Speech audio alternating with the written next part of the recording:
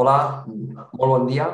Els dono la benvinguda a aquesta desena edició dels Abrils de l'Hospital.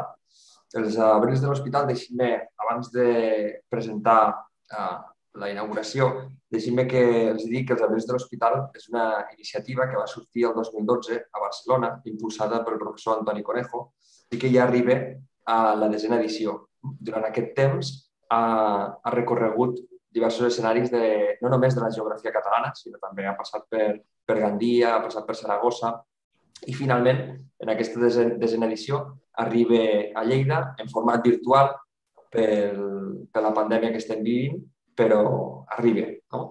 Eh, agraeixo de forma molt breu totes les gestions que s'han fet des de l'Institut d'Estudis Ilerdencs per poder albergar la iniciativa, també al Museu Noguera, perquè jo ara mateix em trobo al Museu Noguera, eh, a l'IRCUM, a l'Institut de Recerca en Cultures Medievals de la Universitat de Barcelona, i també a la Universitat de Lleida. Sense el suport de totes aquestes institucions, aquesta trobada no hagués estat possible. Eh, no m'allargo més, perquè la inauguració ha de ser una cosa breu i hem de començar la primera sessió a les 9.50. Llavors passo la paraula ara el professor Juan Conejo de l'Institut de Recerca en Cultures Medievals i eh, director científic dels Abrils de l'Hospital.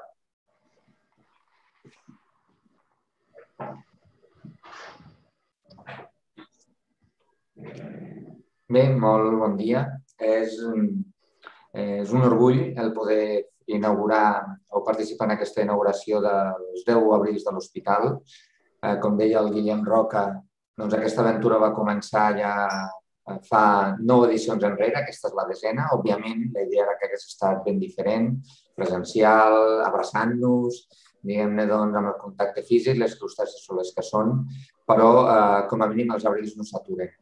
És una iniciativa, però, que no és diguem-ne, a una, a una voluntat exclusivament meva, en absolut. Això va néixer, com ha dit el Guillem, entre el 2011 i el 2012, arran del l'esforç conjunt tant meu com de la doctora Teresa Minyoles, a qui li envio des d'aquí una abraçada molt forta, i sobretot gràcies a l'impuls de l'Institut de Recerca en Cultures Medievals. Uh, espero que al llarg d'aquestes dues jornades doncs, es puguin posar damunt de la taula molts elements científics que ens permetin i es convidin al debat, a reflexionar sobre el que és la pandèmia, el que ha suposat i el que ha afectat des d'un punt de vista històric, com moltes coses que passaven en el passat doncs, no són gaire diferents al que estem vivint avui dia Per tant, no és un simposi eh, amb caràcter estrictament històric, sinó amb una clara i descarada vocació presentista. No vull despedir-me sense abans agrair amb tot el cor les gestions que s'han fet des de l'Institut d'Estudis Ilardencs, des del Museu de la Noguera, en el qual jo estic aquí també avui a Balaguer i no des de casa meva a Barcelona, també a la Universitat de Lleida i, òbviament, doncs, a l'Institut d'Estudis de Recerca en Cultures Medievals, al qual tinc l'honor de, eh, de ser-ne doncs, el seu director i de, eh, de ser l'espai, eh, diguem-ne, científic des del qual els abrils doncs, van caminar.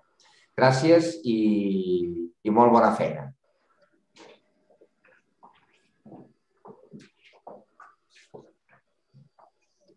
Va. Eh, gràcies, eh, Toni. Cedeixo ara la paraula al vicerector de Cultura i Extensió Universitària de la Universitat de Lleida, el professor Joan Busqueta. Hola, bon dia a tothom.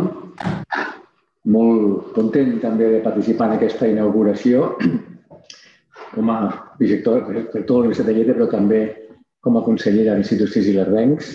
Eh, un agraïment molt gran doncs, a tots aquells que heu organitzat aquest magnífic event, aquesta desena edició dels Abrils de l'Hospital, és a dir, l'ICUM, no? el doctor Conejo al front, no? el Museu de la Noguera, no? un agraïment també a la Carme, Guillem, no? vosaltres i, evidentment, eh, moltíssimes gràcies també a l'Institut d'Estudis Lardencs per haver facilitat tot, tot aquest aspecte acollit i ha facilitat que es pugui fer realment eh, via, via xarxa, via, bueno, que sigui d'aquesta manera eh, important perquè permet, com ha dit molt bé Antoni Conejo, doncs, poder continuar realitzant aquesta, aquesta activitat. Bé, jo crec que aquests abrils de l'hospital doncs, recullen una tradició historiogràfica que eh, important, que en els darrers temps s'ha anat, anat reforçant. De totes maneres, doncs, s'ha de destacar pel que fa a la península ibèrica, la importància que, perquè, pel que aquests estudis van tenir posteriorment aquell congrés ja antic de Lisboa de l'any 1972, que es va dedicar a la pobresa i a l'assistència als pobres d'una edat mitjana. Entre altres resultats, va possibilitar, per exemple, la publicació per part de la institució Milà i Fontanals del Consejo, el CSIC, de Barcelona, de dos volums dedicats a la pobresa justament i assistència als pobres de Catalunya medieval entre el 80 i el 82. Als anys 80 també van néixer diferents publicacions, diferents revistes importants, Dinamis Invent, entre altres, no? i Dinamis Invernat, o insisteixo, entre altres, no? d'història de la medicina, i des d'on la història dels hospitals ha anat disposant d'un altaveu important. La mateixa institució Milà i Fontanals, també, juntament amb l'IEI, no? seu de l'Hospital, l'antic Hospital de Santa Maria, no? doncs van celebrar un, un simposi important l'octubre del 2009, que era aquell Ciudad y Hospitales en el Occidente Europeo, siglos XIII al XVIII, eh, les actes de, del qual van sortir el 2014. Aquest encontre del 2009 va ser, crec, bastant interessant, bastant important pel que fa a l'increment també de la preocupació de la historiografia en relació al tema dels hospitals, almenys a Catalunya. Eh? Estic parlant ara bàsicament de Catalunya. En altres llocs doncs, també doncs, hi hem anat treballant moltíssim aquest tema. Eh? Recollia les darreres tendències, les noves perspectives en l'anàlisi dels antics hospitals, és una perspectiva àmplia, eh? acció caritativa, preservació de l'ordre públic, pau social, dinamització de l'activitat econòmica, exercici i ostentació del poder, manifestacions religioses, difusió de pràctiques sanitàries... En fi, l'objectiu fonamental era, per tant, l'anàlisi de l'intercanvi produït a tots nivells entre l'espai hospitalari i la ciutat. Restava un buit, certament. S'expressava la necessitat d'una major dedicació als hospitals i institucions assistencials dels llocs petits, de l'àmbit rural, de les zones de muntanya, tenint, la seva, tenint en compte la seva ubicació al llarg dels camins, en de les valls, passos fronterers, vies de peregrinació, en fi, etc. En aquesta direcció crec, creiem, som tots plegats, que encara hi ha molta feina per fer.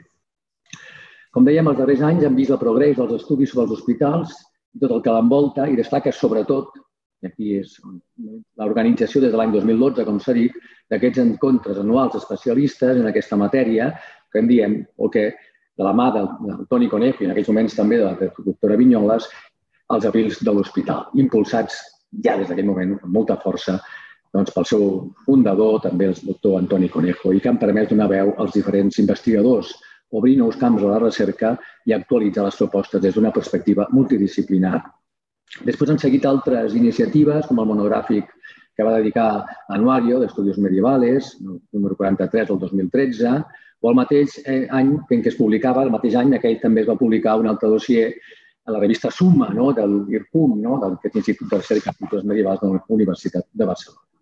I també a nivell, per exemple, espanyol, podria citar la feina que s'està fent també des de la CECEL, des de la Confederació Espanyola de Centros Estudios Locales, que ha endegat, també va endegar un projecte sobre els hospitals i el seu entorn, que ja ha suposat l'aparició de dos monogràfics de la revista de la CECEL, en els seus volums 16 del 2016 i 18 del 2018, i que no ens està preparant un altre o es vol preparar un altre, si més no, no? Doncs està treballant en la preparació d'algun altre i s'està ja començant a demanar intervencions. I entremig, també doncs, hi va haver justament aquí, no, el, el, a Balaguer, doncs, en una de les edicions dels cursos estius del Comtat d'Urgell, doncs, que es va dedicar a l'assistència a l'edat mitjana. La publicació del llibre és del 2017. Doncs és, per tant, doncs, és en aquest, en aquest marc importantíssim doncs, doncs, que es produeixen aquests abrils, aquesta desena edició en aquest sentit, i amb l'encert, com també s'ha dit, de realitzar els abrils fora, no? és a dir, anar-los fent circular aquests abrils que ja són tot un clàssic, no? amb aquesta, com s'ha dit, de edició. I sobretot aquest interessant, interessantíssim, no? aquest fer-ho circular per diferents llocs, diferents àmbits de la corona, en aquest cas de la corona d'Aragó. I, evidentment, es presenta un programa molt atractiu, molt actual, també s'ha dit ara, no? temps d'epidèmies, actualíssim, molt actual. És a dir, estem, recordo un congrés que vam celebrar l'any 98 també a la Universitat de Lleida, que era de la pesta negra la sida, justament en aquells moments el tema que preocupava era el de la sida, ara el que preocupa és el tema de la Covid, però es fa aquest enfoc històric per poder tenir elements per poder pensar, no? per poder reflexionar sobre com, com s'ha actuat, què ha passat també en el passat davant d'aquest problema de les epidèmies. No? I això em sembla, per tant, un encert enorme l'haver treballat. I això de la mà, evidentment, de bons, dels millors especialistes o d'aquestes matèries, de l'estudi de l'hospital i, insisteixo, des d'aquesta perspectiva també àmplia és el que veurem també en aquesta jornada. Per tant, no em resta més que agrair, doncs, en aquest cas, als organitzadors directes d'aquesta activitat, el Guillem Roca, el Toni Conejo, agrair també al comitè científic format per diferents, per diferents persones que també hi han treballat, no? la Carme Alós, Federica Parisi, el Pere Benito, la Carmel, el Carmel Ferragut i el Salvatore Marino, no? que també els sentirem parlar doncs, alguns d'ells aquí en aquestes, en aquestes jornades, no? i, evidentment, doncs, eh, tot el suport i totes les gràcies també a l'Institut d'Estudis i l'Herbencs per facilitar, com s'ha dit, que puguem fer aquesta, aquesta activitat posant tots els mitjans, tots els mitjans a l'abast. Segur doncs, que tindrem un simpòsi, un simpòsi que, donarà, que donarà, com sempre, molts fruits, que aconseguirà, doncs, com sempre, reforçar aquesta gran línia de la investigació que és la història dels hospitals i tot el, tot el tot el que l'entorna i, per tant, doncs, que aconseguirà reforçar la línia d'investigació en el camp de la història, en aquest cas medieval, perquè ens anem de 1.300 a, 1.000, a 1.500. Bé, moltes gràcies i doncs, bueno, els millors fruits per aquest simpòsim per tots els que vinguin. Eh? Moltes gràcies. Moltes gràcies, Joan. Passo ara la paraula a la darrera persona que intervé en l'inauguració. Eh, és la presidenta eh, vicepresidenta de l'Institut d'Estudis Ilerdencs, la senyora Estefania Rufac. Sí, hola, bon dia i, i gràcies. Gràcies per convidar-me avui a ser aquí i poder-vos donar la benvinguda a tots i totes amb aquesta aula virtual, perquè el temps que som doncs, no ho podem fer d'una altra manera, però benvinguts tots a, a l'aula virtual de l'Institut d'Estudis Ilerdencs. Una aula que avui eh, comencem aquesta desena edició d'Abrils de l'Hospital, una desena edició que any rere any eh, es va consolidant i, i vull aprofitar per, per agrair moltíssim la feina que fan les institucions organitzadores, com l'Institut de Recerca de Cultura Medievals de la Universitat de Barcelona, la Universitat de Lleida i el Museu de la Noguera. Moltes gràcies a, a ells, no? doncs perquè, com he dit, any rere any estan fent d'aquestes edicions, aquestes edicions d'abril de l'Hospital, tot un èxit. I els vull agrair moltíssim el tema d'enguany. Tots direu que no podia ser un altre, però la veritat és que parlar d'hospitals i temps d'epidèmies estic segura que ens ensenyarà molt, perquè parlarem de fa 500 anys o, o més, i això eh, és molt important per fer-nos donar compte no? de que estem vivint una realitat però que aquesta realitat ja existia abans. I si hi ha una frase que crec que és molt certa és que la història es repeteix i que a través de la història tots nosaltres podem aprendre molt, no? com a alcaldessa, com a presidenta de, com a presidenta de l'Institut d'Estudis Ilerdencs, eh, la veritat és que estic segura que podrem treure moltes conclusions de com s'administraven abans les pandèmies, de com eh, gestionaven els hospitals, de, de com la cultura havia de fer front a tots aquests eh, canvis i, i estic segura que en traurem grans eh, conclusions. Res més, eh, agrair-los novament tota la tasca que esteu fent, agrair a tots els ponents que estareu aquí durant dos dies, entre el dia d'avui i el dia de demà, i a tots els que esteu a casa, espero que gaudiu molt d'aquestes jornades i que siguin profitoses per a tothom. Molt bon dia i gràcies.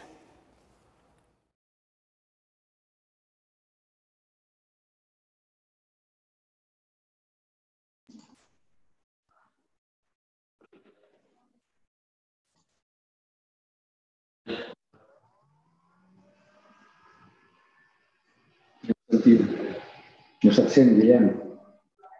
Val. Eh, per tant, acabem ja la, la inauguració.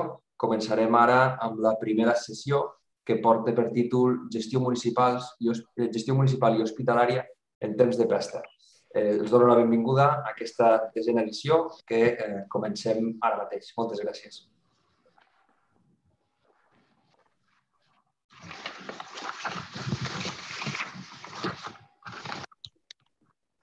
Bé, doncs, comencem amb antelació, així que segurament tindrem més, més opcions per al, per al debat, no? I això és interessant. De fet, eh, suposo que mantenim, per, però, la, no, el, el tempus de cadascú, no? els 20 minuts que s'havien acordat, oi? Sí, sí. D'acord, doncs, doncs, doncs sí, anem a iniciar la primera, la primera de les sessions, que té per títol Gestió municipal i hospitalària en temps de pesta. I tenim quatre ponents avui, ara, Guillem Roca, fins que serà el primer, el Carmel Ferragut, el John Henderson i el Josep Barceló i Eduard Bueno. Eh? Després ja tindrem el, eh, el, el debat. Bé, per tant, intervindrem seguit i finalment tindrem el debat conjunt, si us sembla a tots, a tots bé. Començarem, doncs, per la intervenció del professor Guillem Roca, el paper de l'Hospital General de Santa Maria de Lleida durant les pestes del 500. Guillem Roca treballa actualment al Museu de la Noguera i és professor també a la Universitat de Lleida. Entre les seves principals línies d'investigació hi ha la història dels hospitals, evidentment, i de la salut pública. Ha publicat diferents articles analitzant el context hospitalari lleidatà des d'una perspectiva global inserint les institucions dins el context urbà.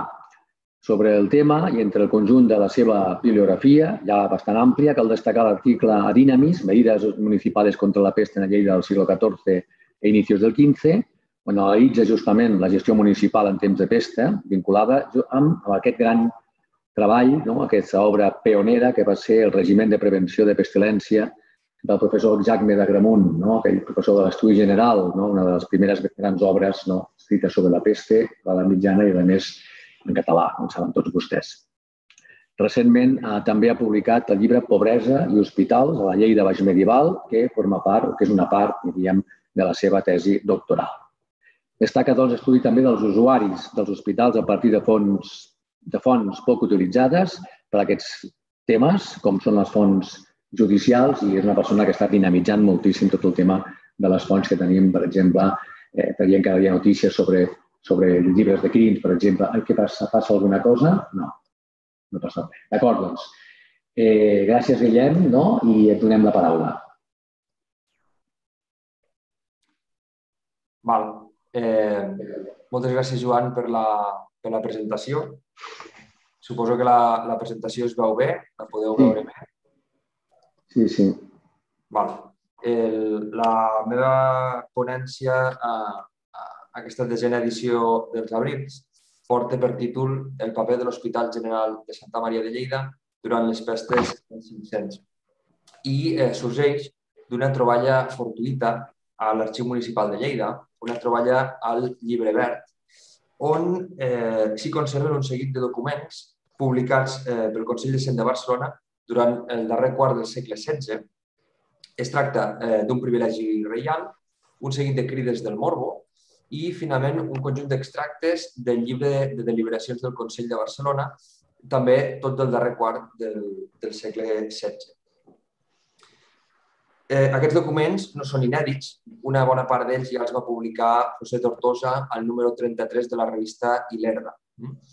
No tots, n'hi fal faltaven alguns eh, de tot aquest conjunt de documents barcelonins que tenim a Lleida. Bé, i a part també em falta dir que el cas barceloní ha estat molt ben estudiat ja per José Luis Betran el seu, a la seva obra La peste en la Barcelona de los Àustries, un llibre, juntament amb altres, que he utilitzat per contextualitzar aquests documents. Bé, el primer document és un privilegi de 1510 firmat pel rei Ferran el Catòlic a Montsó i presentat davant del rei pels síndics de la ciutat de Barcelona, Berenguer Aguilar i Bernat Sebe Capila. Mm, el privilegi, el privilegi establia el dret de la ciutat de regir-se sense intromissió de cap oficial reial i si es declarava un brot de pesta, també l'obligació dels consellers de residir a la ciutat durant el brot. De fet, es diu no, que els consellers tenen major vigilància de fer guarda amb suma diligència dita ciutat, que no en serien altres oficials, referint-se als oficials reials, que tenen llibertat de desemparar, hm, que tenen llibertat de marxar de la ciutat. Aquest document va ser impulsat pel cicle pestífer de 1501 a 1508 i és una mostra de la gran autonomia que guanya la ciutat de Barcelona durant el regnat de Ferran el Catòlic. El document és ambigu pel que fa als límits territorials. De fet, sovint una barreja plural i singular, de manera que en alguns apartats sembla referir-se a tot el Principat. I aquest fet evidencia el gran nombre de dependències eh, que la importància política i econòmica de la ciutat com tal va generar en el territori. De fet, la importància de la ciutat permet al Consell de Cent intervenir en diversos afers fora dels murs de Barcelona. De fet, Barcelona amenaça sovint a diferents poblacions Mm, amb suspendre'ls el dret de comerç amb la capital si no segueixen les disposicions que, que ha establert el Consell. I la resta són, com ja he mencionat, les crides del Morbo del 1588, 1596, 1500, eh, dos de 1596 i una darrera de 1599. Mm, en aquestes crides s'hi eh, expliquen alguns dels procediments que s'havien de dur a terme, com per exemple el tancament de portals, el cribratge a les portes de les ciutats, Mm, s'havien de dur a terme durant un brot de peste o quan hi havia un brot de peste a prop de la ciutat. I també aquests extractes de, de deliberacions del Consell de Cent on s'hi demostren un seguit de normatives especialment severes que va prendre el Consell de Cent durant els brots de, de peste del darrer quart del segle XVI. Bé, en aquests documents s'hi mostren diferents espais sanitaris eh, s'hi mostren aquests quatre espais, l'illa del Llobregat, la Torre de Sant Pau, la Casa dels Àngels Vells i l'Hospital de la Misericòrdia. Són els únics espais que mostren en aquests documents. El 1587, la vuitena del Morbo va deliberar sobre una tartana, sobre un vaixell, eh, que havia arribat procedent de Marsella, on hi havia contagi. El vaixell amb cuirs, espècies i representava una amenaça per la bona sanitat de Barcelona. Per això es va cremar l'embarcació, es va decidir cremar l'embarcació amb tot el que duia i als mariners se'ls va ordenar llançar-se a l'aigua despullats. I després, un cop mm, rentats i vestits pel municipi, foren traslladats a l'espai denominat Illa de Llobregat, on s'havia de fer una quarantena mentre es vigilaven les mercaderies que s'havien recuperat del vaixell cremat, que s'havien recuperat del mar. El, aquest llatzeret, denominat Illa de Llobregat, era una torre defensiva que es va construir el 1566 i que estava a prop de la desembocadura del riu Llobregat.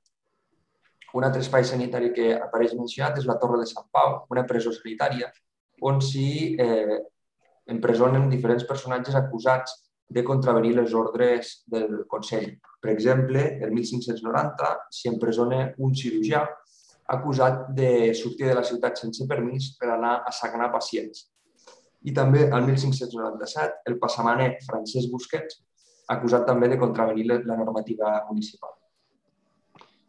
El següent espai és la Casa dels Àngels Verds, un antic monestir que va comprar la ciutat en 1562 i el va utilitzar com a llatzaret. Està situat a les afores de la Porta de Sant Daniel. En la crida del Morbo de 1588 s'explicita que els malalts que volien entrar a Barcelona ho havien de fer pel portal de Sant Antoni.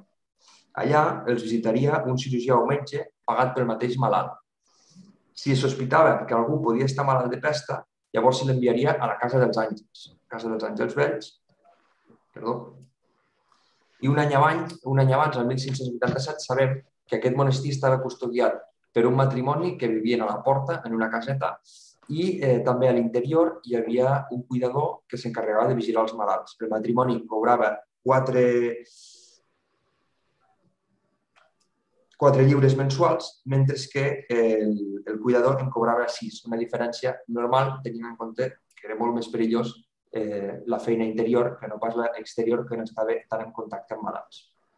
I finalment, per acabar, l'Hospital de la Misericòrdia, que va ser fundat el 1581 per iniciativa del catedràtic de la Universitat de Barcelona i eclesiàstic Diego Pérez de Valdivia. Eh, en un primer moment es va instal·lar a la mencionada Casa dels Àngels Vells, però ràpidament es va moure a, a la zona del Rabat. El 1599 s'obliga als pobres mendicants de la ciutat a sortir i allotjar-se en aquest hospital. I el document diu que aquest tipus de gent són pobres, mendicants, romeus, romies, acaptadors o acaptadores.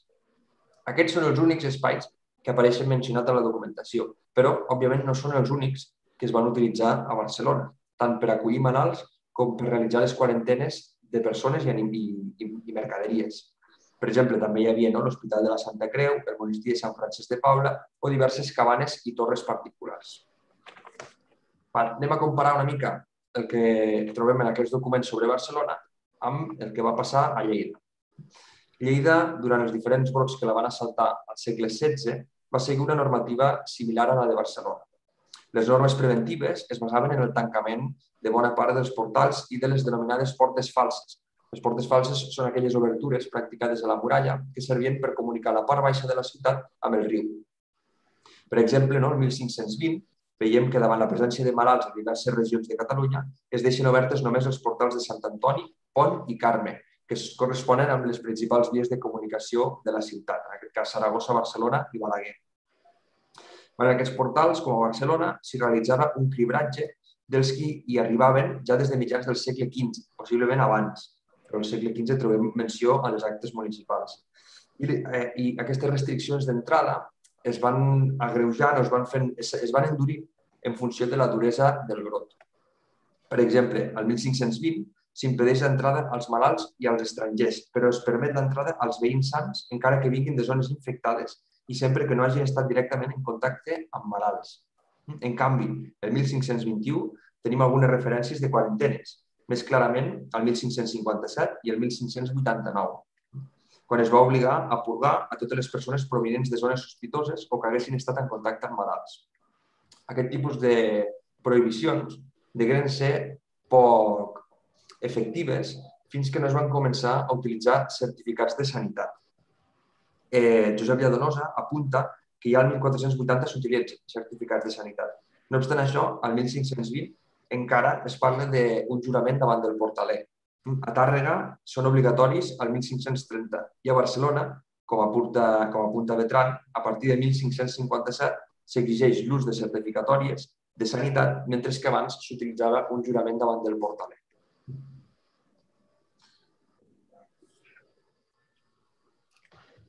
Clar, a Lleida no hem documentat un espai mm, determinat per a la purga com sí que, eh, per la purga de, de persones i mercaderies, com sí que hem localitzat en el cas de Barcelona, com per exemple la illa de Llobregat. Sobre això tenim diversos exemples que ens poden aclarar una mica com funcionava la ciutat. Per exemple, el 1521, dos vídues, Pedrissa i Lleona, demanen permís al Consell per entrar robes, eh, diferents robes a la ciutat, robes i sabates, diu el document. Els seus marits, un sabater i un sastre, havien mort de pesta a Sunyer i elles, després de realitzar la quarantena a un lloc indeterminat, es refugien a Lleida i deixen endarrere aquestes robes i sabates. Llavors, el Consell aprova l'entrada de les sabates, però determina purgar durant 15 dies les robes en una granja propera a la ciutat. Com era habitual, es va considerar que la pesta es podia transmetre també a través de les mercaderies i especialment a través de la roba de llana, que era especialment perillosa seus marits, un sabater. La documentació judicial eh, produïda en temps de pesta és una, és una bona font per entendre el funcionament d'aquests espais dedicats a la quarantena. El 19 de juliol de 1589, per exemple, tenim aquesta, aquest document molt interessant d'un metge, Agustí Calà, que eh, denuncia a les autoritats que té una torre fora de Lleida preparada per establir-s'hi si es declara un brot de pesta a la ciutat i uns mercaders han assaltat la torre, han trencat el bany i l'han ocupat per deixar-hi les seves mercaderies. Eh? Diu eh, mercaderies que venen de parts sospitoses de morbo i han estat uns dies posant dins dita torre tota la roba que ells portaven de dita part sospitosa fins a les celles de les mules, es queixa aquest metge. Hi ha un altre document interessant del 16 de setembre de 1589 en què un grup de bandolers ataquen una cabana situada al terme de Vinquín, a prop de Serós. Allà un grup de, persones hi estaven realitzant una quarantena. Els bandolers el roben totes les pertinences i s'emporten els tres homes que hi havia a la casa. El, el document mostra que almenys hi havia dos parelles, una noia jove, una vídua i un criat fent quarantena i entre ells no hi havia cap vincle comú aparent. Eh, dos d'aquests dels tres presoners aconsegueixen fugir, però el doctor Mateu Aguda, com que li havien lligat les mans, es queda amb els bandolers. Uns dies més tard el troben mort en un camí i eh, les persones que el reconeixen no s'hi volen acostar per la por que desprèn el, el cadàver, per por al contagi de la peste. Eh, eren temps de pesta en aquell moment. I el reconeixen per la roba que portava, perquè era la mateixa roba que portava uns dies abans quan el van raptar. Doncs bé, el, una de les persones que el coneix és un veí de Belllloc, que, que l'havia vist amb la roba i és l'encarregat de portar menjar amb aquelles persones que estaven fent la quarantena i que per tant estaven dins d'aquella àrea, d'aquella cabana, sense tenir massa contacte amb l'exterior. També el doctor Camps cita un cas força esclaridor, el d'un jove que va arribar a Castellnou de Luges, procedent de Barcelona, on hi havia pest. I va arribar el 16 de juliol de 1589. Al jove li van prohibir l'entrada a, a la vila i, de fet, durant un temps va estar vagant sense que ningú el deixés entrar a cap poble dels voltants. Finalment, el desvien cap a una masia abandonada del terme de la Cardosa, on hi acaba morint poc després. Per tant, amb aquests exemples queda clar la falta d'espais dedicats a la quarantena. Els hospitals no s'acostumaven a utilitzar en aquest sentit o la gent els evitava. Per això, davant la falta d'espais d'acollida i l'augment de la criminalitat, eh, proliferen germandats entre els pobles, per exemple, entre els pobles, de l'Urgell, amb el pacte, amb l'acord d'acollir-se entre ells si es declara un brot de peste en alguna de les, de les viles. Val. Eh, més enllà d'aquests espais de, de purga, el que eren els espais de cura dels malalts durant el segle XVI a Lleida. A Lleida, durant el segle XVI, els malalts van ser acollits principalment a l'Hospital General de Santa Maria o a les seves dependències o a les seves cases particulars. A més, l'Hospital de Santa Maria també va donar servei a diferents pobles de la zona.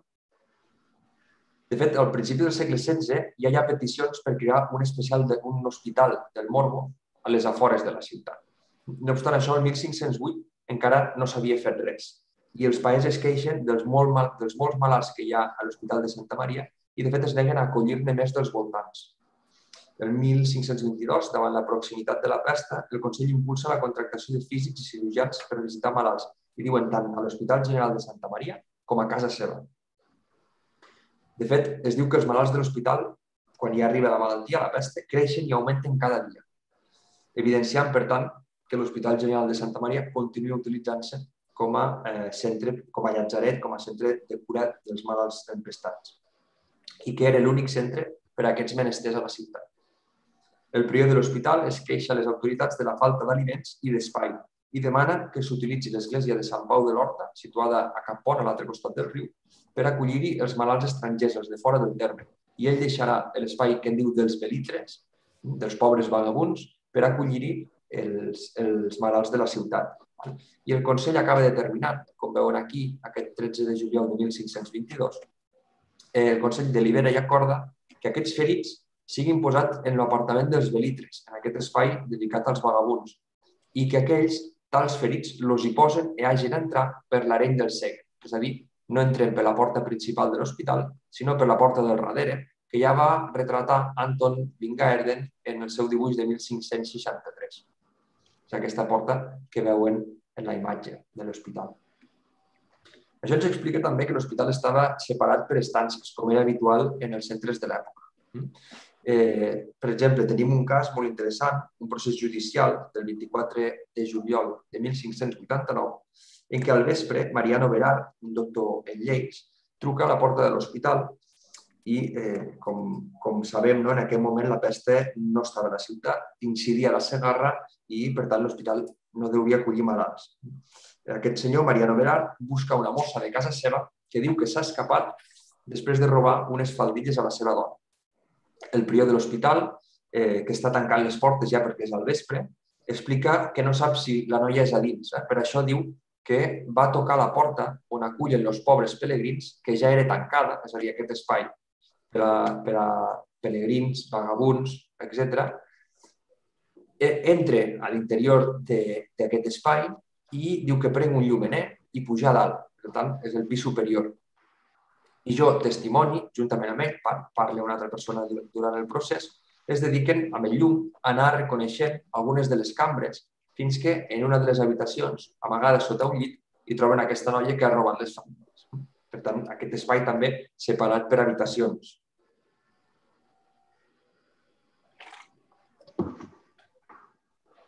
Val.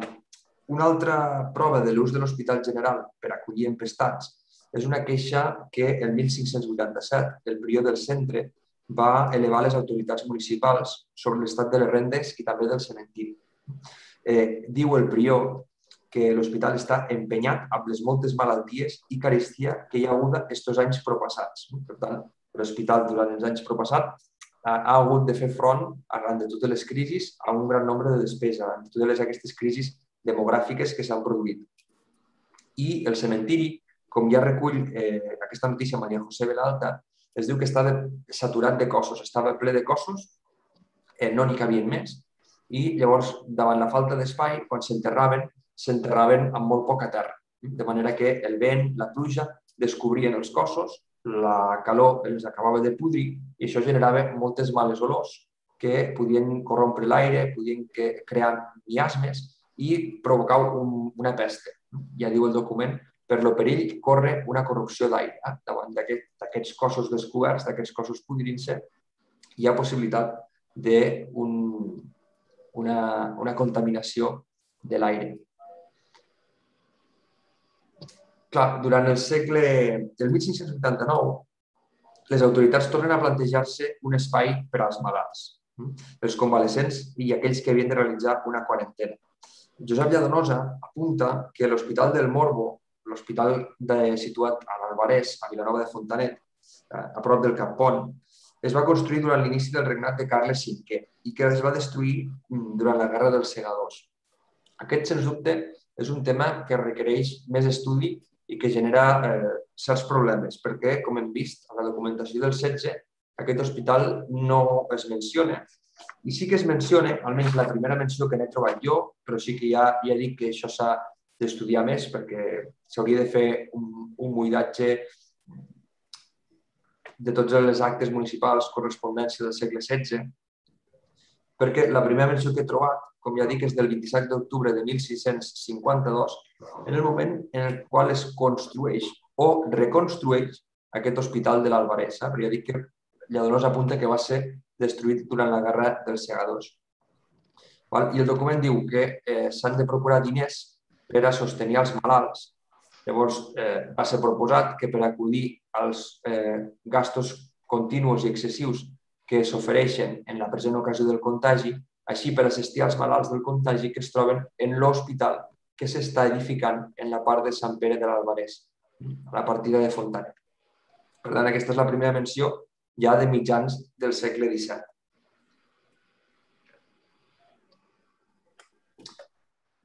Val, afronto eh, ja el darrer pas d'aquesta pronància, d'aquesta presentació, amb les conclusions. Bé, eh, com hem vist, les mesures per lluitar contra la pesta estaven ben esteses i es produïen tant a Lleida com a Barcelona i també a la gran majoria de viles i ciutats, sense importar la seva grandària. Òbviament, la importància comercial de Barcelona comportà certes diferències en la cronologia i en la complexitat de mesures. Sobretot, en el cas lleidatà, sorprèn la falta d'espais públics dedicats a la quarantena de persones i mercaderies, com hem vist a Barcelona per el cas de la illa de Llobregat o la Casa dels Àngels Vells. Un fet que sembla ser que a Lleida no té paral·lels almenys fins al segle XVII. A Lleida totes les pulgues que hem trobat es fan en cabanes particulars o en torres particulars. I hem vist aquests casos de diferents persones obligades a eh, vagarejar pel, pel terme sense cap acollida o fins i tot la creació de, de germandats entre comuns. Quan davant l'arribada de la malaltia, Catalunya s'articula a diversos nivells, tenint Barcelona, la capital, al capdamunt, tot i que certament el grau de col·laboració de les diferents ciutats anava relacionat amb el grau de subordinació econòmic i política en Barcelona. Aquesta jerarquització superava els límits polítics i arribava fins més enllà de la frontera, produint una intensa correspondència entre les viles, les viles tant del Principat com de la Corona i fins i tot de França i de Castella. És aquesta articulació del territori a la que cal atribuir la presència dels documents barcelonins que he comentat al principi, que trobem a l'Arxiu Municipal de Lleida davant l'augment de la intensitat de les malalties contagioses a finals del segle XVI i amb la voluntat de donar una resposta conjunta a aquest repte sanitari, Barcelona envia aquests documents a la ciutat de Lleida, pel Consell Lleidatà, per donar a conèixer unes mesures que ja comento que són especialment severes, a jutjar per altres mesures que pren el Consell de, de Barcelona. La clau de volta de tot això és un privilegi de 1599, també situat al llibre verd i que precedeix tota aquesta documentació barcelonina. En aquest privilegi, que és el que segurament motiva la còpia de tots aquests fulls, eh, la ciutat de Lleida rep els mateixos drets que Barcelona en la gestió del món, fent referència al privilegi de 1510 que els he comentat al principi, aquell privilegi que concedeix Ferran el Catòlic a la ciutat de Barcelona i que mescla plurals, plurals i singulars de manera un tant ambigua. A més, i això és important, aquesta, aquest document recull la petició dels pare, del pare dels orfes, una institució lleidatana, que vol tenir les mateixes atribucions que, la, que el seu homòleg de Saragossa.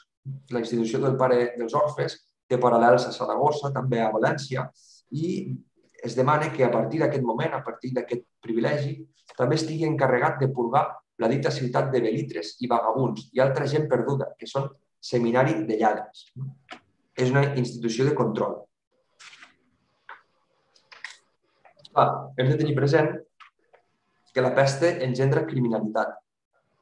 Grups de bandolers, falsos pobres, eh, que són vistos com un vehicle de la malaltia i que s'aprofiten del descontrol generat en un moment de peste per fer de les seves, com hem vist en el cas d'aquells bandolers que assalten una cabana a prop de Belllloc i com n'hi ha molts, perquè el bandolerisme a finals del segle XVI a les Terres de Lleida és un fenomen que està relacionat amb, amb aquestes crisis i, i, i que actua de manera molt, molt forta a, a les Terres de Lleida.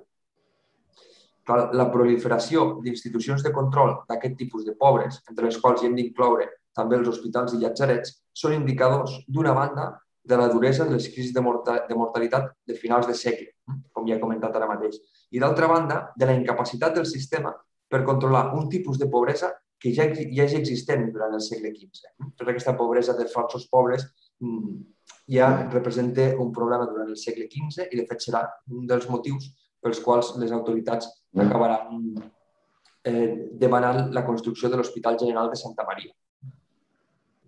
Cal que entenguem, en aquest sentit, que els pobres havien de conviure amb una malaltia. Els rics tenien la possibilitat de sortir, d'anar-se'n a les seves torres particulars, a les seves cabanes particulars, com aquell doctor que hem mencionat, i uh, allunyar-se de la malaltia.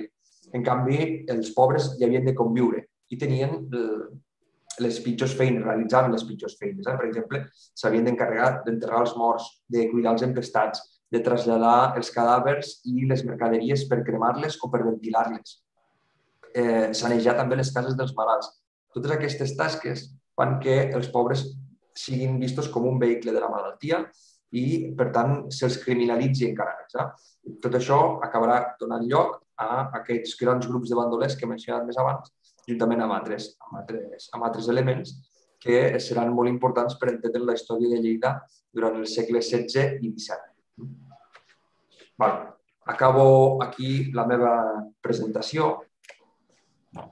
Moltes gràcies per la, per la seva atenció i eh, si hi ha preguntes realitzarem el debat al final de eh, totes les ponències d'aquesta primera sessió, que serà al voltant de les 11 i 10 més o menys en funció del, de com s'allarguin les ponències. Moltes gràcies.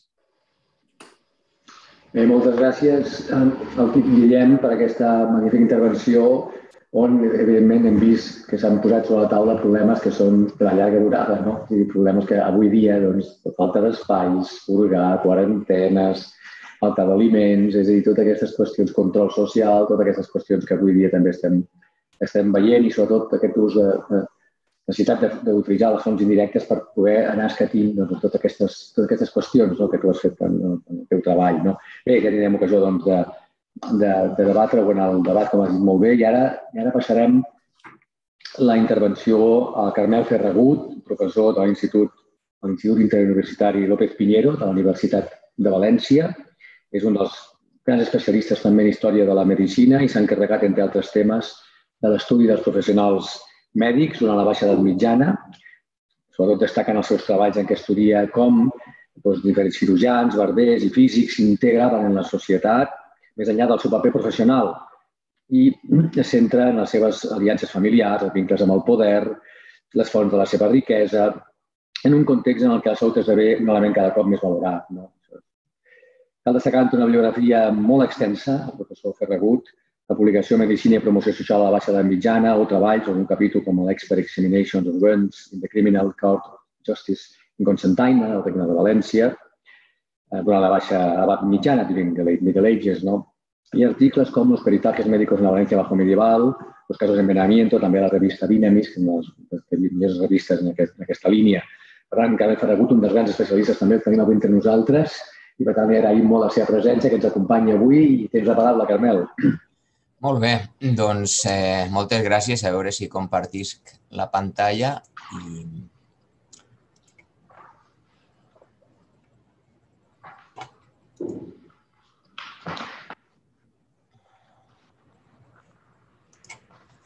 Bé, m'imagino que es veu bé i se'm sent. Molt bé, molt bé. Aleshores anem, anem allà. Doncs eh, mm, bé, moltes gràcies per, per haver acceptat la meva participació al, al Congrés. Crec que és un, un privilegi poder estar una vegada més en aquesta trobada científica.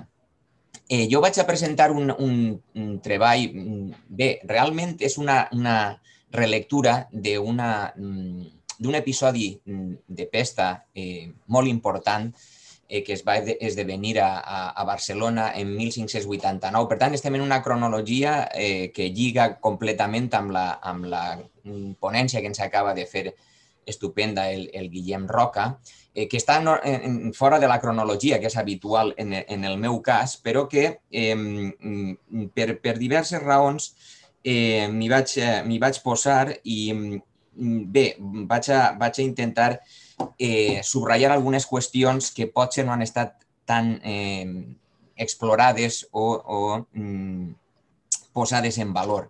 Eh, bé, en realitat, la, la, com dic, la, la pesta de 1589 de, a Barcelona, en el cas concret de Barcelona, va estar, ha estat estudiada des de fa molt temps. Hi ha, hi ha un parell de treballs eh, molt importants de principi del segle XX, de Vinyas Cosí i de, i de Josep Maria Roca, que per el volum de, de documentació exhumada mm, eh, ja, ja palesa que el, el, mm, aquesta, aquesta peste tingué un, un, un caire, un caràcter eh, especialment virulent i dramàtic per a, per a la ciutat de Barcelona. Eh, clar, són treballs eh, molt, eh, diguem-ne, de caire positivista, eh? però que eh, mm, temps després, i ja l'ha esmentat eh, abans eh, Guillem, el, en, en Josep Lluís, eh, bueno, José Luis Betran Moya, el professor eh, eh, Betran va eh, desenvolupar la seva tesi doctoral i després va publicar en, en aquest volum en concret, però també en altres, eh, un treball fantàstic sobre les pestes en, en l'època moderna que d'alguna manera eh, m'han servit eh, per, per, per situar-me i, i, per, i per eh, tenir una, una visió panoràmica en, del, del cas en concret que, que m'interessa. No? Eh, per tant, moltes de les dades, com veureu, i quadres que recull així eh, són d'autors d'aquest, com dic, magnífic eh, llibre. També volia, voldria subratllar un capítol que el professor Betram va publicar mm, poc després, o sigui, tot això ja té temps, l'any 94, eh, sobre un aspecte, un, un episodi concret dins d'aquesta pesta de 1589 i que a mi em sembla eh, realment extraordinari. Eh, de fet, jo volia fer pivotar la meva intervenció sobre aquest cas, tal com vaig, eh, sobre aquest assumpte, no? Tal com vaig anunciar en, l'abstract, però després la cosa, eh, a mesura que he anat eh, treballant, doncs s'ha complicat més eh, i, això ho abordaré gairebé al final, no? si tinc temps, si més no. Bé, hi ha una sèrie de, a banda d'aquesta bibliografia, com dic, ja imprescindible, i d'aquest procés en concret que subratlla, que procedeix de l'Arxiu la, Història de la ciutat de Barcelona, també m'han servit la documentació eh, municipal, bueno, exhumada ja fa molt de temps en, en allò del manual de novells ardits, i també eh, la documentació eh, pròpia eh, emesa per l'Hospital de, de la Santa Creu, eh, el llibre, en concret el llibre d'entrades d'hospital de l'hospital, però també altres eh, eh, petits, bueno, documents, diguem, eh, més aïllats, però que també són molt interessants. I voldria introduir eh, també una, una disputa mèdica. Una disputa mèdica que fins ara havia passat mm, pràcticament desapercebuda i que es desencadena en, en diguem-ne, enmig d'aquesta eh, pesta, no? de 1589. Eh, és, una, és una disputa entre un, un catedràtic de l'Estudi General de, de Barcelona, el Bernat Caixanes, escriu un tractat que comença eh, amb un títol eh, sorprenent, Adversus Valentinos, eh, contra els valencians, contra els metges valencians. Eh?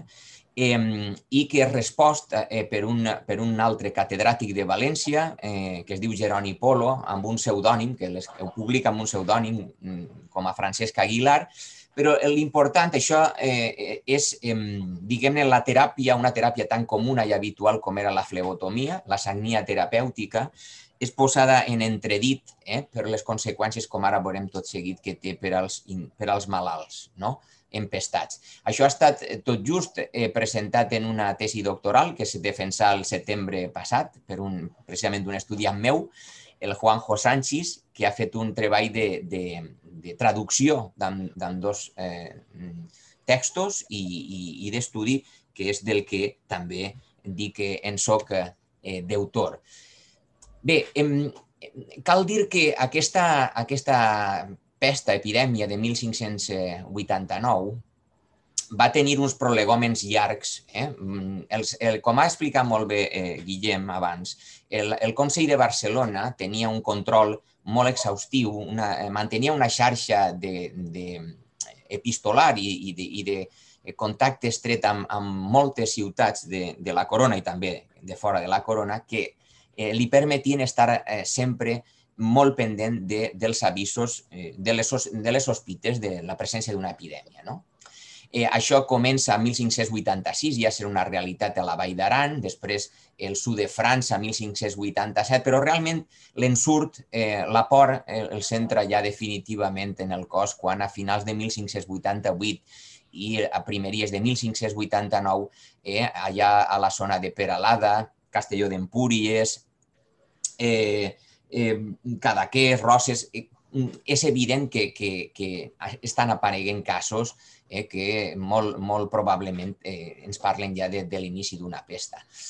Bé, doncs, eh, eh, a veure, quan parlem d'epidèmies, eh, voldria aclarir aquest assumpte perquè sempre és un poc problemàtic. Eh, com ells diuen epidèmia, pestilència o altres eh, paraules que identifiquen eh, eh, aquesta, aquesta situació, es refereix a un episodi de mortalitat extraordinària que no necessàriament té a veure amb la pesta bubònica. Eh? En aquest cas, pels símptomes pel, pel el procediments que vegem i, i, i tot el que va ocórrer és eh, allò, eh, eh, sembla ser e efectivament pesta bubònica, però no té el per què. Dir, qualsevol, de fet, en moltes ocasions eh, la, la simptomatologia o els signes que van expressant ens parlen de segurament d'altres malalties, però que ells cataloguen exactament com a epidemials. Val? Bé, doncs, com dic, eh, eh, a finals de novembre ja s'activen els ressorts eh, habituals. Eh? Si la primera causa de la pesta és eh, el pecat, són, és el comportament indigne dels cristians. I el, el primer que cal fer és apaivagar eh, l'ira divina, la ira divina eh, amb les celebracions oportunes de misses en, en tots els, els edificis religiosos eh, susceptibles de, de fer un culte eh, com cal. No? Eh, a principi d'any de 1589 ja n'hi ha prohibicions eh, de, de balls, de màscares, per exemple, d'aglomeracions i d'actes que poden ser eh, susceptibles de, de provocar les transmissions eh, i el contagi, el contagi no, de, la, de la malaltia. Ja, I fins i tot a l'Hospital de la Santa Creu ja s'oficia un miserere i un sermó, eh, tractant també de, de suavitzar el que eh, el, el, era evident que anava a, a esdevindre. No?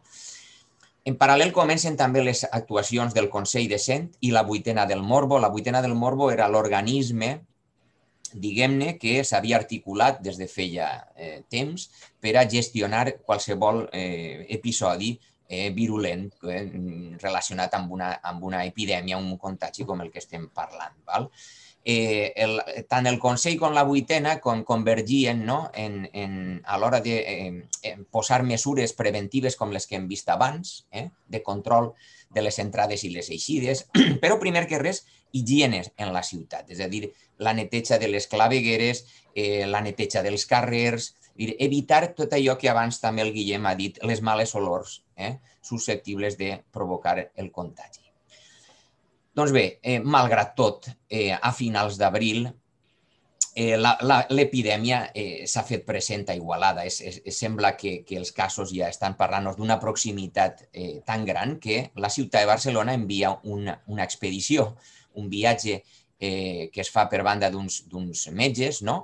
eh, amb la finalitat de eh, valorar si efectivament allò es tracta de la pesta o no i, bé, com, com hem dit abans, ja, un, ja s'estableix un control eh, de les persones que entren i, i que eixen. Voldria eh, remarcar eh, ara una mica quin paper tingueren els professionals de la medicina en, en aquest context. Val? Eh, bé, en primer lloc podríem parlar de que formaren part, alguns eh, formaren part de la vuitena del Morbo en aquest eh, episodi, com dic, epidèmic, però també en d'altres. Feren aquests viatges de reconeixement, els eixeren pagats per, per fer emetre informes sobre l'estat de la salut de les persones, sobre també les, les sospites sobre determinades mercaderies, no? possiblement infectades i com s'havia de procedir.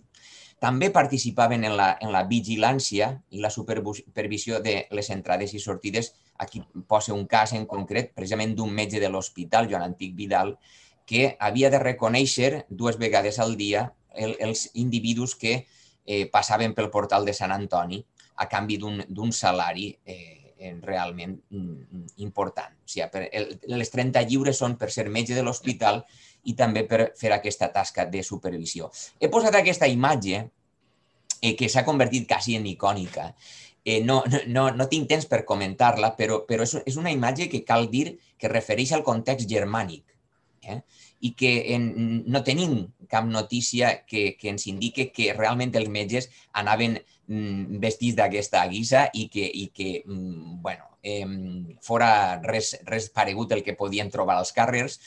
Eh, L'única cosa que tenim sobre, sobre la vestimenta és que eh, una, una banda blanca que els identificava, aquests metges, eh, que estaven dedicats a, a guarir a Barcelona, en el cas de Barcelona, els empestats.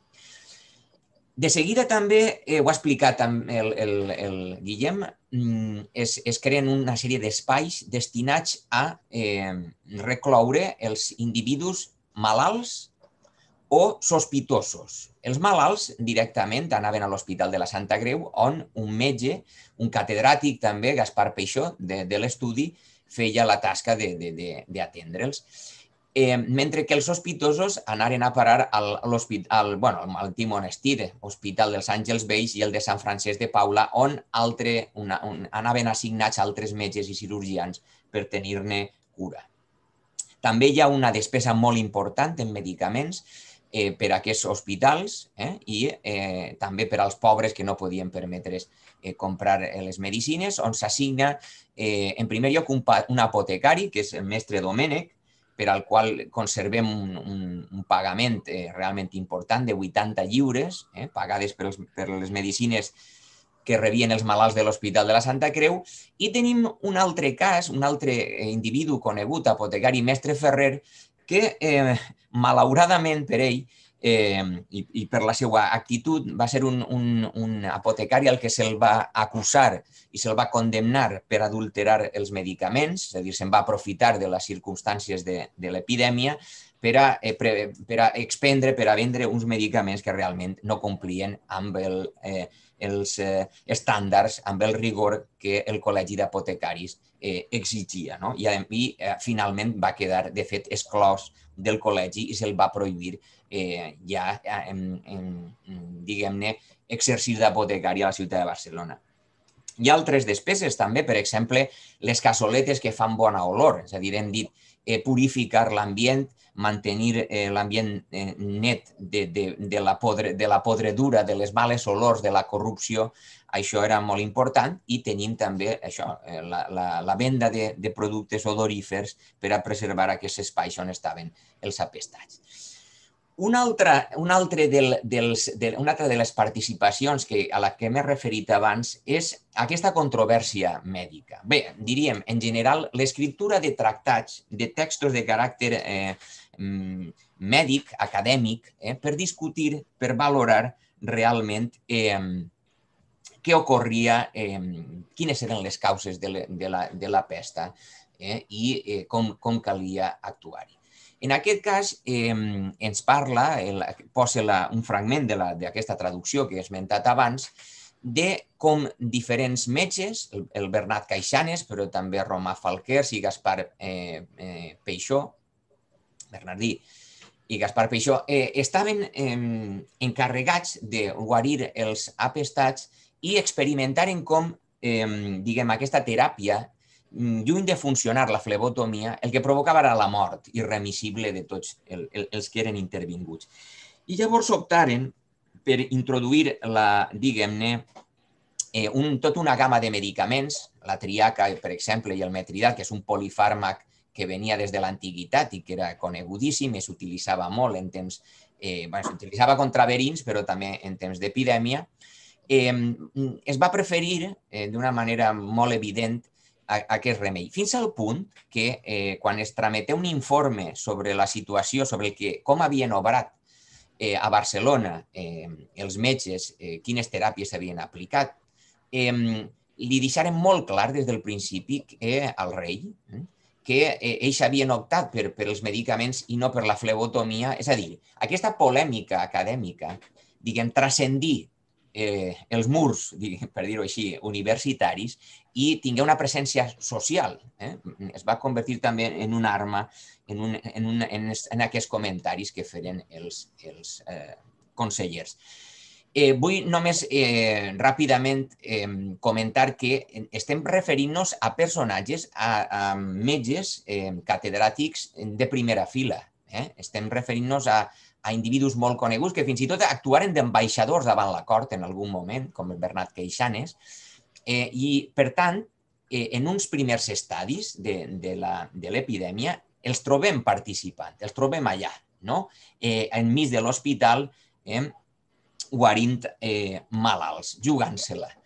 Però això a mitjan de eh, juliol eh, canvia. Per què? Doncs perquè el que eh, eh, s'evidencia és que ha hagut una estampida, una fugida en estampida, no solament dels quadres dirigents, dels consellers, de les elites, sinó també de l'estament mèdic.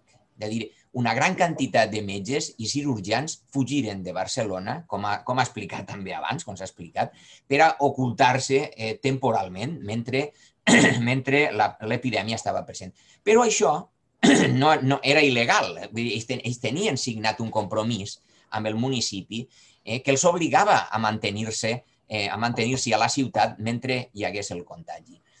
Clar, els varen inhabilitar per incompliment de contracte. Tanmateix, eh, un any després, quan no podia ser d'altra manera, van recuperar la seu, el seu lloc dins, eh, el, dins el col·legi mèdic i continuaren amb la seva comesa. Eh, aquesta eh, aquesta inhabilitació no podia tenir massa recorregut. Una altra qüestió, perdó, és eh, l'escriptura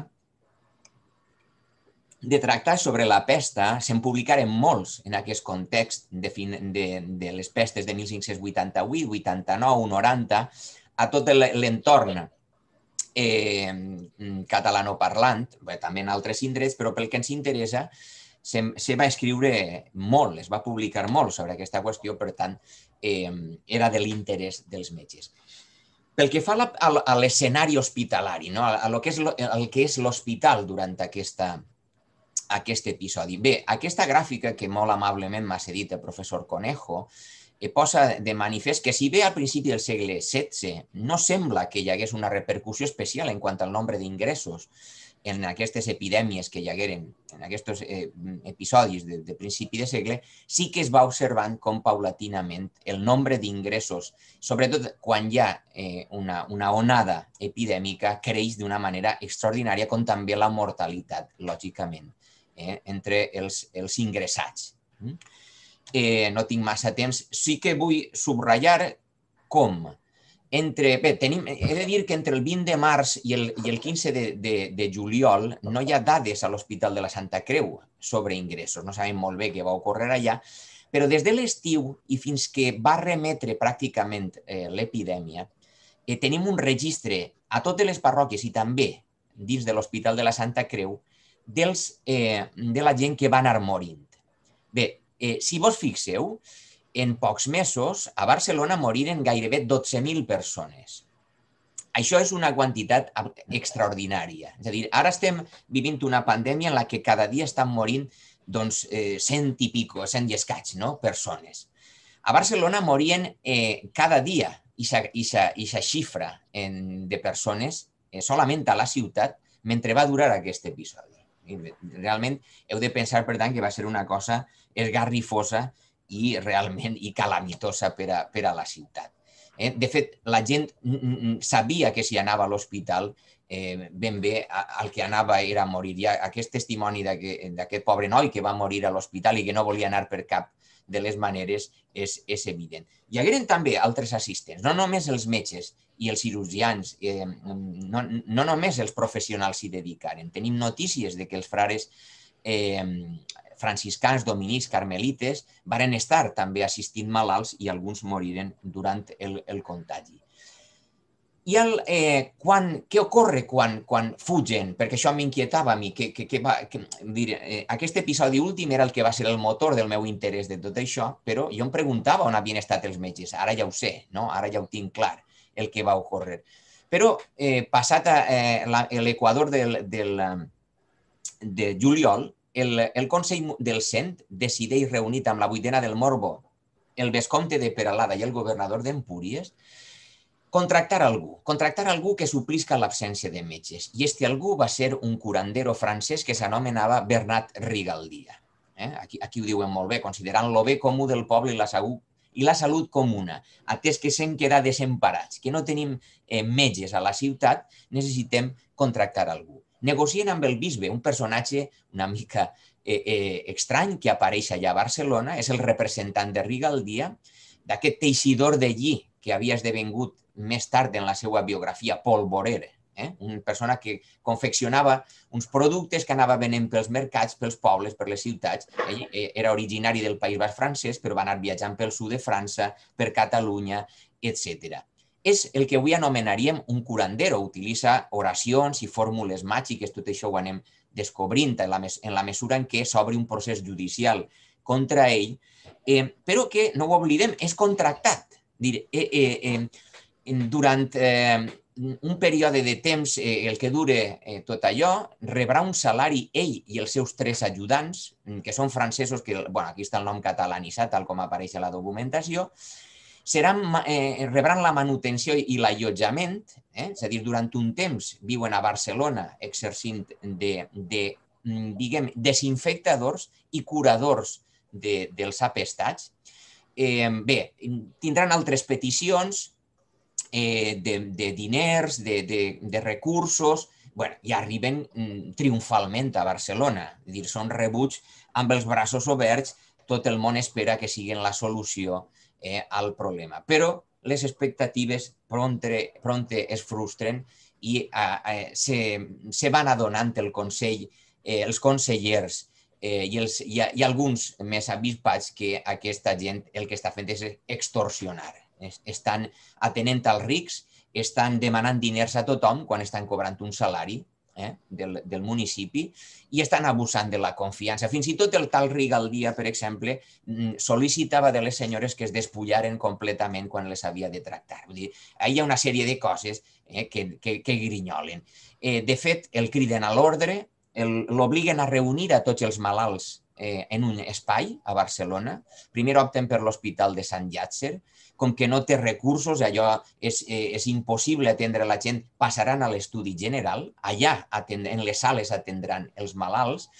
Eh, aquesta serà una fase absolutament catastròfica perquè hi havia cues de persones que volien accedir-hi eh, i anaven morint eh, i quedaven dispersos per les rambles els cadàvers, és una situació apocalíptica, i al final decideixen que és l'Hospital de la Santa Creu on eh, hauran d'ingressar i hauran d'atendre a totes les persones. Eh, L'hospital queda absolutament reblit, eh, eh, impossible donar coll a, a, a, tant de, a tant de malalt, a tant d'afectat.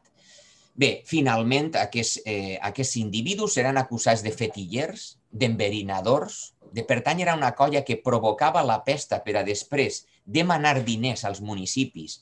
Això ho havien fet a la costa eh, gironina, com, com he dit abans, a, la, a, les, a, a les, als pobles aquells eh, d'allà al nord, on, on, on s'havien mogut. Ho havien fet al sud de França. A Manresa, de fet, varen condemnar i varen ajusticiar una part d'aquesta colla. Bé, hi ha tota una història extraordinària relativa a aquesta, a aquesta colla que acaba amb la detenció el 26 d'agost de tots ells, amb un judici eh, eh, molt, molt ràpid i amb un càstig exemplar que, entre altres coses, acaba amb l'esquarterament d'aquest personatge eh, i, pen, i, i el penjar el seu cap en una gàbia eh, per a escarni públic en, davant de la casa del, del Consell. I acaba. Eh, en, tota aquesta eh, situació de, de, de la pesta de 1589 ens ha mostrat, eh, ja us dic, eh, podria parlar, de, evidentment, podria donar molts detalls, però la desesperació, el caos i el desordre que es viu a Barcelona, eh, sobretot durant l'estiu, és eh, eh, impressionant. No? El desconcert eh, de la gent, dels governants, eh, i eh, el de prendre unes mesures desesperades. Hem, hem vist com avança els diversos centres concebuts per a quarantenes i per a l'atenció dels sospitosos i dels malalts. Vull dir, va activant ahir tota una xarxa mm, d'espais i de pràctiques mèdiques. Com, eh, de fet, vegem això, un pluralisme mèdic eh, en aquest temps d'epidèmia, que és el correlat del que existia habitualment. Un continu de pràctiques eh, molt variades en el que una sèrie d'individus professionals, galenistes, eh, catedràtics de l'estudi, però també curanderos, eh, frares, dir, tota una pluralitat de practicants exerceixen una pluralitat de pràctiques que sempre són ben rebudes eh, perquè eh, davant de la, de la situació desesperada no n'hi ha altra. Eh? Eh, es produeixen també un seguit de controvèrsies mèdiques, hem vist, i eh, que, a més, donaran peu a la producció de nou coneixement sobre aquestes epidèmies i sobre les teràpies eh, adequades i finalment aquesta qüestió de la cerca de bocs expiatoris, de culpables eh, per a una eh, epidèmia, per a una situació per a la que no hi ha eh, solució, per a la que no se veu clarament eh, una eixida i, i, i enfront d'això sempre tenir a la mà un grup al que culpabilitzar ha estat present i recurrent al llarg de la història i en aquest cas foren els francesos eh, aquells que pagaren eh, el, eh, diguem, amb, amb la desesperació, eh, per la desesperació d'aquests barcelonins afectats. Eh, I això és tot. Eh, moltes gràcies i disculpeu que m'he passat una mica. Bé, doncs eh, moltes gràcies al professor Ferragut, aquesta magnífica també intervenció, aquest aprofundiment en la peste de 1589 a Barcelona amb qüestions realment també que segurament portaran al debat, no? Molta actualitat, evidentment, també, moltíssima actualitat i va, va sofrir també aquest aspecte d'Igualada, eh? que recordo que el primer, un dels primers brots importants que vam tenir aquí, no? justament va ser, el primer brot va ser el tancament d'Igualada, si no, si no recordo malament, oi? En fi, totes aquestes polèmiques universitàries i tota aquesta desesperació que en alguns moments m'ha semblat també com si estiguéssim no? amb el que està passant a la Índia en aquests moments, no? gent morint-se fent cua doncs, per anar als diferents hospitals, als diferents indrets. Moltes gràcies, doncs, Carmel, per aquesta, insisteixo, eh, aprofundiment, aprofundiment en aquesta peste de 1589. Bé, i ara doncs, eh, tenim de donar també moltíssimes gràcies al professor John Henderson no? de la Universitat de Londres, no? que ens farà una, una xerrada en italià, em sembla, oi? Firenze e la peste del Medioevo a l'època moderna. Jutjarà l'italià per aquesta intervenció. Ell és especialista en la història hospitalària i s'ha centrat sobretot en l'estudi de la ciutat de Firenze, de, de, de Florència, tant des del vessant hospitalari com des de la lluita contra les epidèmies. De la seva bibliografia destaquen sobretot un gran nombre de publicacions sobre la institució hospitalària, el llibre The Renaissance Hospital, Healing the Body, Healing and Healing the Soul, també analitzant la pobresa i la caritat, a Piety and Charity in the Late Medieval Florence, i la seva publicació més recent sobre la peste del 2019, Florence, Florence Under, the, Under Siege, Surviving Plague, Plague in an Early Modern City. No? Ha publicat nombrosos articles i editats obres col·lectives on s'analitzen diferents aspectes de les malalties contagioses. Destaquem l'article Epidèmia Miasmi e il corpo dei poveri a Firenze nella prima età moderna el llibre The Great Pox, The French Disease in Renaissance France, sobre la història hospitalària The Impact of Hospitals in Europe, no? d'entre el 300 i el 2000, i coeditat amb els professors Peregrin Horden i Alessandro Pastore. Uh, thank you, Professor Henderson, for joining us today and at this symposium, and you can start. That's it. Thank you. Thank you very much. Can you see that? Sì, sì, sì. Great. Ok, sono molto grato per questo invito da, da Tony al, vostro um, importantissimo convegno e anche la possibilità di parlare in italiano. Allora, io ho cambiato il, il titolo della mia relazione um, per aggiustare, cioè più vicino al, al, al tema del, del, convegno. Ora si, si chiama Peste e ospedali a Firenze rinascimentale. Allora, gli ospedali nelle maggior parte dei centri urbani dell'Italia peninsulare vissero una lenta rivoluzione durante il tardo medioevo.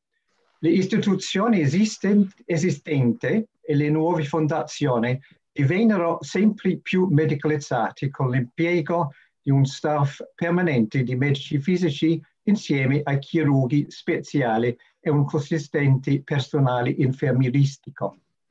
Questo processo di medicalizzazione era parte di una più generale specializzazione delle iniziative caritatevoli in questo periodo, caratterizzato dal passaggio dall'aiutare semplicemente i poveri di Cristo al concentrarsi su specifiche categorie di poveri, cui, di cui gli adulti malati e i bambini abbandonati erano i principali beneficiari.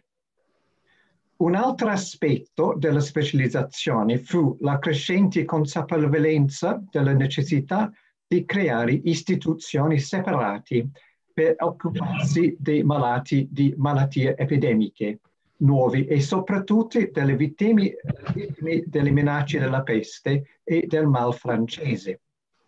Sebbene ci fosse una tradizione esistente in molte città italiane per l'isolamento dei leprosi, i leprosi furono quasi sempre abbastanza piccoli.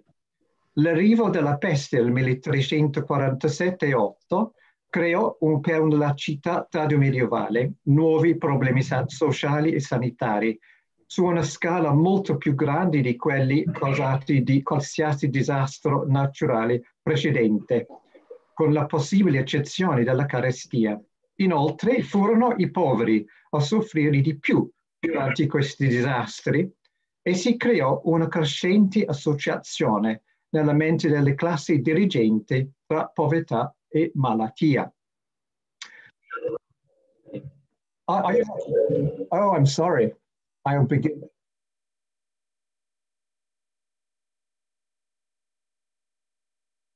Let me try again.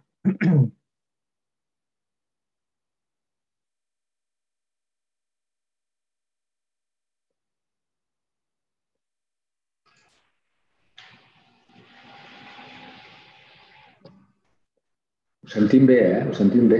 Ho sentíem bé, vaja. Can you see that? Sì, ara, ok. Ah, perfetto. Allora, Ara sì, ara sì. allora, benissimo. Allora, avete sentito quello che ho detto almeno? Sì, sì, sì, hai sentito, sì, sì, sì. Perfetto, allora, eh, benissimo.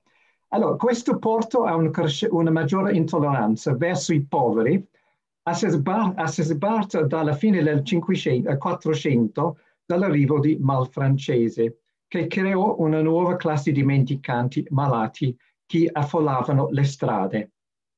Anche se la, parte, la peste rappresentava una minaccia senza precedenti, le misure per affrontare questa epidemia si sono evolute solo gradualmente nelle città italiane del tardo medioevo, proprio come ci vollero molti decenni perché gli stati sviluppassero metodi adeguati per mettere in quarantena quar- intere regioni e quartieri della città. Così ci vuole del tempo per sviluppare i metodi adeguati per isolare le vittime, le vittime della peste. Infatti questo processo variava considerevolmente da una città all'altra, dipendendo in parte dalle disposizioni esistenti per i poveri malati e in parte dalla volontà politica e dalla forza dei regimi locali di attuare politiche forti. In tutti i casi le autorità si affidavano abbastanza naturalmente sia alla teoria medica della, sulla natura della malattia che alle misure sanitarie consolidate. Questi ultimi includevano, come abbiamo sentito nelle uh, relazioni precedenti, misure preventive come la pulizia delle strade e la proibizione della macellazione di animali nei centri cittadini per evitare la creazione di aria corrotta. Questa relazione esaminerà il ruolo degli ospedali nell'affrontare la peste in una città, Firenze, durante i 150, 150 anni dopo 1348, nel contesto più ampio delle misure italiane contro la peste. Durante questo periodo la peste tornò ogni 10 o 15 anni, particolarmente gravi tra il 1360 e il 1400, poi più minori per la maggior parte del 400, seguito di due episodi gravi negli anni 1490-1520, tornando per l'ultima volta nel 1630.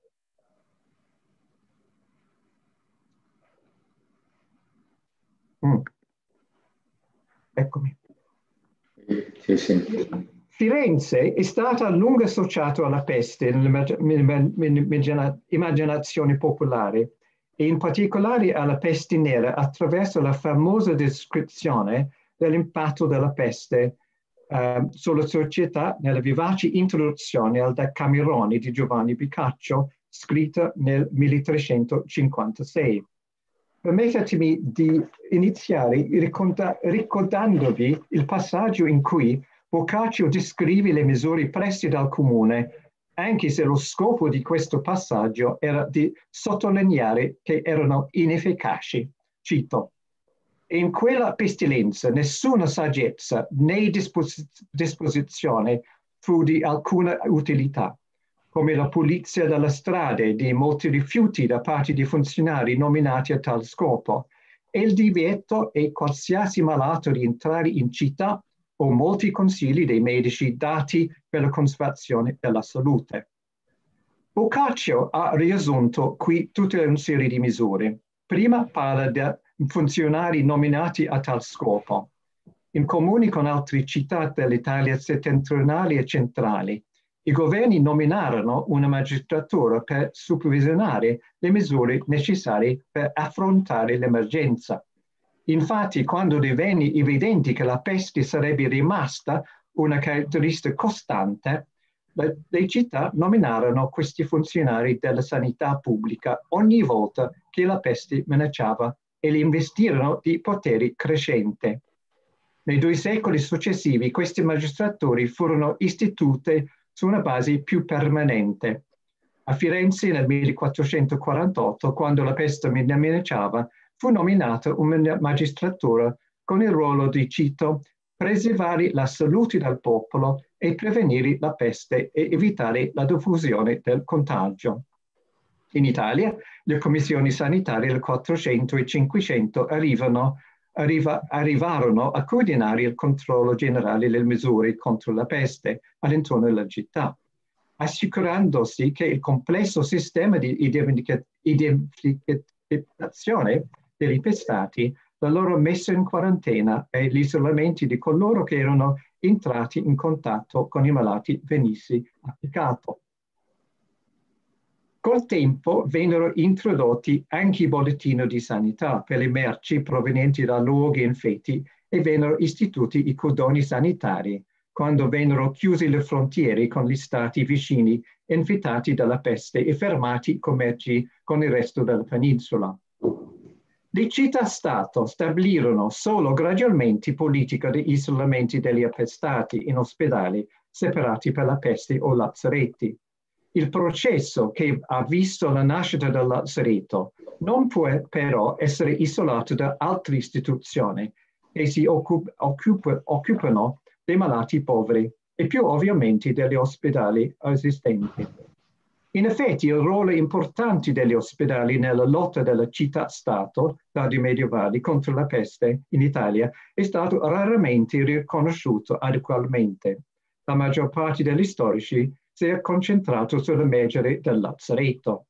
Ma come vedremo nel caso di Firenze, gli ospedali costitu costituivano i modelli e spesso lavoravano insieme ai lazzaretti per far fronte all'impatto della peste sulla popolazione di una città. L'esempio della Firenze rinascimentale è particolarmente interessante perché ci aiuta a combattere la visione trionfalistica della, progressi della progressione che vedeva lo sviluppo inevitabile delle stesse misure di salute pubblica in tutta la penisola italiana, cioè che colpisce dall'esempio fiorentino e che per gran parte del Rinascimento le autorità cittadine sembravano accontentarsi di utilizzare le strutture fornite dall'ospedale all'interno delle città, piuttosto che investire nella costruzione di un gran lazzaretto separato.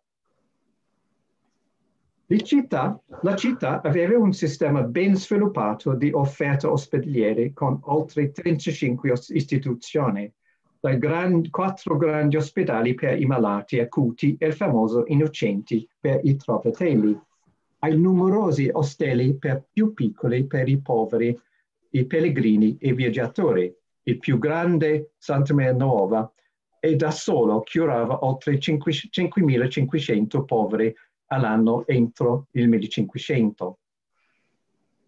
A Firenze le misure per l'isolamento dei malati di peste si sono evolute solo gradualmente e per gran parte del 400 furono gli ospedali a sopportare il peso maggiore del costo umano di questa lotta contro le malattie epidemiche.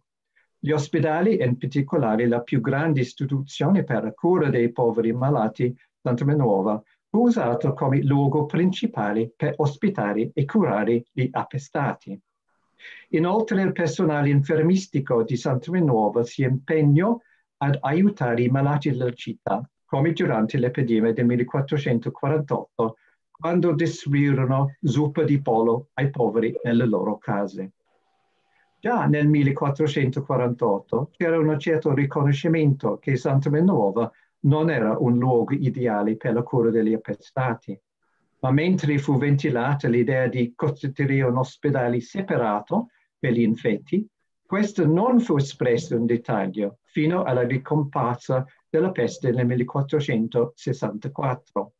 I priori della città ora riconoscevano che non c'era un posto dove mettere i malati di peste, ma ammettevano che questo creava un altro problema, cito, si fa male agli altri che vi sono infermi d'altre infermità, a cui per il contagio stessi morbati si appicca il morbo e per quelli molti vi morirono che non morevano. L'ospedale di Santa Nuova era al centro dei progetti di costruzione di un lazzaretto.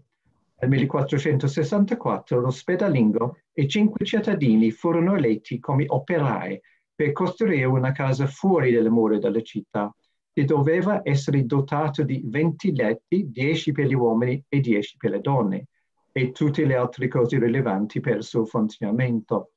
Il personale doveva comprendere un prete, un medico fisico, un barbieri, un speziale e dei servi.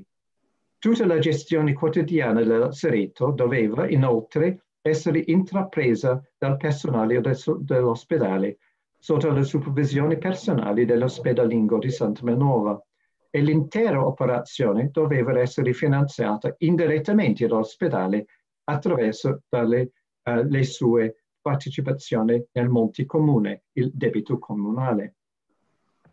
Lo stretto coinvolgimento di Santa Menova con l'amministrazione e il finanziamento delle misure contro la peste aveva anche un lato negativo. Fortunato che mentre il nuovo edificio era in costruzione, Santa Menuova, Tito, sia tenuto e deve seguire e ricevere e far curare i detti morbati come fa al presente. Tuttavia, ci si resi conto che questa non era una soluzione ideale e fu dichiarato in modo che i malati di peste, che operavano per un altro mezzo secolo a Santa Menova, cito, non abbiano a passare ed a stare così nel cuore della città. La Commissione avrebbe dovuto trovare uno o più luoghi fuori Firenze dove, dove portarli.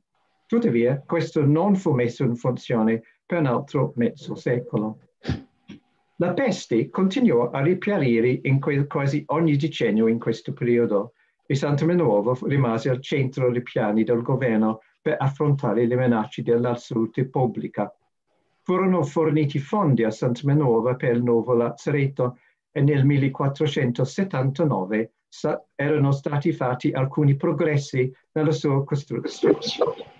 Fuori dalle mura a est è un'area uh, riconosciuta come il Prato, dove tradizionalmente venivano giustiziati i criminali.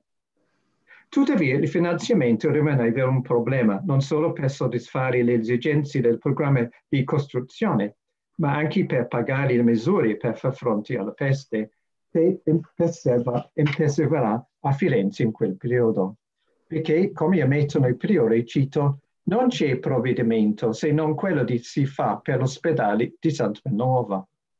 La portata di questo servizio può essere vista nella lettera scritta dall'ospedalingo Bonini a Lorenzo di Medici, in cui egli delinea le spese sostenute dall'ospedale sia per i pazienti interni che per quelli esterni.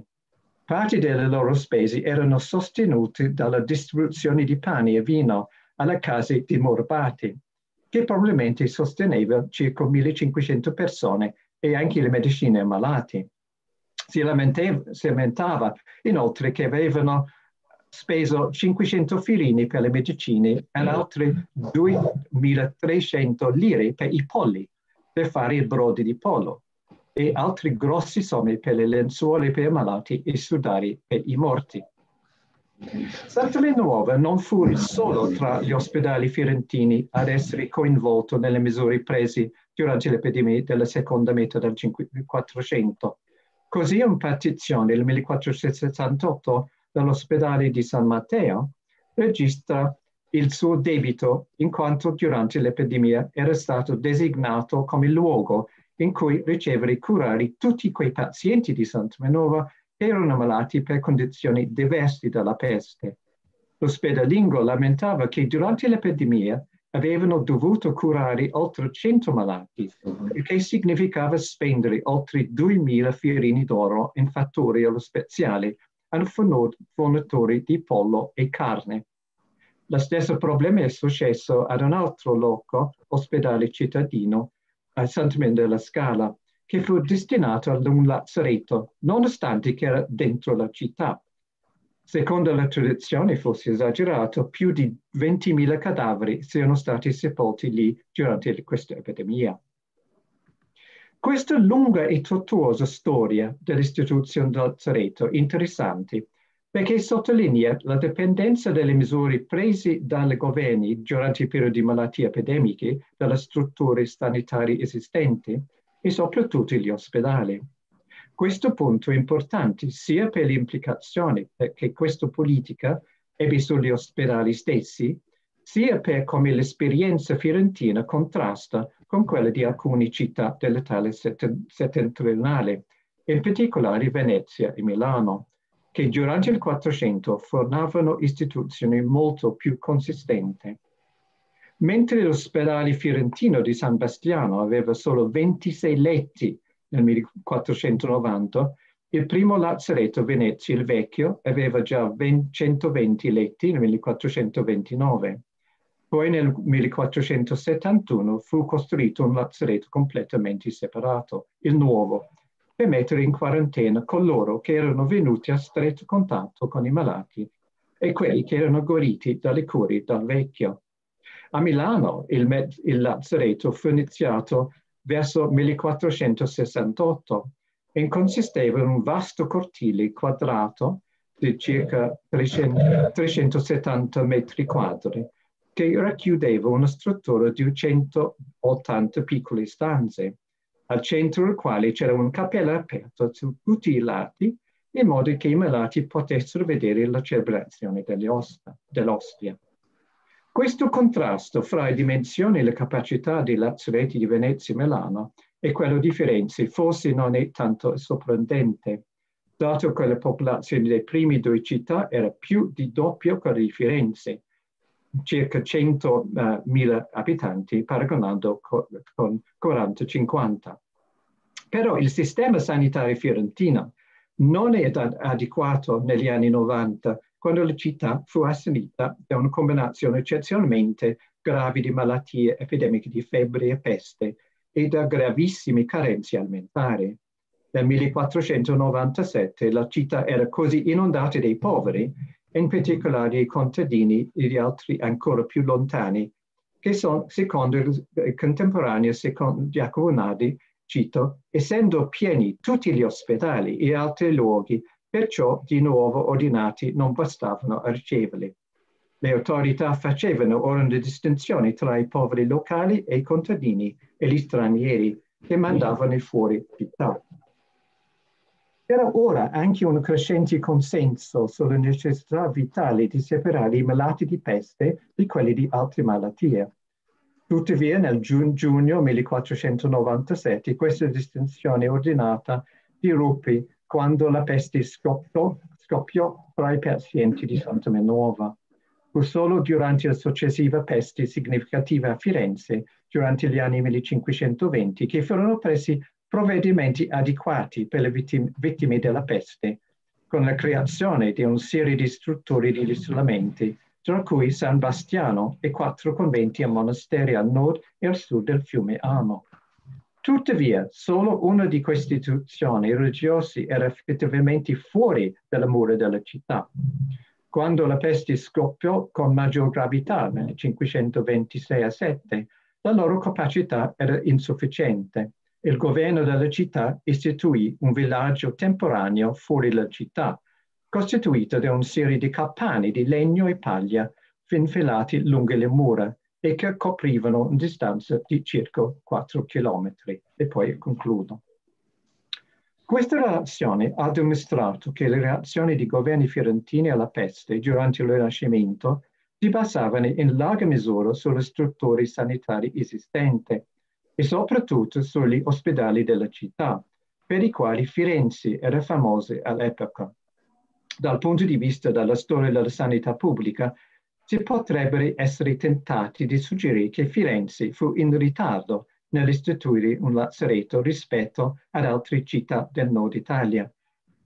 Tuttavia il concetto di ritardo è rilevante solo se si pensa in una marcia verso un concetto di più moderno di salute pubblica, che ovviamente è irrilevante quando si considera il pensiero alla base delle misure contemporanee cioè che è forse sorprendente, dato la conoscenza all'epoca della teoria medica, che collega, collegava la malattia all'aria corrotta e quindi il pericolo dei malati per il resto della popolazione, e la mancanza di urgenza sentita dai governi di stabilire strutture di isolamento per le vittime della peste fuori dalla mura della città, come hanno riconosciuto già nel 1464, se non prima.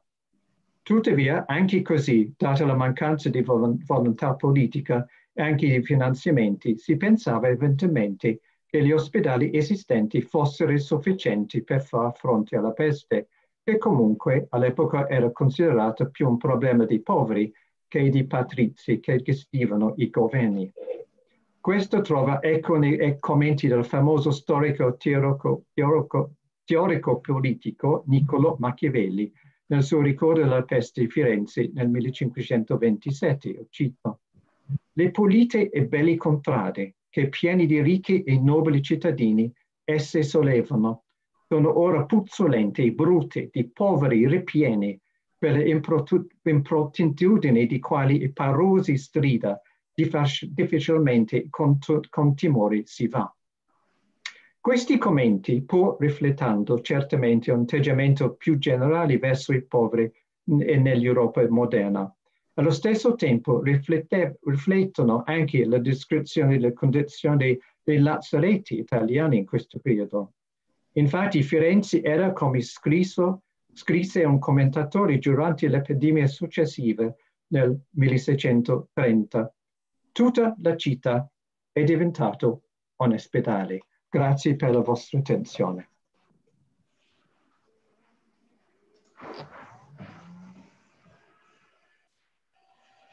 Sí, a veure.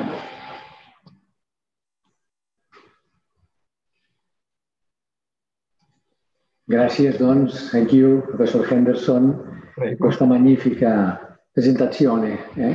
És una intervenció que ha donat, doncs, segurament donarà molt peu també al, el debat, aquest, aquest paper, diguem-ne, aquesta relació entre l'administració, no? la institució municipal i també tota la infraestructura sanitària que, de la qual doncs, era molt important, molt important a Florència, però que doncs, en relació als lazaretos, com ha dit molt bé, doncs, va anar una mica més de retard per unes qüestions diverses que ha explicat molt bé el professor Henderson. No? Per tant, tota aquesta, tota aquesta reflexió sobre també diguem, la categorització social, no? aquesta, les, la, que sigui un problema bàsicament dels pobres i no tant dels rics, no? i tot, tot plegat ben bé. Una sèrie d'elements, insisteixo, que també donen, que conjuntament amb el que hem anat veient fins ara donaran segurament molt de peu uh, al, al debat. Bé, i passem doncs ja, anem bastant bé de temps, passem doncs ja a la eh, darrera intervenció d'aquesta primera part del, del, dels abrils de l'hospital, que és el que ens oferiran Josep Barceló i Eduardo Bueno, eh, que és epidèmies, medicalització i evolució hospitalària, aproximació històrica a les cultures de la salut i la malaltia durant l'edat mitjana. Josep Barceló és professor a la Universitat Rovira i Virgili, especialista en la història hospitalària. Va dedicar la seva tesi doctoral a l'estudi de l'assistència al Ciutat de Tarragona, poder local, govern i assistència pública, al cas de Tarragona. Bona part d'aquesta obra es va publicar el 2017, el llibre Poder local, govern i assistència pública, l'Hospital de Sant Pau i Santa Tecla de Tarragona. La seva obra es caracteritza en conjunt per l'estudi del context hospitalari des d'una perspectiva també de llarga durada i això permet una visió global a partir de la qual s'aborden temes eh, variats, evolució de les polítiques de salut pública, història de les previsions sanitàries també, no? anàlisis de les institucions d'assistència en diferents contextos. Eduardo Bueno és professor a, a la Universitat Miguel Hernández, especialista en història de la ciència, ha publicat diversos treballs analitzant el paper dels hospitals durant les epidèmies i aspectes de salut pública Sobretot en el context alacantí. De la seva biografia destaquen, entre altres, diversos capítols del llibre Papel del médico como experto en la gestión de la salud municipal en Alicante el siglo XVIII, Médicos expertos al servicio de la ciudad de Alicante en el XVII, La lucha contra la enfermedad en Alicante el siglo XVIII, el testimonio de los expertos i articles, no? entre els quals pues, fibres tercianes, sequías i lluvias torrenciales en Alicante 700. Per tant, també doncs, eh, una bona manera també d'acabar aquesta primera part, abans del debat, doncs donem la paraula als professors Josep Barceló i Eduardo Bueno. Endavant. Bon dia i gràcies, Joan. Eh, comence jo con la nostra presentació i gràcies també a l'organització per acceptar la nostra proposta i per fer possible aquesta reunió d'una forma tan professional. L'objectiu de la nostra comunicació és, és analitzar el creixement, el creixent valor atribuït a la medicina universitària durant la baixa edat mitjana, a partir de la categoria de medicalització i com aquesta, com aquesta categoria pot ser d'utilitat per a interpretar els canvis en la secularització del coneixement i els significats que es van donar de la malaltia. Al mateix temps, també volen contextualitzar les modificacions experimentades als hospitals medievals sota aquest procés de medicalització, on van tindre gran importància les successives onades pestilencials que van aparèixer a Europa des de 1348, situant també els orígens dels anomenats hospitals centrals. La definició de medicalització i si és útil. Mm, definicions. Diem definicions perquè no és un terme unívoc. Des de les seues primeres formulacions, als anys 60, als anys 70, on el terme enfatitzava el control social de, que podia fer la medicina, fins a definicions més actuals en que fan referència a processos socials i, i de poder mitjançant els quals eh, es converteixen en situacions que en principi són alienes a, a la mirada mèdica, es converteixen en àmbits propis de la medicina que es poden analitzar i es poden eventualment resoldre sota aquest paradigma de la medicalització. Eh, a més, s'ha fet més complex l'anàlisi, incorporant termes com biomedicalització, medicamentalització. Aleshores, és un anàlisi molt complex i que volem veure si si es pot analitzar la baixa edat mitjana sota aquest paradigma. Eh, que en part, com senyalen alguns autors, s'ha tornat un joc comú. En un article recent, la sociòloga Joan Basfield afirmava que aquest concepte malgrat haver-se tornat si un joc comú, eh, abordant qüestions molt diverses que tenen que veure amb l'ampliació de la mirada mèdica, el poder, a cada vegada més àmbits més extensos de la societat, encara conserva la seva capacitat com a instrument clau per a analitzar la salut i la medicina a les societats.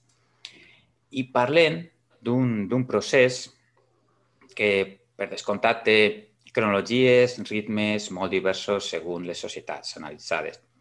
No és uniforme, no és lineal. Les circumstàncies històriques han determinat el tempo amb el qual la, la gestió de la salut, la malaltia, el sofriment ha estat dominat per aquesta mirada mèdica. I el que proposem és un, un procés des de la longe Duché que pretén contrarrestar cert presentisme en el que de vegades són tractats aquests temes de medicalització. Com proposen Perdiguero Gil i Ruiz Verdún, podem trobar tres etapes de medicalització. La primera etapa va començar a la baixa, edat mitjana, on situem ara, i es va caracteritzar pel creixent paper que els metges, a escala municipal, van tindre com a experts no sols en l'atenció a la malaltia, sinó també en altres esferes socials. La segona etapa es va iniciar a fi, als fi del, del segle XVIII i va estar associada a la consolidació dels estats en la gestió de la salut i la malaltia de la població. Aquest seria, aquesta segona etapa seria el període on autors com Foucault i altres situaven l'origen de la medicalització. Eh, aquest, aquesta etapa és, eh, és inici dels processos que van portar a l'hegemonia del anomenat model mèdic, de l'extensió de la disponibilitat d'assistència mèdica i de l'aparició de les assegurances de malaltia. I ja, suposant-se, eh, superposant-se en el temps, en aquesta segona etapa, en l'actualitat ens trobem a, a la tercera fase de medicalització, centre de l'individu, mmm, que genera discursos, eh, centrats en la salut, però que no només provenen de l'àmbit mèdic, sinó de moltes altres esferes. Es parla de normativitzar determinades conductes saludables, entre cometes, els papers, s'analitza el paper dels mitjans de comunicació, de les xarxes socials, etc. Però ens quedem, ens quedem a, a la primera etapa, a la baixa edat mitjana, i així, eh, ja en el clàssic llibre, eh, Practical Medicine from Silent to the Black Death, s'exposava que des del segle XI la medicina es va anar afirmant com un coneixement de, de referència. aquesta medicina va tindre un joc privilegiat dins d'unes institucions noves i eminentment urbanes com les universitats, van formar metges universitaris. Aquests metges universitaris, universitaris a les ciutats europees van ser contractats pels grups dirigents de les ciutats per a que realitzaren determinades activitats, els eh, anomenats metges aconductats. I, eh, esas, esas, aquestes activitats que s'han mencionat en les intervencions anteriors. A més, dins d'aquest paper, eh, als metges es va permetre entrar en contacte amb les oligarquies urbanes, establint relacions de dependència i ganant poder.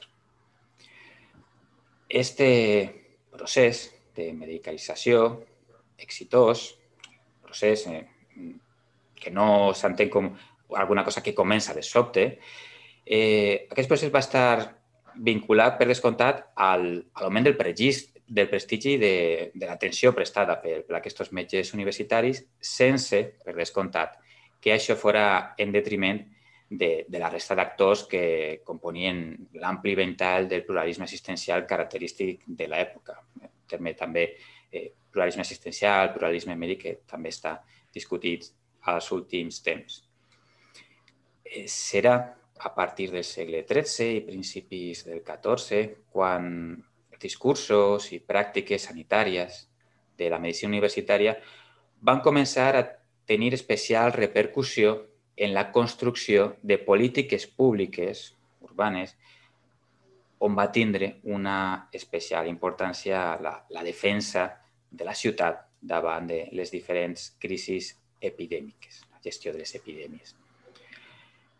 També una de les proves més evidents de l'èxit d'aquesta medicina es troba en la circulació, la circulació de la terminologia mèdica que trobem en àmbits profans, populars, eh, cultes, com ara, per exemple, els textos lírics, la, la poesia.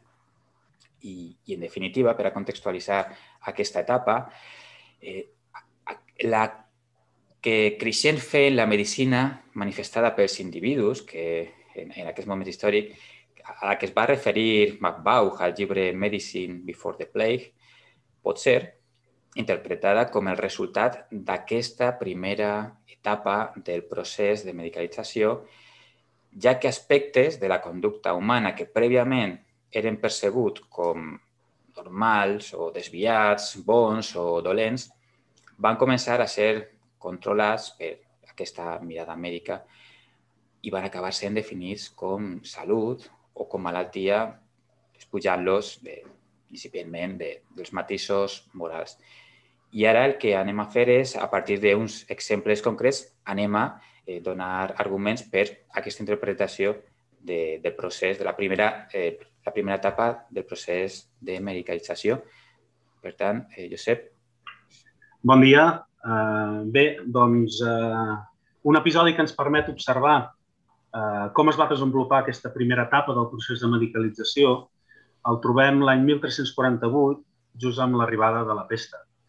Va ser un 24 de març eh, d'aquest any, del 1348, quan Jaume de Gramont, metge i professor de l'Estudi General de Lleida, acabava la redacció del, que, del conegut regiment de preservació a epidèmia, pestilència i mortaldats, escrit, i això és important remarcar-ho, a instàncies dels paers i del Consell de Lleida. I és que encapçalant aquest règim de prevenció de la pesta, Agramont destacava que el seu propòsit no era instruir els altres metges, sinó ajudar la ciutat i el comú de la seva població a protegir-se davant d'una pestilència, la qual ja s'acostava perillosament a Lleida. I d'aquí que hi posi aquesta frase de com el damunt dit tractat si ha fet a utilitat comuna i pública, flaciu, senyors, donar-ne trasllat a tothom qui en vulgui la còpia.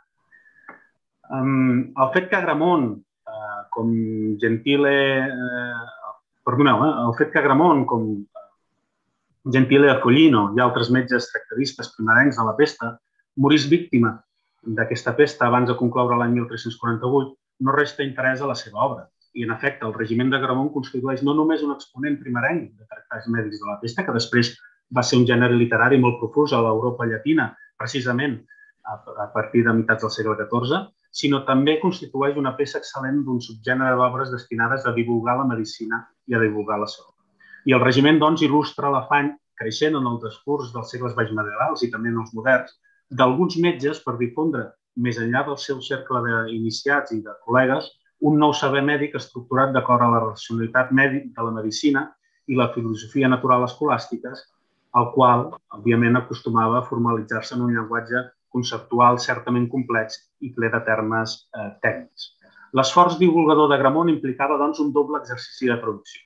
D'una banda, exposava en una llengua vernacla i no en el llatí, la llengua culta, les seves idees sobre la pesta i els seus consells per prevenir-la, no per tractar-la, i aquest matís és important, sinó per prevenir-la. I de l'altra, ho feia en un estil senzill i directe per fer seguible a tota la ciutadania profana el llenguatge tècnic propi del grup professional mèdic al qual Agramont pertanyia. Així, amb la intenció de beneficiar el conjunt de la població, el que es coneix per profit del poble, Agramont va redactar el seu regiment en una llengua vulgar i va centrar els seus consells i indicacions a la prevenció de la pesta. I, en canvi, com hem dit, Agramont excluïa qualsevol detall relatiu al tractament de la malaltia en jutjar que aquest apartat competia exclusivament als experts en l'art de la medicina eh, i que el seu maneig per profans no només era inadequat, sinó també que podia arribar a ser perillós. Aquesta iniciativa també s'ha d'emmarcar, òbviament, dins les expectatives de retribució econòmica i de legitimació social que abrigaven els metges universitaris europeus coetanis a Gramont i els quals s'han d'analitzar com un conjunt de professionals sotmesos a un aprenentatge reglat de coneixements i destreses, així com el creixent control d'unes pràctiques expertes per les quals a Europa de l'antic règim es documenta un increment de la demanda social en el decurs del. Ara bé, el regiment de Gramont revela també fins a quin punt la salut havia esdevingut un bé públic. Eh? La salut, eh? el concepte de salut com un bé públic, amplament valorat a les ciutats i viles i en quina, fins a quina mesura tant les èlits urbanes com també un nombre creixent d'habitants a les ciutats europees consideraven útils els sabers i les pràctiques dels metges universitaris. Escrits mèdics com el regiment de Gramont també reflecteixen un propòsit deliberat de cerca del bé comú, eh? a utilitat comuna i pública el qual Agramont identificava amb la preservació de la salut dels habitants de la seva ciutat davant la descomunal amenaça que implicava l'epidèmia. Eh, malgrat no podem fer referència, per qüestió de temps, a les qüestions que s'exposen en aquesta diapositiva, el procés de construcció de la salut com un dels béns comuns més apreciats en les ciutats de baix medievals llatines s'ha d'incardinar en els següents eixos. En la noció del bé comú, en l'espiritualitat renovada de les ordres mendicants, en l'influx que va tenir sobretot el franciscanisme, però també eh, l'etos mendicant d'altres ordres en els metges, eh, també en l'organització i l'auxili dels pobres, en com es va organitzar i com es van auxiliar els pobres, sobretot ja en els segles moderns, i en el paper dels hospitals, que això sí que farem referència més endavant, en l'Occident llatí en el marc de l'economia política del bé comú.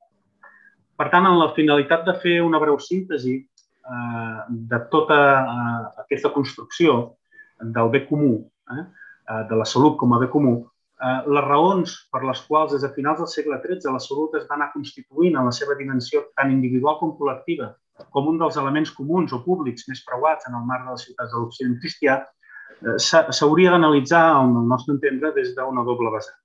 D'una banda, per qüestions òbvies, la salut individual va començar a ser objecte d'una creixent estima per part dels nous grups urbans que ja que hi, hi anava la seva supervivència, el benestar individual i familiar, que depenien, òbviament, de l'aptitud per desplegar la seva força de treball. Per tant, la salut individual era una part important. Però de l'altra, el patriciat urbà va percebre cada vegada més la salut col·lectiva, no només la individual, com un bé essencial, atès que permetia tant assegurar el normal funcionament d'unes comunitats, d'unes societats basades en una economia monetària fonamentada en la producció i el comerç de béns manufacturats, dins d'elles i també amb la resta de comunitats, el comerç amb les altres comunitats. Aquestes circumstàncies contribuïen de forma decisiva a la consolidació pràctica i a la legitimació jurídica per part de poders polítics, tant civil com eclesiàstic, del nou model de medicina professional sorgit de les universitats. I en aquest sentit, els seus actors foren percebuts de manera creixent com a tresorers. Eh? La paraula és eh? que tresoren eh, tresorers de pràctiques i coneixements experts i útils tant per a preservar la salut individual com la col·lectiva i fins i tot tant pel fet de recuperar-la quan s'havia perdut. De fet, Els nous grups urbans van començar a identificar el metge universitari de forma progressiva com un faedor de salut, eh? l'artífex factibus sanitatis, segons l'afortunada expressió que Sant Tomàs d'Aquino havia utilitzat davant els estudiants en el seu comentari a l'escrit aristotèlic de Sensu et Sensato, de 1269, i tot emulant el comportament de les èlits, la resta, molta altra resta de la població contractaven els serveis d'aquests professionals per atendre les demandes sanitàries. La conversió doncs, de la salut en un bé comú tingué repercussions polítiques i conseqüències pràctiques dins la vida quotidiana a, la trames, a les trames urbanes eh, europees. Així doncs, els poders públics de les, de les municipalitats van impulsar mesures d'actuació pública orientades cap a objectius tan diversos com ara el sanejament urbà, neteja de carrers, eliminació d'escombraries, limitació de pol·lució aèria, hídrica eh, o la hídrica derivada de les activitats industrials i agràries, també en el control dels aliments a la venda als mercats, també en la regulació de les activitats desplegades per un ampli ventall de pràctics sanitaris dels més dispars orígens i nivells de formació, els quals proliferaven, òbviament, en resposta, en resposta a les demandes individuals de salut, i també doncs, a, a, una altra consideració que s'ha d'afegir a la contractació pública, l'aconductament a càrrec de l'erari municipal de pràctics sanitaris de formació reglada per a prestar l'atenció a la salut col·lectiva en circumstàncies ordinàries i sobretot extraordinàries com eren les crisis epidèmiques eh, que ja hem mencionat. El conjunt d'aquests elements posen en relleu una nova associació entre teologia, medicina universitària i salut. I en aquest sentit convé recordar que la salut física i la salut espiritual eren conceptes mútuament inseparables en l'Europa règim. No ja per tractar-se de societats prèvies a l'empremta eh, prèvies a l'empremta del que seria el dualisme cartesià, sinó en raó del seu caràcter confessional profundament imbuït per la religió cristiana i també en el seu cas la jueva o els musulmans, eh, la religió musulmana. En efecte, no és que la salut física tingués finalitats espirituals, sinó que ho era en ella mateixa. Per aquest motiu, la cura dels cossos, sense deixar de ser tesa, estava supeditada a la salvació de les ànimes. Pel que fa a l'evolució hospitalària, també donarem unes pinzellades per tal d'entendre la seva evolució tant en els segles medievals com en els moderns. I és que a partir dels segles XV i XVI a tota Europa, el model d'assistència de pobres format per institucions petites, difoses i més aviat inespecífiques pel que fa a la seva tasca assistencial es va anar reconfigurant en un nombre molt més reduït de grans hospitals, habitualment coneguts com hospitals generals, fruit d'un procés de concentració o de fusió o de reducció, com li volem dir, generalment estimulat per les autoritats polítiques tant civils com eclesiàstiques. Amb el model d'hospital general, on pretenia optimitzar l'aprofitament de les rendes i els seus serveis d'assistència social i també reforçar-ne el seu control. I en alguns casos, les noves institucions hospitalàries es destinaren a assistir determinats grups de pobres, nens orfes, dones parteres, ancians, eh, clergues, etc., i a proporcionar una atenció cada cop més especialitzada a les seves necessitats. D'aquí els reglaments que van començar a sortir en tots aquests hospitals generals. I fruit de tots aquests processos, l'atenció a la salut i a la malaltia va tendir a guanyar en el decurs del temps un creixent pes entre les cures rebudes per aquells que s'hi acollien, més enllà de la modesta presència de pràctics pròpiament sanitaris als nous hospitals generals. Tanmateix, en el procés d'admissió d'aquests hospitals s'ha de recordar que habitualment continuaran pesant més els criteris socials que els mèdics i, òbviament, els administradors de l'hospital com a representants dels, dels donants i també dels legítims fundadors van posseir sempre molt més poder sobre el funcionament de la institució que els metges que hi contractaven. I cal dir que hi hagué dues novetats dins del panorama hospitalari europeu dels segles XV i XVI. D'una banda, els albergs de pobres i de l'altra, els hospitals destinats a pobres, víctimes de malalties que es percebien ja com amenaçadores per al conjunt del cos social eh, pel seu caràcter contagiós o per la seva condició estigmatitzant. I aquest fou el cas, per exemple, de les anomenades malalties incurables com la bogeria o el nou mal francès, la sífilis, i totes aquestes novetats institucionals estigueren estretament relacionades amb els moviments de reforma religiosa pre- i post-tridentins. En síntesi, es pot afirmar que, malgrat aquestes notables transformacions experimentades pels hospitals europeus en el transcurs dels segles baix medievals i moderns, el model d'hospital general va romandre en l'essència inalterat durant tot el règim i l'imperatiu de la caritat cristiana continuar constituint el primer principal mòbil de les diverses iniciatives de creació i sosteniment d'aquestes fundacions hospitalàries. Durant l'edat moderna, en el marc d'un patró assistencial cada vegada més organitzat i sistemàtic, els pobres continuaran sent el principal objecte d'atenció als hospitals. Tanmateix, la seva gestió eh, també continuarà sent compartida habitualment per els representants del poder civil i eclesiàstic, malgrat la tendència temporal creixent cap a la concentració del poder en mans dels laics, el que coneixem com a laïcització i que convé distingir de la secularització dels pressupostos doctrinals de caràcter teològic que continuaren, que continuaren sustentant l'assistència hospitalària en totes les societats de l'antic règim. Finalment, els canvis d'actituds socials produïts a partir dels moviments de reforma religiosa i del, reforma, del reforçament dels governs absolutistes feren que, en el transcurs de l'edat moderna, l'auxili de pobres es, anés reorganitzant de forma efectiva en tota Europa. Les autoritats polítiques municipals i reials assumiren de forma sempre creixent el control dels recursos i establiren noves institucions destinades ja a pobres no malalts, com per exemple els verds, els workhouse, les cases de recogida per a prostitutes o els conservatoris per a orfes.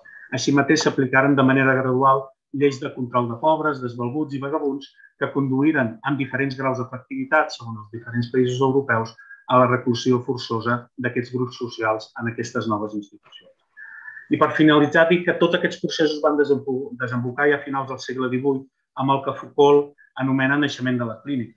Però tanmateix, el creixent pes dels estats en la regulació de les lleis de beneficència laboral o ja a meitats del segle XIX amb la publicació per part de Virchow de la cèl·lula de patologia ja és figues d'un altre paner, que diríem, perquè ja es tracta de la segona etapa del procés de medicalització que aquí ja no ens competeix i amb aquesta panoràmica general del que creiem que pot servir d'eina clau, que és el procés de medicalització, per analitzar tots aquests processos que s'han vist en, aquestes, en aquest primer panell i que es veuran segurament al llarg d'aquesta uh, jornada dels abrils de l'Hospital, acabem la nostra presentació donant les gràcies a tots els oients i a l'organització científica i, i organitzadora uh, per haver-nos invitat a aquestes jornades. Moltes gràcies.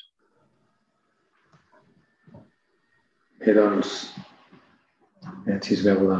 Moltes gràcies, doncs, moltes gràcies als Eduard Bueno i Josep Barceló per aquesta intervenció també molt ben, molt ben esquematitzada, molt ben estructurada i que ens posa sobre la taula temes molt importants com la, com la, bueno, la presència, la importància dels metges universitaris, que els metges que condueixen, no? que, que, que has explicat molt bé aquí, i aquesta relació, evidentment, del món de la, de, de la salut com, a, com, un element, com un element del bé públic, no? que és incorporat per, diguem, per els diferents estaments diguem, del govern o del poder, dels poders locals. No?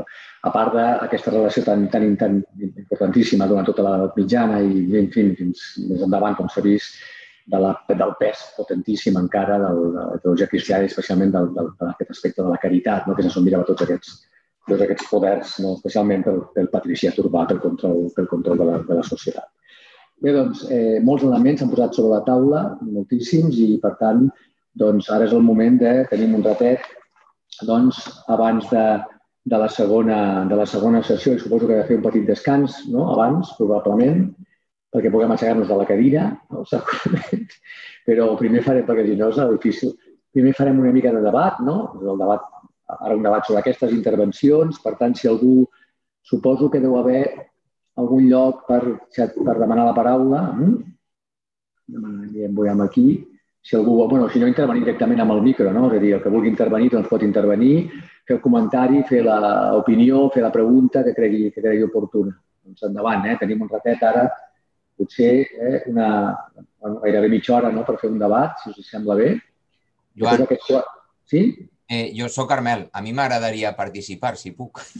Sí, claro. Sí, sí. Què passa? Que no, que no, que no es podia? Què? És que no, no, que no, que no veig com demanar la paraula, per això no... Ah, doncs no, fes-ho oralment, ja, directament, perquè jo crec que com que ens sentim tots, Val. Doncs intervens directament i ja està, eh, Carmel?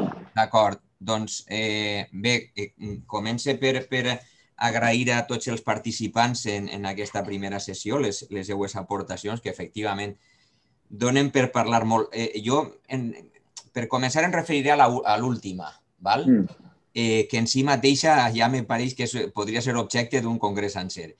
Eh, mm, bueno, jo volia comentar algunes, per, per, també perquè m'hi he dedicat, eh? perquè una bona part del que he fet jo està relacionat amb això de la medicalització, la baixada mitjana, i n'hi ha algunes coses que, que voldria, voldria comentar. Una és que eh, eh, un acaba tenint la sensació mm, que el galenisme eh, està per tot, que el galenisme ho està impregnant absolutament tot, que la manera en què mm, es gestiona eh, qualsevol cosa en, ja en el segle XIV, XV, està, eh, veu o està impregnada per una sèrie de principis eh, doctrinals eh, evidents. Això de les sis coses no naturals, eh, que governen, eh, d'alguna manera, articulen el que seria qualsevol regiment de sanitat o regiment de, de pestilència, etc.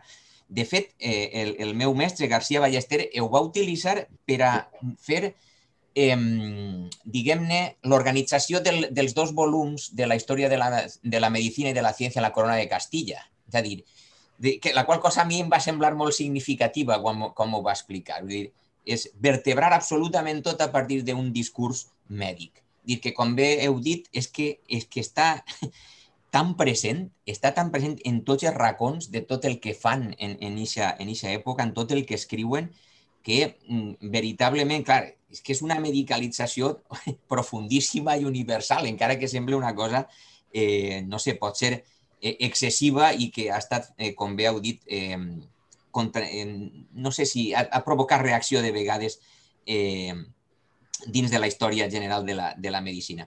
I això una cosa. Una altra seria eh, també mm, l'àmbit institucional. D'alguna manera, eh, totes les... Eh, a veure, jo he vist en, en presons, en banys públics, en tribunals de justícia, en qualsevol institució eh, on hi ha persones, sembla que està mm, acollint la veu del, del, del metge professional o no, és a dir, del, del, del practicant de, de, de la medicina, no? Home, preferentment de l'il·lustrat, de la, del, del que té coneixements lletrats, eh, etc. Per això l'escriptura i la vernacularització és tan important com, com bé, com bé heu, heu subratllat, no? eh, el prestigi de posseir llibres també és una cosa, de llibres també de medicina molt, molt, molt rellevant. I per últim, un, un matís.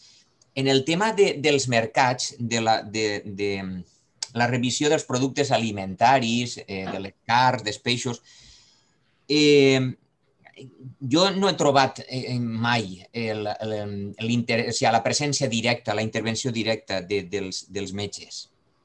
Eh, això és una, un poc una, un enigma, no sé, una, una cosa... Això, la presència del mostassaf, com, com un element molt particular, molt interessant, però que, que bé, jo recordo també García Ballester ho deia, com és possible que els metges no tingueren una presència directa, activa, i ho cediren a un personatge que no tenia només que l'honorabilitat, no? Eh, era el que podia exhibir per a dedicar-se a això. Bé, no me, i és que ja us dic que m'agradaria comentar molt de coses, però bueno, només deixe caure això a, a veure què, què, què em podeu dir. Endavant. Josep, Eduardo... El, bé, el, que, el que, que li direm al Carmel Ferragut que sap molt més que nosaltres d'això, um, però la veritat és que sí, el que, les fonts que quan un consulta, um, i, no a nivell local, almenys en el meu cas, però també quan després llegeixes bibliografia secundària és que sembla que això, que el galenisme ho emprenyi tot. I també s'hauria de posar, s'hauria de... donaria per fer un congrés només això, eh? només uh, aquest, aquest, aquest punt. Però el que sí és veritat és que nosaltres el que hem volgut fer és donar un marc interpretatiu per de cara a totes aquelles persones que es dediquen a la història local, que tinguin un context general i que a vegades, i sobretot el que deia l'Eduardo, que no caiguem en temes presentistes, perquè algun quan quan encara llegeix Foucault i, i, i descobreix a Foucault, es pensa que la medicalització va començar a final del segle XVIII i, i això no és veritat. I, I quan un llegeix fons veu que veu el que deia el, el Carmel, que és que el galenisme ho impregna tot i, per tant, hi ha una construcció, una medicalització. Diguem-li com vulguem, quin servir el terme que vulguem, però hi ha, hi ha el galenisme hi està present i, per tant, el, aquest prestigi associat al galenisme condiciona la mirada de certs grups en, en, en el que és la construcció de, de la salut com a bé públic. En l'àmbit institucional, igualment, sempre hi ha un pràctic. Més que, més que parlar de metge, jo parlaria de pràctic. I a partir d'aquí, eh, evidentment, els que tenien més, més perícia eh, tenien... Perdona? Ah, Guillem, no sé si es sent. Ah, um, i, I, evidentment, en l'àmbit institucional també, també es veu això. I en els mercats, doncs sí, el Mustassaf està clar i el tema dels metges jo tampoc ho he trobat, però com que ho he llegit en bibliografia, en bibliografia secundària ho he posat com un dels elements que, que, que, que, que, que precisament he relatat. Eh? Però jo tampoc ho he trobat en, en, en papers eh, que he consultat. I gràcies a tota la taula perquè ha sigut molt interessant, eh? per cert. Eh, Guillem, sobretot el teu, eh, m'ha encantat. Gràcies a, a vosaltres també, gràcies a tots. Eh, Joan, al, al xat... Sí, sí, veig que hi ha el xat, a veure...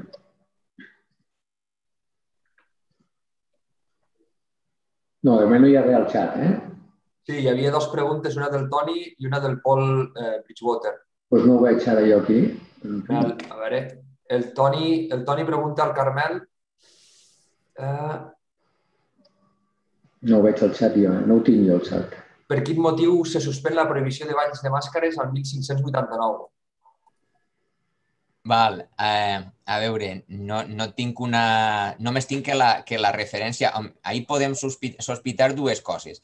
Una, eh, com que es tracta de mesures, eh, diguem, que volen suavitzar comportaments que poden resultar des d'un punt de vista religiós poc eh, adequats eh, en, en, en aquest temps que en, el, en el que ja està començant els contagis i tal, diu, això queda, eh, diguem, a, a veure, era molt habitual, per exemple, que eh, el control de la prostitució, el control de qualsevol eh, personatge o actitud que, diguem, fora poc honest, fora poc adequat, fora poc eh, sospite que una, una part pot anar per ahí i una altra és la de, la de clar, eh, eh, les aglomeracions de gent, eh, tot i que, clar, després podríem dir, sí, però feien processons, no? I això també és una aglomeració de gent. Sí, però aquesta té una finalitat eh, digna, diguem-ne, per dir-ho d'alguna manera, no? De tota manera, eh, ja dic, no tinc més referència que això i no, no, només puc sospitar que poden anar per així eh, el, el, els tirs, no? Bé. Guillem, digues l'altre perquè jo al xat no, no tinc res. No ah, tinc... Sí. No, no. Ara, there's a question for Professor John Henderson. Uh, it's a question from Professor Tony Conejo that says uh, questa immagine del Lazzaretto di Milano rileva un spazio libero molto grande, chiuso per una muratura. Sai se è mai costruito così? Uh, non ho sentito bene, mi dispiace. Yeah, sorry. Let me just say it again. Questa immagine del Lazzaretto di Milano rivela un spazio libero, molto grande, chiuso per una muratura. Sai se è mai, eh, sai, sai se è mai costruito così?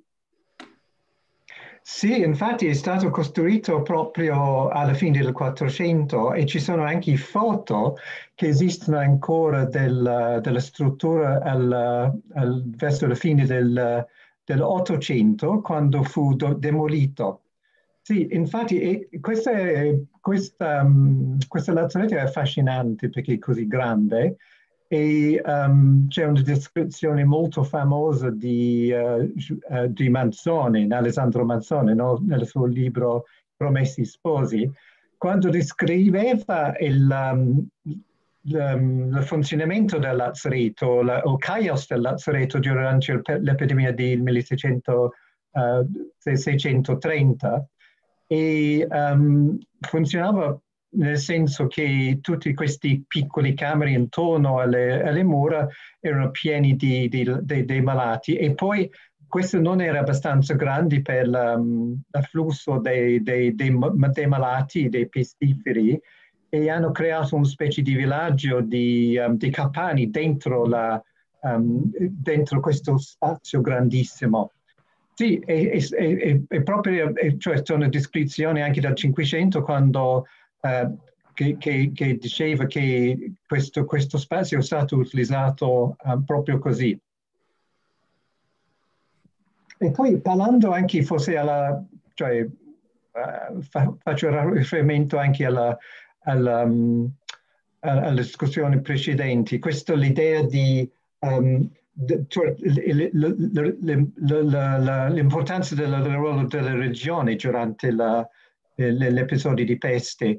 E evidentemente cioè, questo, questo, spazio, questo, al centro di questo spazio fu il, il cappella con le lati aperti per, per vedere la, la, la, celebrazione della messa, eh, per salvare l'anima, del, del curare le, le malattie con la, la, la, medicina spirituale. Questo è molto importante. E questo beh, finora non è, è una cosa che non abbiamo parlato molto finora, ma probabilmente nei, nei prossimi giorni eh, diventerà un tema molto importante, specialmente la, nel contesto delle relazioni sul, sull'arte e architettura, come cioè, dopo, dopo la pausa caffè. Grazie. Eh, grazie, professore. Bé, certament la importància de la religió és clau i aquí s'ha insistit una mica, sobretot en alguna de les, de les intervencions. Algú vol intervenir? Eh, Joan, hi ha, hi ha alguna cosa més al xat? Sí, és que no, jo, jo poso un xat i a mi no em surt, eh? A mi no, quan poso xatear, no, a mi no em marca res. Només el que dic jo bon dia a principi, res més. Una altra pregunta, eh, del Toni Conejo. Diu, un dels temes importants a concretar és l'abast real d'Hospital General. L'acceptem com a categoria historiogràfica o perquè en el seu moment tenia un significat ben clar i definit?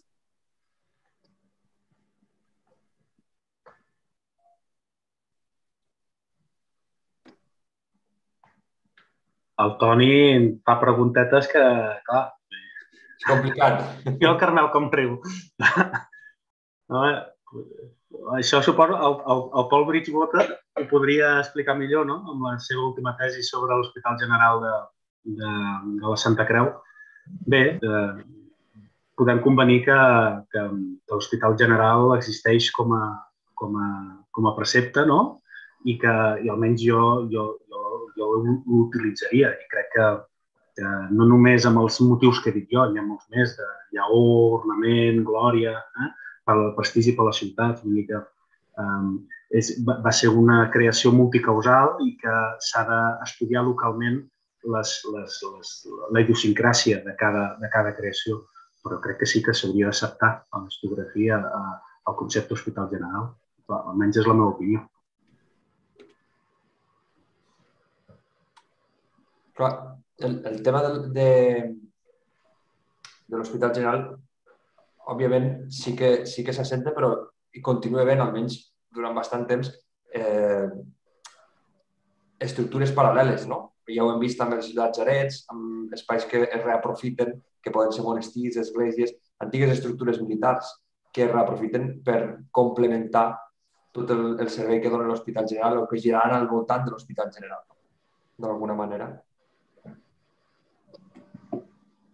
Em fa l'efecte que, el, que el, el Raül Villagrasa eh, té una, una opinió lleugerament diferent respecte a, a aquest tema i, i, i a més que, que em consta que està escrivint al respecte no? d'això, no? El, de com s'articularen, eh, quines fórmules es varen arbitrar per a, per a reunir eh, espais, eh, diguem-ne, des d'un punt de vista de la gestió més eficaços o perquè no és un model unívoc aquest de, del que tenim en el cas de l'Hospital General, sinó que hi ha diverses fórmules que s'anaren emprant. Jo, per exemple, eh, fins i tot eh, eh, en municipis menors, eh, també es fan aquestes fusions entre alguns, no, no, no tots, no, dels hospitals. Però, clar, eh, com que un, en, articular un hospital, eh, diguem, únic, eh, amb, amb tots els recursos de tots, eh,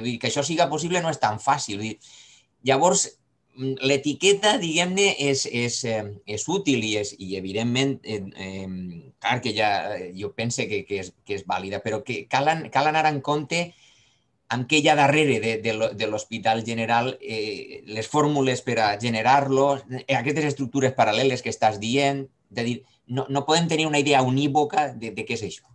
Eh? No, no, i, I a més, no només les fórmules no són iguals, sinó que eh, la cronologia és diferent. I, i no perquè el 1401 eh, la Santa Creu es fundi, es pot dir que el que passa a Lleida o després a Tarragona és el mateix, i, i no perquè la corona d'Aragó, la majoria de fusions, tinguin lloc al segle XV i en canvi el corona Castella tinguin lloc més al segle, al segle XVI, mm, mm, clar, mm, tot això s'ha d'analitzar de forma local.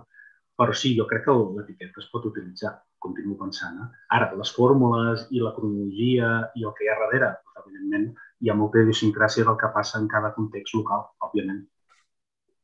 Ah, sí. Clar, clar perquè si no, quina altra forma la trobaríem, no? A veure. A part d'anar matitzant molt, a part d'anar matitzant molt els diferents indrets, els diferents contextos, que evidentment té tota la raó, però quina, quina, quina categoria trobaríem també per, per fer una definició? No? Uh, there's another question for Professor John Henderson from Paul Bridgewater. Uh, he says, uh, I was wondering if Professor Henderson could elaborate on why and when the Ospedale di Santa Maria Nova was deemed as inefficient or less than perfect to cope with the plague. What were the terms in this debate? Were people afflicted with the plague ever re rejected from the hospital of the city? For the hospital hospitals of the city? Um, so, the, so the period, uh, dunque, parlerei in, itali in, italiano. Dunque, il periodo che, che io ho trattato nel, in questa relazione um, e per me, cioè, quando ho cominciato a studiare questo, um, cioè, cominciando di nuovo, quando, quando ho cominciato a studiare questo, cioè, il ruolo degli ospedali a Firenze durante questo periodo di peste, mi, mi ha colpito quel colpito che infatti contro le, le nostre, cioè idee più generali che c'è stata una, una gran separazione fra i malati di peste e i malati generali, um, che sono stato colpito che non è una cioè, divisione molto molto netta fra queste due categorie, perché per, come, cioè, come avete sentito che la maggior parte del, del 400 almeno um, i malati di peste furono accolti a Santa Menova, però piano piano hanno capito, eh, verso la metà del secolo, che questo Santa Menova non era adatto per, uh, per i uh, malati di, di, di, peste, però in, in, invece hanno continuato di mettere gli appestati dentro l'ospedale.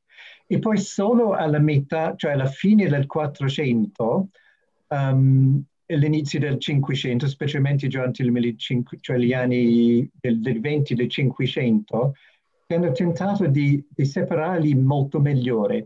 Forse la ragione è questo.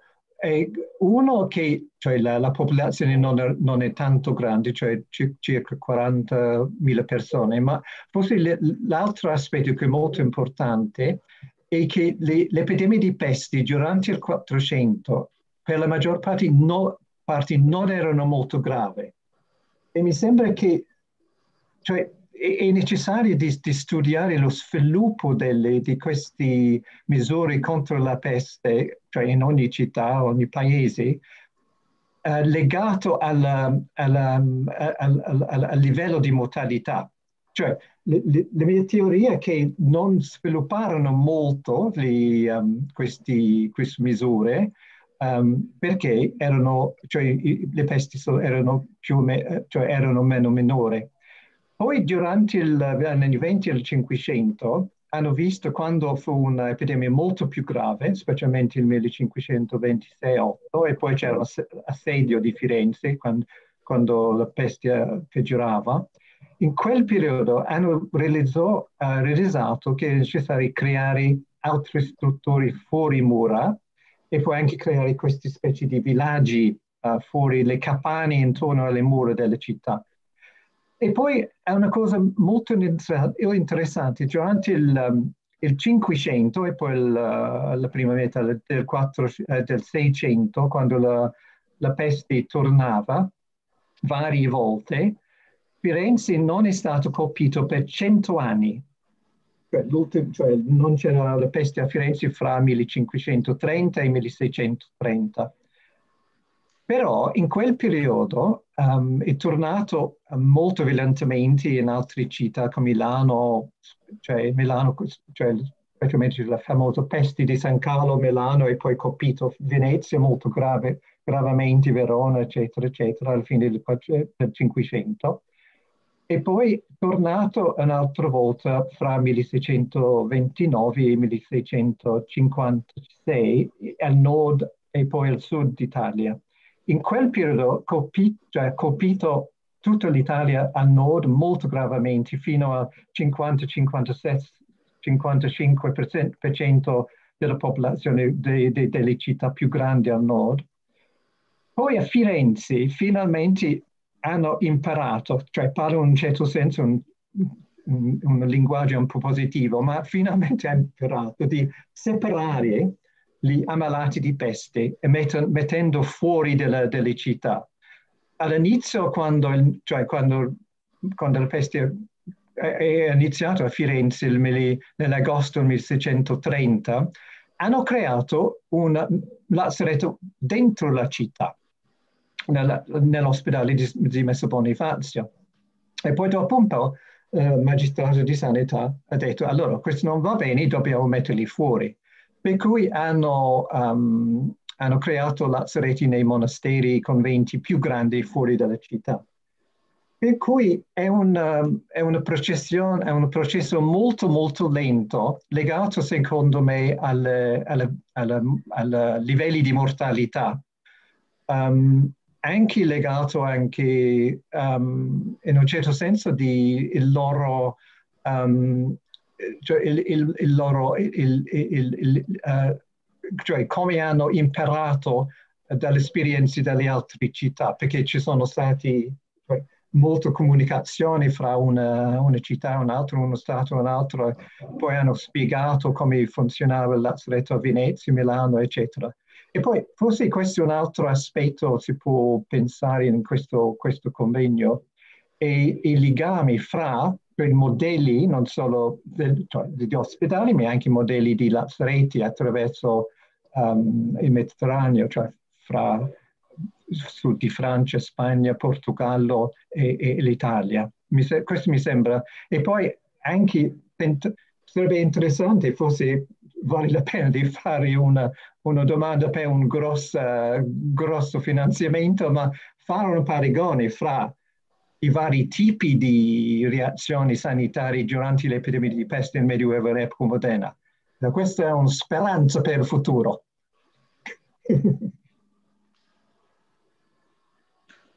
Grazie professore. E anche credo che nella Catalogna eh, succede lo stesso, no? perché eh, sono eh, le pistolegge dalla seconda metà del Cinquecento, eh, quelle che facciano eh, riapprof- costruire e anche riapprofittare i, i, eh, lazzaretti fuori mura.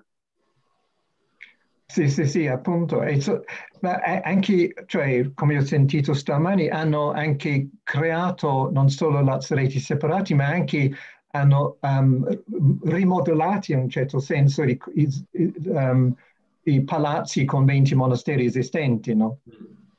Sì, e questo è anche un altro, cioè molto, soggetto molto interessante di indagare di più, secondo me. Certo. Eh, ha més preguntes. Eh, sobre el tema de l'Hospital General, Paul Bridgewater eh, comenta no, que és cert, els paisatges són sempre plurals, però la idea de, de generar però la idea de general comporta una clara jerarquia administrativa i simbòlica, almenys per Barcelona. Mm? El, el Toni Conejo continua, exacte, Josep i Carmel, no pot ser un tema monolític, referint-se també a l'Hospital General, eh, ens condicionat als llocs i cronologies i eh, llegeixo ja també la intervenció del Salvatore Marino, que van giren totes al, al voltant del mateix tema. Què enteneu per Hospital General al segle XV?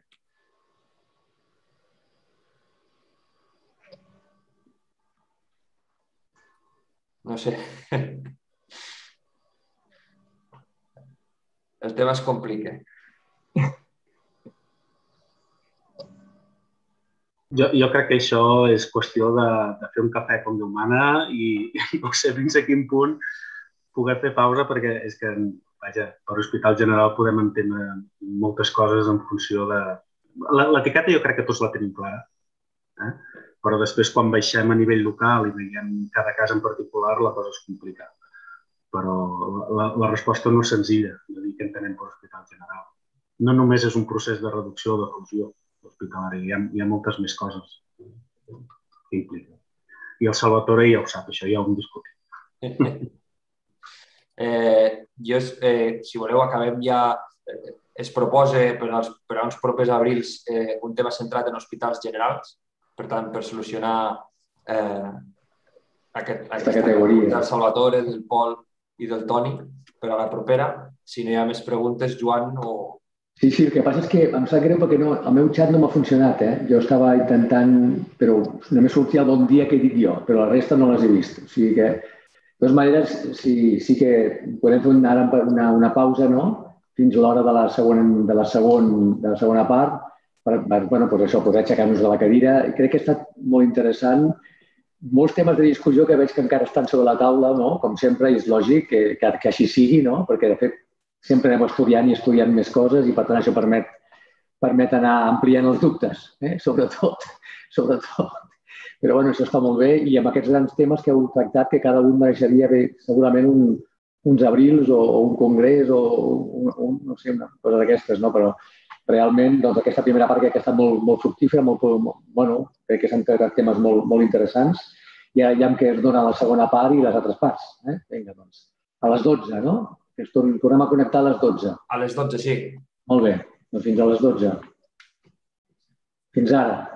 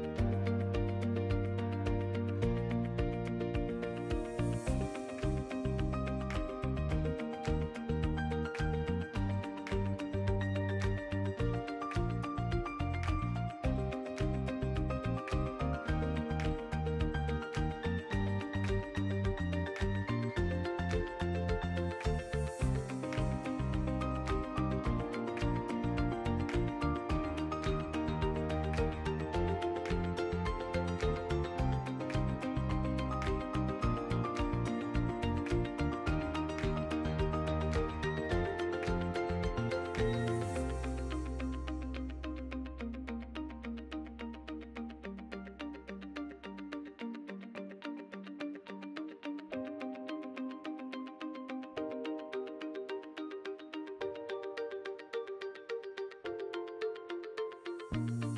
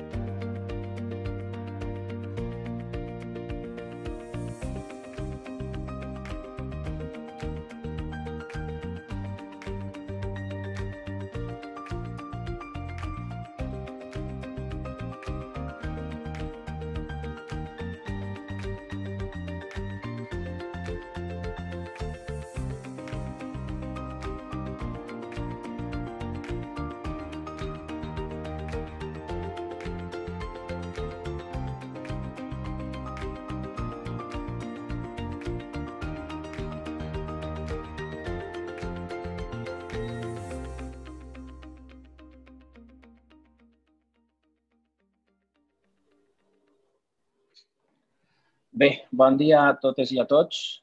Reprenem les sessions d'aquesta decena eh, edició dels abrils de l'Hospital i per a no perdre més temps, doncs, li dono la paraula ja al, al següent ponent, que no és l'altre que l'Antoni Conejo de Pena, de la Universitat de, de Barcelona, qui ens parlarà sobre les pertilències i mortaldats eh, la seva representació en l'art en l'art medieval. Com sabeu, Toni Conejo és un poc l'alma mater d'aquest simposi i, la veritat és que sempre és un goig poder-lo escoltar i, i veure reflectit el que normalment eh, molts veiem en la documentació, veure reflectit a través de les fonts eh, artístiques, a les fonts pictòriques. Quan vulguis, Toni, pots començar. Bé, doncs, bon dia. Gràcies. Ens tornem a veure després de la part introductòria Eh, tal com comentava el Frederic, eh, la meva intervenció, imagino que ja esteu, ja esteu veient la, la presentació, doncs en la meva intervenció bàsicament el que vull fer doncs és, eh, a veure un moment que vull fer lo, lo de ventana completa, que si no, eh, com que no estic acostumat aquí amb el, amb el PC, ara no sé com fer-ho de la presentació. Ara, ho veieu, no? Suposo, perquè jo no us veig. Em podeu confirmar que veieu la presentació? Ah, val, val, perfecte. Doncs bé, tal com deia i com comentava el Frederic, la meva intervenció doncs, eh, tindrà una dualitat en la que parlaré sobretot d'art, de, la, de les evidències gràfiques de les pestilències i de les mortaldats, tal com diu el títol, i també recollint doncs, alguns referents de caràcter documental. Tot i que el títol eh, sembla o pretenia, diguem-ne, doncs, circunscriure's exclusivament en el període medieval, he considerat oportú fer una regressió al passat i començant fent una brevíssima introducció a conceptes que ens porten a la llunyania temporal de l'època antiga, en concret en el món romà, podria haver-me anat més enllà, també fins i tot haver començat amb els grecs, però posaré com a punt de partida els romans. Perquè, a més a més, en les intervencions d'abans s'ha comentat la importància de la salut com quelcom relacionat amb el bé públic, la salut pública, i això a vegades podem tenir la sensació de que és una invenció medieval, i no ho és. En realitat és quelcom que podem trobar, insisteixo, doncs, en aquests períodes precedents. I per això començo amb aquesta moneda. És una moneda magnífica a l'entorn de l'any 40, encunyada a l'entorn del, de l'any 49 abans de Crist. En l'anvers de la moneda hi ha una representació de la, de la deessa Salutis, la salut, amb una arracada, la seva diadema, el seu collaret, i en el revers torna a aparèixer la mateixa figura, eh, la mateixa deessa Salutis, amb la serp, eh, un dels atributs característics del déu escolapi grec, el, la medicina, eh, etc. I, de fet, Salutis era, era la filla d'Escolapi, la seva funció era donar de menjar a les serps sagrades vinculades amb la, amb la medicina. Bé, qualsevol cas, per què utilitzo aquesta moneda? Aquesta moneda va ser encunyada per un triumvir anomenada, anomenat Manius Aquilius, el qual era un, diguem-ne, una persona favorable a Pompeu, que va ser el gran rival de Juli Cèsar. Estem en el context de la gran guerra civil entre Pompeu Magne i Juli Cèsar. Sabem que Pompeu Magne va caure malalt a l'entorn de l'any 49 abans de Crist. Aquesta moneda s'ha interpretat de, de forma ambivalent, sigui com una forma, a través de la numismàtica, de vetllar mm, per la recuperació de la salut de Pompeu Magne, o sigui també com una representació de la valetudo, que vol dir eh, salut, la, eh, la salut en el sentit ampli de la paraula relacionat amb la república. Després hi tornaré sobre aquest aspecte. Però, precisament en aquest viatge cap al passat, quan parlem d'epidèmies, i en parlarem molt al llarg d'aquests dies, i sobretot d'època medieval o moderna, com s'ha fet en la primera sessió, jo continuaré en el passat. Òbviament, les referències documentals que tenim sobre episodis i brots epi, eh, epidèmics, pestilents, etc. a l'antiguitat doncs, són molt vagues. Sí que per les poques constàncies que tenim doncs, eh, s'ha arribat a la conclusió que entre el segle V i III doncs, eren pestes, diguem-ne, de caràcter més aviat local i d'una durada més o menys anual, és a dir, que s'anaven repetint amb una certa regularitat, però especialment important va ser l'anomenada pesta antonina, també coneguda com a plaga de Galè, entre altres coses perquè el metge Galè doncs em fa una, una al·lusió doncs, al que era la seva sintomatologia en el seu, en el seu tractat Medendi Methodus, tot i que és curiós, perquè tots els símptomes que, que especifica Galè a propòsit d'aquesta pesta, en realitat el que està fent és reproduint fil per randa una antiga plaga que s'havia produït en el segle V abans de Cris a Grècia. Per tant, fins a quin punt podem utilitzar com a fermament certa tot el que ens explica Galè. Bé, Galè, que el tenim representat aquí en aquest manuscrit, és aquest metge que està a la part superior envoltat d'altres metges, fins i tot la SER novament. Bé, eh, va parlar d'aquesta plaga que va tenir lloc doncs, en la segona meitat del segle II. És l'anomenada pesta antonina, d'origen incert, un entorn sigui a l'Àfrica o sigui doncs, un entorn més proper doncs, a, a l'Àsia, i que eh, es va propagar sobretot per, eh, per part de l'exèrcit romà. Eh, l'exèrcit, les legions romanes estaven a la zona de la Pàrtica, que és l'actual Iraq, i al anar-se desplaçant cap a Occident van portar amb ells tota aquesta plaga. De fet, l'any 166, es diu, en la meva biografia de Marc Aureli, doncs es diu que la pestilència havia estat tan greu eh, o tan, tan ferotge que els cadàvers eren traslladats d'un lloc a l'altre amb vehicles i amb carros de tota mena. De fet, els mateixos emperadors antonins Lucifer va morir l'any 169 a causa d'aquesta pesta i encara uns anys després l'altre emperador Marc Aureli també va morir pel que sembla per un rebrot d'aquesta pesta. Poso això simplement per insistir en que el concepte de salut tenia moltíssima importància, l'ha tinguda sempre, en l'antiguitat també, i de manera particular en el que fa referència doncs, als exèrcits romans. Espais assistencials, com són els anomenats valetudinària, eh? un terme llatí que prové de la pròpia significació de valetudo, que vol dir salut, eh, dels quals ens han quedat alguns vestigis arqueològics, com aquest que veuen aquí, o aquesta magnífica planta d'un valetudinari, més a dir, d'un campament. No és un campament, és, tindria ser com una mena d'infermeria per a soldats a l'antiga Escòcia o aquest altre de Nois, a Alemanya, doncs revela la importància capital que podia tenir l'exèrcit, d'una banda, com a vehicle transmissor, com hem vist, i de l'altra també la necessitat que els propis soldats estiguessin en bona salut per a poder fer el que els tocava, que era anar a la guerra. Una altra referència interessantíssima que apareix referida doncs, en les mateixes biografies de Marc Aureli, eh, com és el cas d'aquesta moneda encunyada a Grècia, bueno, Grècia en aquest cas encunyada a Alexandria per un entorn d'influència grega, d'aquí que els termes doncs, apareguin doncs, en caràcters eh, grecs, eh, podem llegir Marcus Aurelius, Antoninos, eh, doncs en el revers de la moneda el que ha és un lectisternium. Què és un lectisternium? Doncs és simplement una, una mena de celebració, un banquet que s'oferia als déus. Les estàtues de les divinitats eh, eren disfressades, eren vestides eh, amb, amb ropatges i se'ls oferia un banquet a través del qual el que es pretenia era la seva intercessió, una mena de rogativa per poder fer front a, una, a, un, episodi, a un episodi epidèmic. Són coses interessants sobre les quals després hi tornarem, sobretot per insistir que moltes vegades ens omplim la boca com per donar la sensació que a l'edat mitjana ho hem inventat tot, però en realitat l'únic que estem fent és perpetuar determinades tradicions que venien de l'antiguitat.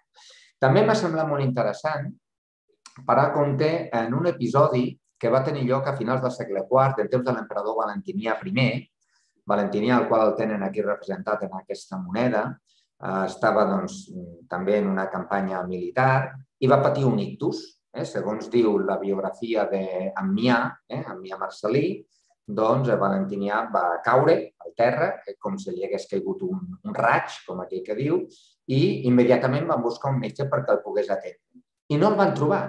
I no el van trobar en primer moment perquè l'exèrcit estava patint un episodi pestilent, com diu aquest, aquest retall aquí en llatí, i no van poder trobar un metge a causa de la pestilència que afectava a l'exèrcit. Finalment, sí que van trobar aquest metge, va atendre Valentinià, però ja no hi van ser a temps i va morir. Un exemple fins a cert punt de col·lapse mèdic. Eh? Ni tan sols l'emperador va poder ser eh, atès. Fent aquest seguiment al passat ja eh, de manera ràpida, potser, sens dubte, la plaga més coneguda de totes és la que va tenir lloc en el segle VI en temps de, de Justinià, eh, amb una propagació que va afectar doncs, no només a l'Occident europeu, sinó a la, a la llunyania d'Àsia, eh, tal com podem veure doncs, en, aquest, en aquest mapa. En tenim moltes dades a propòsit d'aquesta plaga gràcies a la font de Procopi de Cesària en el seu llibre sobre les guerres i en el que traduït en el que cas el català doncs, es ve a dir que va ser una epidèmia que de poc no va acabar amb tot el gènere humà. Tot i que és un tema doncs, que sempre genera doncs, unes certes reserves, però hi ha un cert consens en acceptar que aquest brot va ser de pesta bubònica, és a dir, amb el, el Yersinia pestis, eh, del qual després en, en parlarem. Eh, sigui com sigui, un episodi epidèmic el que genera és por. Eh? La por, eh, com diu aquesta, aquesta frase llatina aquí, timor mortis conturbat me, és a dir, la por a la mort m'intriga, m'inquieta, Eh? I són infinitats de representacions artístiques, com aquest meravellós gravat de finals del segle XIX, en el que, en certa mesura, el que està fent és reproduir d'una forma doncs, eh, un tant romàntica la eh, pesta eh, que els he comentat abans, Antonina, eh, que, eh, a la qual me referia al principi. Eh, a través de l'art el que veiem és que tots els brots epidèmics es tradueixen en els conceptes de calamitat. Eh? Aquest eh, cèlebre quadre de Nicolà Posant encara que ens n'anem més enllà en el temps, però el que m'interessa és el que representa la iconografia, a propòsit de l'anomenada peste d'Astot, en el qual doncs, els filisteus, eh, segons ens explica doncs, el, el llibre de Samuel, els filisteus havien guanyat els hebreus, es van portar l'arca de l'Aliança, que la tenen aquí en primer terme, i aquesta arca, doncs, bé, perdonen la llicència, tots haurem vist en busca de l'arca perduda, doncs totes les qüestions mítiques relacionades amb l'arca, doncs, és, és l'epicentre d'un flagel epidèmic per la qual cosa tota la gent comença a caure morta eh, pels carrers de la ciutat. Abans ens parlava doncs, el Carmel Ferragut dels cadàvers per les Rambles de Barcelona, doncs aquesta imatge potser ens la podria oferir. La por de la mort és eh, constant i és reflectida doncs, en infinitat de representacions pictòriques com aquest meravellós tronfo de la mort de Palerm o fins i tot a les cartes del tarot és sempre a través d'una figura calavèrica, d'un esquelet que de forma, eh, diguem-ne, eh, sense, eh, sense destriar colors, doncs afecta absolutament, eh, absolutament a tothom. Eh, en el que eh, després també, doncs, diguem-ne, en el període medieval doncs, va esdevenir molt famosa aquesta llegenda, l'anomenada llegenda dels tres vius i els tres morts, en els que tres cavallers, que els veiem aquí, doncs de cop i volta es troben eh, tres cossos eh, de, tres, de tres difunts, però en tres estats de conservació eh, o de, eh, diguem-ne, de descomposició diferent, com poden copsar també en aquest detall d'aquesta miniatura del segle XIV. Un difunt, diguem-ne, en el qual encara té la pell, un segon difunt en el que ha pràcticament la perduda i un tercer que és un esquelet. Els tres morts eh, de forma, diguem-ne, llegendària, s'adrecen als tres vius dient el que tu ets ho érem nosaltres i el que ara som ho seràs eh, tu.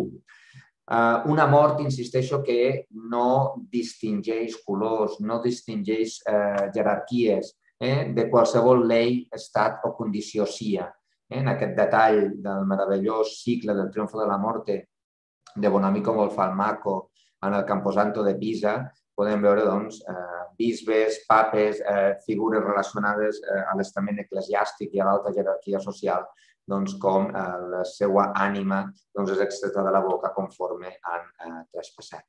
Especialment cèlebre al respecte és aquest meravellós eh, cicle eh, de frescos que hi ha a la localitat de Clusone, a la província de Bergamo, al nord d'Itàlia, del pintor Giacomo Borlone de Busquis, en el que es representa la mort, una altra vegada, en aquest cas és una reina, eh, una, un esquelet femení que sosté uns filacteris i com en el registre superior veiem tota aquesta, diguem-ne, eh, eh, maramma de, eh, de membres de l'alta jerarquia eclesiàstica i social en el qual, eh, per molt que implorin, per molt que ofereixin regals, per molt que s'agenollin, per molt que demanin clemència a la mort, la mort només té un únic premi i és la vida d'absolutament tots els que estan aquí. Com diu una de les llegendes que resa en un dels filacteris que està sostenint aquesta figura, ogni homo more e questo mondo lassa. Eh? Qualsevol eh, persona que mori deixa el, el, el món eh? i el que ofèn a Déu eh, amargament doncs també, eh, també passa. Però especialment rellevant és el registre inferior, que ara els hi mostraré, on hi ha aquesta processó en el que de manera alternativa veiem un esquelet, símbol sempre de la mort, amb una persona viva. Fixin-se en el contrast del somriure de tots els esquelets contents perquè han aconseguit el seu premi i el gest de desemparament, de tristor, de compunció que tenen les persones vives, siguin doncs, una dona que es miri al mirall, sigui un, disciplino, eh? Aquesta, aquest conjunt es conserva en un oratori d'una confraria, que era la confraria de Disciplini, doncs apareix aquí doncs, amb el seu amb el capdalat, uh, un, uh, un pagès, uh, aquí un, un administrador de la justícia, un home que està posant la mà a la, a la bosseta, símbol de que devia ser doncs, un usurer, un comerciant, eh, etc. Eh, al cap i a la fi, el que representa doncs, aquella escena que hem vist abans de Clusone no deixa de ser res més que una mena de eh, metàfora alegòrica de la dansa macabra, la dansa de la mort, de la qual eh, territori més proper a casa nostra doncs, és especialment cèlebre, la que encara avui dia doncs, es pot apreciar en el convent de Sant Francesc de, eh, de Morella. Bé, feta aquesta, aquesta, aquesta sèrie d'indicacions, uh, passaré ara ja en la part final, després el, el doctor Juncosa doncs, eh, explicarà més coses des d'un punt de vista documental, però sí que aprofitaré per incloure dos o tres referències ràpides des del punt de vista eh, del que en diuen el, els textos. I eh, perquè eh, allò que estem vivint ara tampoc no és gaire diferent del que passava abans tal com els he explicat també en relació amb el món antic. Per exemple, m'interessa molt aquesta carta del 28 de juliol del 1489. És una carta eh, que envien els jurats de València, els, eh, perdó, envien els, eh, els, els regidors, diguem-ne, de la ciutat de Tortosa a València. És de suposar que els jurats de València prèviament havien enviat una altra carta als regidors de Tortosa, que en aquest cas, malauradament, no s'ha conservat. El que venia de dir la carta les de València, a Tortosa, que no es conserva, era que qualsevol tortosí que volgués anar a la ciutat de València no hi podia anar, perquè tenien constància de que hi havia eh, algun, algun brot epidèmic a Tortosa. Què és el que fan els, els governants de Tortosa? Responen als valencians dient, ei, en aquesta ciutat és veritat doncs, que hem tingut, el, hem tingut algun problema, però que en realitat vull dir, no hi ha cap motiu perquè no pugueu ben receptar i acollir els nostres ciutadans i habitadors de nostra ciutat. És a dir, malgrat les notícies que poguessin arribar a València, en el que es prohibia que els tortosins anessin a la capital del Túria, doncs els tortosins el que feien era reivindicar que la seva ciutat és cert que hi havien hagut algunes febres, però que això no volia dir que els tortosins no hi poguessin, no hi poguessin anar. Encara en relació a Tortosa, en el mateix cicle de cartes eh, al qual me referia l'anterior, n'hi ha una altra que eh, és diferent. Aquí el que veiem és com una mena d'advertiment. El que es diu el 23 de desembre del 1489 és que havia anat cap a, cap a, cap a Mallorca, havia partit un, un navili, és a dir, una vaixell d'un comerciant anomenat Mateo León, carregat de vi, roba, etc. És a dir, aquest vaixell anat cap allà, però els tortosins, advertien els mallorquins, alerta, eh, que Tortosa està en sanitat, eh, per tant, no tenim problemes de caràcter sanitari i alerta que quan els que vinguin de Mallorca cap aquí no puguin portar algun tipus de eh, malaltia, eh, en certa mesura. Bé, són simplement petits retalls que el que venen a reproduir és el conflicte constant que hi havia no només en el període medieval, per això jo he volgut començar doncs, amb el món antic, perquè parlar de pandèmies és parlar, com va dir la, la Mònica Green, de eh, la mare de totes les pandèmies, que és la pesta negra. I sembla que la pesta negra va tenir un lloc al 1348 i punto, però en realitat és conseqüència d'una gran quantitat de calamitats i de problemes que es van anar produint al llarg de molts anys. I a més a més amb rebrots. He posat aquí alguns casos a nivell cronològic, però en rebrots que es van anar, eh, que es van anar produint en els anys immediatament posteriors. Una pesta que des del punt de vista artístic, sense cap mena de dubte, potser eh, la visió més important i més espectacular és la que es va oferir Peter Bruegel el vell en aquest magnífic triomf de l'amor que es conserva al Prado. És cert que quan Peter Bruegel es eh, pinta això és el 1562 i ja han passat 200 anys, de la pesta negra. Però, com he dit, la pesta negra és la mare de totes les pandèmies, però no és l'única pandèmia. Fa una estona ens, ens explicava el doctor Ferragut tota la problemàtica de l'epidèmia de 1589. Què dins en aquesta imatge? La idea de caos, de confrontació, de desordre, tot el que ell, eh, el doctor Ferragut, ens ha explicat abans, i com tota la població es va amuntegant amb aquests eh, esquelets, eh, símbols de la mort, es van posant en aquest ataúd gegant que veiem aquí a l'esquerra. Difícilment trobarem cap altra obra, sempre amb una certa vocació moralitzant, que reprodueixi de manera tan precisa el que és el flagel d'una epidèmia. Eh? Tal com podem veure aquí, eh? per molt que s'amaguessin sota dels carros, la mort al final els trobava i amb el rellotge, eh? els rellotges per tot arreu, dient eh, t'ha arribat, arribat l'hora. Bé, mm, tenia més coses per explicar, només acabaré amb dos, amb dos o tres imatges més perquè si l'anterior, que mostrava de Peter Bruegel el vell, és una pintura doncs, realitzada 200 anys després de la pesta negra, aquesta és possiblement la imatge mm, més antiga que disposem, mm, la fotografia en certa mesura, eh, com si fos un corresponsal de guerra, la fotografia més antiga que disposem de la pesta negra per la seva proximitat cronològica. Es tracta d'una miniatura del 1349, per la qual cosa molt propera al que és el punt àlgid de la pesta negra, i en el que el que representa és l'afany que tenen, en aquest cas, els habitants de la localitat de Tupné, a l'actual Bèlgica, doncs, d'una banda per fabricar sarcòfags, eh? no donen abast, eh? sarcòfags de fusta, i aquí com els van enterrant, òbviament per evitar una propagació superior. Mm? Mortaldat, caos social, és el que sempre es reprodueix. I a l'últim, després, clar, un es planteja, jo no sóc metge, no sóc especialista en història de la medicina, com aquí sí que n'hi ha alguns dels meus companys, eh, que ja han parlat o que hi parlaran, però eh, des del punt de vista artístic hi ha una certa codificació de la imatge de la malaltia i una certa generalització, sovint esbiaixada i fins a cert punt errònia, del que era la materialització visual de la pesta negra. Aquesta és una miniatura de la Bíblia de Tockenburg, de principi del segle XV, que sovint ha estat interpretada com una representació gairebé paradigmàtica de la pesta negra. Com podem veure, són dos cossos completament eh, omplerts per butllofes o per, eh, per bubons, és a dir, per, per munyons, per, per erupcions, i que eh, sovint s'ha interpretat doncs, com a, alguna cosa s'ha interpretat com un exemple de la peste, de la peste bubònica. En realitat el que reprodueix aquí és l'episodi de l'èxode en una de les plagues de l'èxode en el que Moisès deixa anar doncs, unes cendres al cel, les cendres van caure damunt de la població eh, eh, egípcia i es van omplir tots els cossos plens de nafres. Però la pesta negra, tal com l'entenem, la pesta bubònica, no generava fins allà on jo sé, si després algun historiador de la medicina que m'ho puntualitzar que em corregeixi, però no eh, omplia tot el cos de bubons, com veiem aquí, o com fins i tot en aquesta escena en la que presumptament són franciscans que estan curant a leprosos, eh, però que tenen tot el cos ple de nafres i que, en aquest cas, més que no són els bubons que veiem abans, però eh, la lepra tampoc no reproduiria tant això, això segurament seria una codificació de la imatge d'una verola,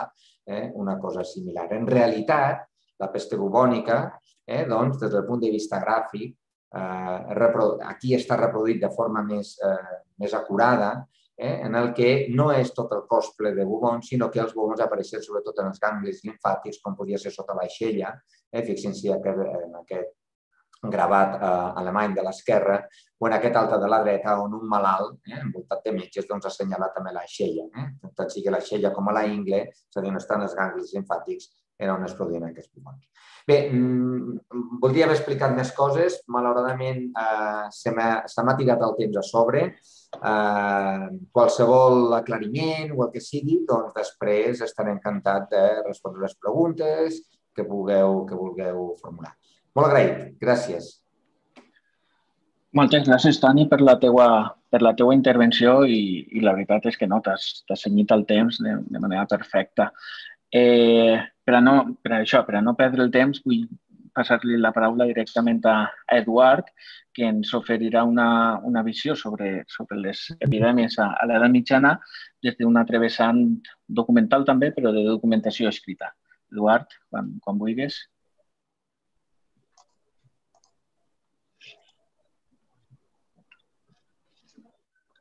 Bé, moltes gràcies per la presentació, Frederic, i gràcies també a les persones i institucions que heu fet possible aquests desens abrils de l'hospital. Es veu bé la presentació?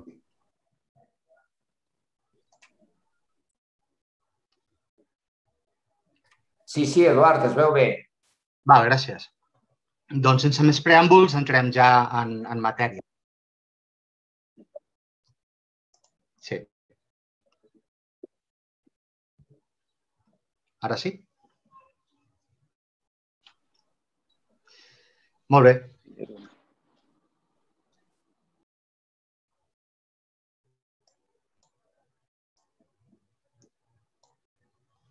Bé, per la majoria de nosaltres, eh, aquest ha estat el primer cop que hem hagut de fer front a una pandèmia que està fent trontollar les bases de la societat i que ens està posant a prova tant a nivell individual com col·lectiu. De totes maneres, han estat molts els episodis similars i fins i tot força més greus que han tingut lloc en el passat.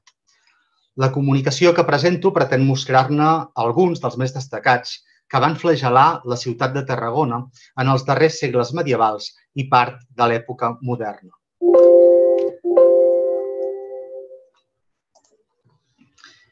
A través de la documentació conservada, ens centrarem tant en els efectes que provocaren com en les respostes que s'establiren per tal d'intentar sortir-se'n. Iniciarem el nostre recorregut històric l'home l'any primer, és a dir, l'any 1333, en el qual van succeir-se arreu de Catalunya tot un seguit de molt males collites que van generar severes caresties, fam i revoltes. Tot i que encara no disposem per aquest moment de llibres d'actes municipals, altres fonts documentals ens informen que fuit in Catalonia magna pestilència famis, qualis visa non fuit a memoria hominem citra, i valgué en Tarragona la quartera de blat 50 sous, la de l'Ordi 25 sous i la mitgera de blat de Montblanc valgué 100 sous. Per lo qual, aquest nostre arcabisbe, Joan d'Aragó, mogut de compassió dels pobres i viles del camp, comprà en lo regne de València 250 cafissos de blat i ne feu portar 125 a Tarragona per a que s'adonàs i repartís entre dos necessitats, i els altres 125 feu portar a Miramar per a que se repartís entre els de les viles del camp. Poc després d'haver dut a terme aquestes gestions, l'arcabisbe Joan d'Aragó, fill dels reis Jaume II i Blanca d'Anjou, va morir. Al presbiteri de la Catedral de Tarragona hi trobem el seu sepulcre. Al voltant del jacent s'hi poden veure unes petites figures que representen els sants de la seva família i als extrems els de l'arxidiòcesi. A sobre, la seva ànima ascendint cap al cel. I encara més amunt, una finestra que és on s'hi exhibí durant molt de temps la relíquia del braç de Santa Tecla que s'havia portat des d'Armènia pocs anys abans. En diversos contextos de malalties contagioses i especialment letals, va posar-se el braç a l'altar major de la catedral durant diversos dies i es van fer processons per la ciutat per a demanar a la patrona que les epidèmies s'acabessin. Un dels germans d'aquest arcabisbe era l'infant Pere, comte de les muntanyes de Prades i senyor de la baronia d'Entensa. L'any 1348, alertat per la virulència de la pesta negra, va escriure que la mortaldat té tanta força que ningú gosa viatjar i va dictar un confinament perimetral dels seus dominis, prohibint l'entrada a tota persona estranya qui en les muntanyes de Prades vingui malalta. Tot i buscar refugi a la cartoixa d'Escaladei, la seva esposa, la comtessa Joana de Foix, va morir infectada per aquesta pesta. En els primers dies de l'any 1387 va traspassar el rei Pere el Cerimoniós i pocs mesos més tard, el seu fill, el rei Joan, va expressar la seva intenció d'anar al monestir de Poblet per fer-lo enterrar al panteó familiar i, aprofitant el viatge, fer la solemne cerimònia d'entrada a la ciutat de Tarragona com a nou monarca. De totes maneres, li havien arribat rumors que hi havia pesta a la zona i volia obtenir informacions verídiques abans de desplaçar-s'hi. Diu el rei que les epidèmies o malalties de glànules sien començades així en Barcelona. I per aquesta raó volem saber com nevar a Tarragona. Amb aquesta finalitat, el monarca va ordenar que se l'informés de la situació precisa. Els veguers i els cònsuls tarragonins van certificar que després d'haver interrogat a dos físics cristians i un de jueu, a tres barbers i cirurgians de la ciutat, en la darrera setmana, és a dir, estem, estem als dies centrals del mes d'octubre de 1387, mitja dotzena de persones havien estat afectats per èntrec àlies malabusanya, dels quals n'havien mort la meitat, mentre que les altres són guarides, e dues o tres persones que han agudes glànules, però fan-los cap e guareixen-se. Fet que els portà a concloure que les pestilències hi han començat e que de tot la terra no n'és pura ni excusada, com a tals apostemes i eixidures són comunament e mostren l'aer pestilencial. A tot això, afegeixen que hi ha agudes enguany malalties comunes de febres tersanes, simples e dobles, e compostes, e altres semblants, de les quals, a Déu mercè, molts ne són estats guarits. Tot fa pensar que les informacions enviades al rei Joan no van ser suficients, ja que pocs dies després el monarca va dirigir una carta a l'arcabisbe Ènec de Vallterra, als veguers i als batlles, als cònsuls i als prohoms de la ciutat i camp de Tarragona per notificar-los que havia decidit enviar el metge físic de la seva casa, Francesc de Granollacs, per tal d'obtenir certa informació del temps d'aqueixes parts. So és a saber si hi ha sanitat o malalties o altres accidents epidemials. El manament reial es concretà en l'ordre de recollir les declaracions de diversos testimonis rellevants i poder actuar en conseqüència. I això és el que van declarar els informants. Tradueixo del llatí, que és el document que teniu a la pantalla, dels llibres d'actes municipals. Guillem Safàbrega, mestre en Medicina i en Arts, afirma sota jurament que és cert que a la ciutat i als suburbis de Tarragona hi ha pestilència degut als símptomes habituals que apareixen en aquests temps i enmig d'un ambient de pesta, és a dir, que apareixen tumors en els amuntoris dels membres principals i també tumors interiors, com pleuresia, esputs de sang i àntrax, i morts súbites. Per tot això, assegura que l'aire que alberga la pesta encara no està purificat de la corrupció pestilent. Tomàs Caix, batxiller en Arts i Medicina, afirma sota jurament que durant molt de temps practicà i que és veritat que hi ha pesta a la ciutat i als suburbis d'aquella. Per tant, l'aire encara no és net. Ho sap perquè té tot sota la seva vigilància i cura alguns malalts. Perfeit Cap, jueu físic de Tarragona, afirma sota jurament que no sap segur si encara hi havia pesta a la ciutat i als suburbis perquè no té cap cas sota vigilància, però que havia sentit dir que les dites pestilències i àntracs havien estat molt greus. Assegura haver tingut cura de pleurítics els quals havia guarit. Grau Sijà, cirurgià de Ciutadà de Tarragona, afirma sota jurament que és veritat que hi ha pesta a la ciutat i als suburbis, ja que ell mateix té cura de malalts i que n'havia pogut curar alguns, la majoria d'ells apastats amb glànula en els inguinals, en el coll i en l'esquena. Conclouen els dits metges que les pestilències afecten la ciutat i que del tot la terra no és pura ni lliure de contagis. Finalment, uns quants eclesiàstics, entre els quals només us cito Berenguer Dueta, diuen que, parroquial de la Seu de Tarragona, diu que és veritat que sovint havia mort molta gent a la ciutat, però ignorava per quina raó. La ciutat va patir un altre brot epidèmic l'any 1494. El mal estat de conservació de les actes municipals d'aquest any no ens permet aprofundir-hi massa, però ho podem compensar mitjançant la carta que el capítol de la catedral va remetre a l'arcabisbe Gonzalo Fernández de Heredia, que en aquell moment era diputat eclesiàstic a la Diputació del General a Barcelona. I deia així, Molt reverent senyor i pare en Crist, Vostra reverència haurà entès i aguda informació d'alguns desordres que són estats comesos en aquesta ciutat, la qual, per haver tan poc temps que la pesta és estada en aquella, ha restat desolada i quasi despoblada.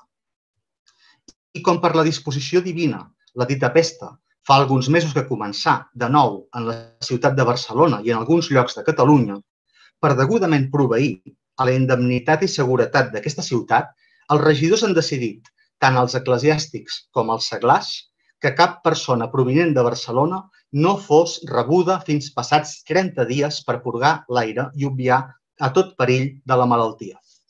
La Santíssima Trinitat us conservi i us doni llarga vida a Tarragona el 15 de juliol de l'any 1494. Bé, l'art, les excavacions arqueològiques i molt especialment la documentació escrita conservada ens donen testimoni històric de les tràgiques conseqüències d'aquestes epidèmies. Tot i que no sempre obtenim tanta precisió com ens agradaria per determinar els índexs de mortalitat. En qualsevol cas, cal que ens preguntem de quin volum de població estem parlant en cada moment i poder aproximar percentatges d'incidència en funció de la informació disponible.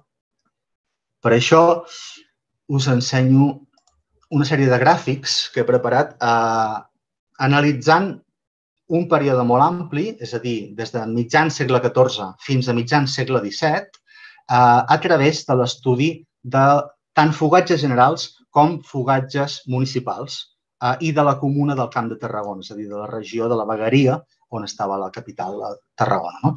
El que teniu marcat en blau en aquest histograma són l'evolució de la població en focs eh, de la ciutat, de la capital. El que teniu en taronja són les faldes de Tarragona, que són aquelles poblacions íntimament vinculades a la capital i en gris l'agregat poblacional de les dues. D'acord?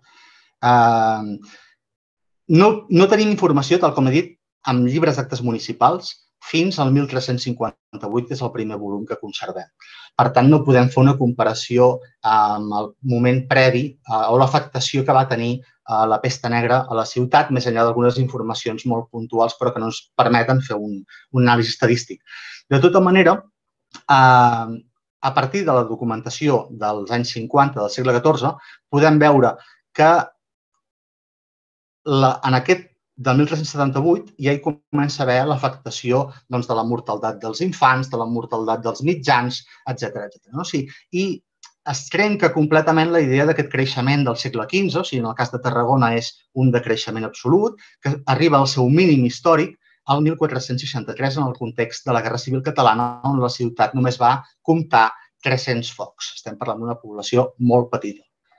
Um, després hi ha una recuperació al llarg del segle XVI fins que la pesta que comentava Carmel Ferragut, del 89, que aquí afecta el 91-92, eh, va fer els seus estralls i, de nou, al llarg del segle XVII en tenim uns altres brots eh, molt, molt, molt eh, significatius. Aquesta seria l'evolució de les diferents poblacions més importants del camp, al marge de la capital. I en aquest cas sí que tenim informació prèvia a la pesta negra, des del 1339. Per tant, sí que podem veure l'afectació en determinades poblacions importants com Valls, com Reus o com la Selva, els brots successius i després una caiguda molt important a principis del segle XV, en el cas de Valls, que és la més accentuada de totes, que aquesta podria ser enganyosa perquè arran de la dificultat econòmica que patia la vila, eh, el rei estava molt, molt, molt pròxima a la fallida econòmica, va permetre eh, que es comptabilitzés només la meitat dels focs que realment tenia. O sigui que hem d'anar amb moltes cures quan analitzem aquest tipus de, de documentació, però les tendències sí que ens les marquen i és el que voldria ensenyar-vos. Eh, les poblacions que estan més als extrems del camp, més propers a, la, a les muntanyes de Prades, eh, com el cas del Cuber o el cas de Montroig, les caigudes són molt menors perquè atrauen població que surt de les principals viles i ciutats. I Uh, un cas molt significatiu i curiós és aquest vermell, que és el de Cambrils, que en lloc de caure la població veiem que creix. I això es produeix, des del meu punt de vista, fruit d'unes eh, privilegis que la monarquia va donar a la ciutat, que és una ciutat exclusivament de reialenc, per tal de treure nous pobladors. I això va tenir els seus efectes eh, a nivell poblacional.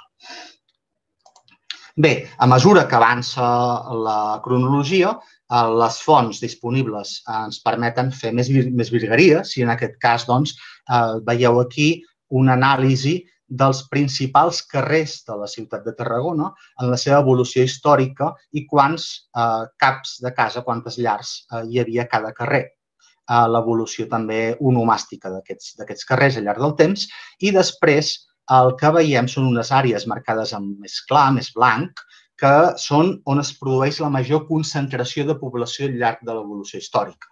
Bàsicament, la zona del Call, eh, la zona del carrer Major, la zona de la plaça de la Font, que era el barri del Corral medieval. Heu de pensar que la muralla fins al segle XIII, inicis del XIV, arriba fins aquí. Després aquest barri, eh, que és on hi havia el circ romà, eh, es va poblant mica en mica arran de la construcció de la muralleta en temps de Pere Cerimoniós. Aquí tindríem la Rambla Vella i el, això és l'evolució al segle XVI-XVII de la ciutat que ens marca el que és la línia de la Rambla Nova i el balcó del Mediterrani a l'extrem dret. L'altra zona de creixement important de població a mesura que remeten a les amenaces eh, per mar és la zona del barri marítim del port, que seria el, el Serrallo, i mica en mica s'anirà ocupant tota aquesta àrea de la, de la ciutat. Bé, eh, un document en el qual m'hi vull concentrar especialment perquè em sembla extraordinari és una carta que va enviar l'arcabisbe Joan Tarés a Felip II l'any 1592 on novament el rei demana l'estat sanitari de la ciutat i de la regió i l'arcabisbe el que fa és anotar-li més per més eh, quants ferits i quants morts hi ha hagut de pesta. Comença el mes de maig, eh, ens diu eh, que a la ciutat de Tarragona eh, hi ha tantes, eh, 1.217 cases, homes i dones de comunió 4.118, i es va començar a tenir sospita de la pesta al mes de maig, en el qual van morir doncs, quatre homes i sis nens. En el mes de juny, eh, sis homes, 17 nens. En el mes de juliol, 8 homes i 20 nens. Al mes d'agost, 62 homes i 27 nens. Però és que després, al mes de setembre i octubre, ens fa un calendari dia a dia d'adults, infants i ferits per pesta. Primero de setembre, doncs, tres homes, dos nens i vuit ferits el segon de setembre, doncs 3, 1 i 1. I així fins a mitjan octubre, que és quan s'escriu la carta. Això ens permet fer eh, una representació gràfica d'aquesta onada, eh, una onada que hem de tenir present que el mes d'octubre no és complet, només tenim mig mes. Per tant, gairebé hauríem de doblar el, els resultats d'aquest mes per tenir la imatge completa d'aquesta evolució de la pesta del 92 a Tarragona. Però és que en marge de la ciutat, a la part baixa de la carta, ens explica com està la situació en diferents poblacions del camp. Què passa a Riudoms, què passa a Montroig, què passa a Reus, etc etc. D'acord? Finalment, amb els llibres sagramentals podem fer evolucions de les sèries de natalitat i mortalitat absolutes a Tarragona. He fet aquest gràfic entre els anys 1621 i 1670. Veiem un pic de mortalitat enorme, que és el context de la Guerra dels Segadors, però després el que afecta específicament el que ens interessa, que és el tema de les epidèmies, són aquests dos pics dels finals dels anys 40 que ens interessen especialment, el 48-49 i el 50-51. Uh, bé, de fet, L'últim cas en què centrarem l'atenció abans d'acabar té com a objectiu mostrar detalladament quines van ser algunes de les polítiques municipals que es van posar en marxa per tal de mirar d'evitar l'arribada de la pesta o fer-hi front un cop s'havia començat a estendre per la ciutat. Per a fer-ho, prendrem com a referència els llibres municipals dels anys 1649 i 1650, els quals estan dedicats íntegrament i exclusiva només el morbo o pesta. No hi ha cap altra resolució municipal al marge de fer front al morbo o pesta. Aquest és el pregó que es va fer el 16 de febrer de l'any 1650 per diversos punts de Tarragona. Ara oïu que us notifica la senyoria i fa saber a tothom, a instància dels magnífics cònsuls de la present ciutat de Tarragona, a totes i qualsevol persones de qualsevol estat, grau o condició, sien que d'avui en avant no gosin sortir fora de la ciutat per anar a altres viles i llocs, sense portar a sobre la butlleta de sanitat. I quan tornaran, així mateix, deguin i hagin de portar butlleta de salut del lloc o vila d'on vindran i hagin estat. Altrament, no se'ls acceptarà dins de la present ciutat. Ítem que cap persona s'atreveixi a anar a la ciutat de Tortosa ni a la vila de Vinaròs, ni a altres llocs sospitosos de contagi i mal de pesta, ni comunicar-se amb els naturals de dita ciutat i viles sota pena de perdre la vida. Ítem es diu i mana a totes persones, els patrons i mariners de barques que vinguin de qualsevol lloc no puguin desembarcar en cap altre indret que el port de la ciutat, sota pena de cremar les barques i allò que portaran a bord, i els seus tripulants seran castigats severament a arbitri de la prohomania del morbo. Ítem que cap persona, encara que hagi entrat en butlleta de sanitat, pugui ser admesa i resideixi a casa de cap habitant de la ciutat sense haver obtingut prèviament llicència dels cònsuls per habitar-hi. Altrament, tant la persona que els acollirà com la que haurà vingut de fora seran castigats a arbitri de la prohomania del morbo. I per tal que sigui a tots notori i que ningú pugui al·legar ignorància, es mana fer i publicar aquesta crida pels llocs acostumats de la ciutat. Es va crear un Consell Especial, aquesta prohomania del morbo, per a determinar quines accions calia emprendre, algunes de les quals us resumeixo molt ràpidament. Fer dir tres misses diàries a l'altar de Santa Tecla per mirar que el mal contagiós no entri a la ciutat. Demanar al capítol que preguessin constantment a Déu per tal que els alliberés i guardés del mal. Va habilitar-se un únic portal per accedir i sortir de la ciutat, amb permís va fixar-se quarantenes pels mercaders i productes sospitosos. Ningú no podia desplaçar-se sense tenir la, la, la, la butlleta de sanitat. Un cop l'epidèmia va començar a fer estralls a la ciutat, veient que els malalts augmentaven, es va habilitar una estança àmplia del convent de Sant Francesc per a convertir-la en hospital i es va ordenar l'entrega d'aliments i mantes als pobres va dictar-se que es netegessin a fons les cases on hi havia malalts i que només els pogués atendre una sola persona. Davant la manca de personal mèdic i medicines, va decidir incrementar-se el salari dels metges i anar a buscar remeis a València. Es va dividir la ciutat en vuit eh, espais o quarters, en cadascun dels quals van nomenar-se dos ciutadans encarregats dels malalts, d'obligar a anar als hospitals els ferits del mal contagiós i notificar el nombre de morts. En el cas que alguna casa no hi hagués ningú per tenir cura d'un malalt contagiós, es va ordenar que es tanqués la casa Sant Paradès fins que no fos netejada i purgada. Quan la situació es va greujar encara més, va decidir-se que no es donarien butlletes de sanitat a ningú més.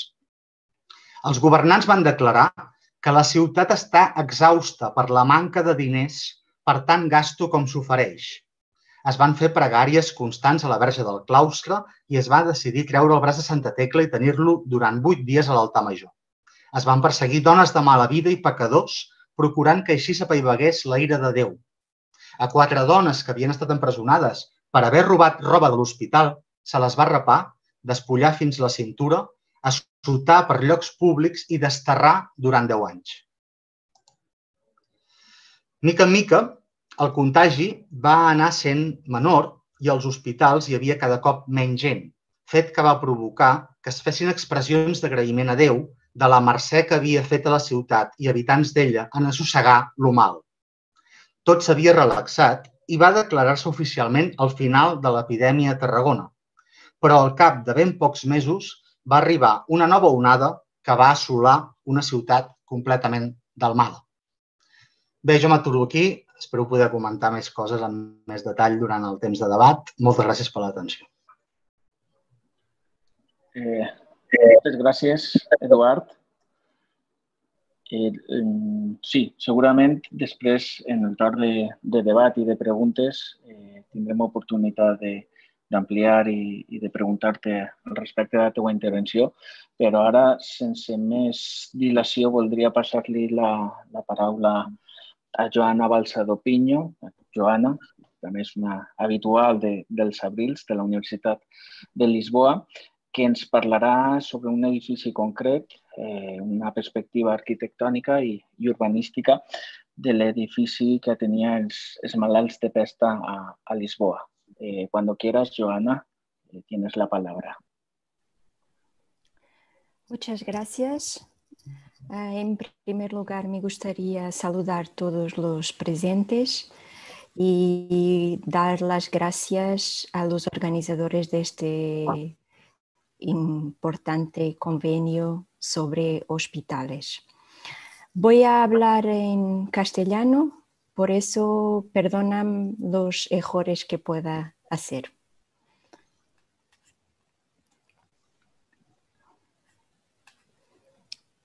Voy a compartir la pantalla y, ya está. Desde finales del siglo XV se intentó construir un hospital para enfermos de peste en la ciudad de Lisboa. Dado el enfoque urbano que ha adquirido esta epidemia y estas epidemias en este periodo.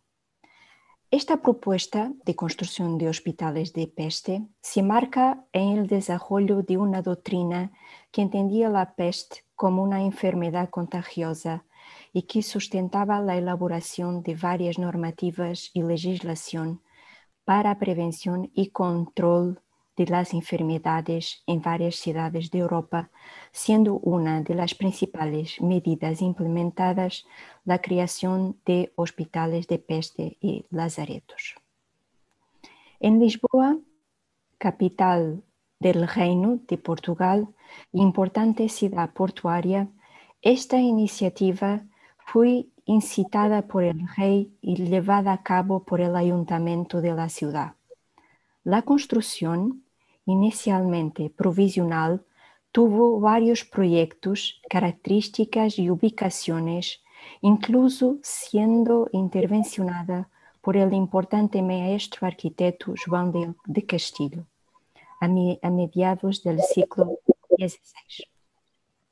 Esta comunicación busca, a partir de varios datos documentales, en concreto de natureza municipal, con reconstruir el proceso de institución y construcción de los primeros hospitales para enfermos de peste en Lisboa, dando un aporte a un aspecto poco conocido y sistematizado el contexto de la historia de la salud pública en la ciudad y de la arquitectura hospitalaria portuguesa.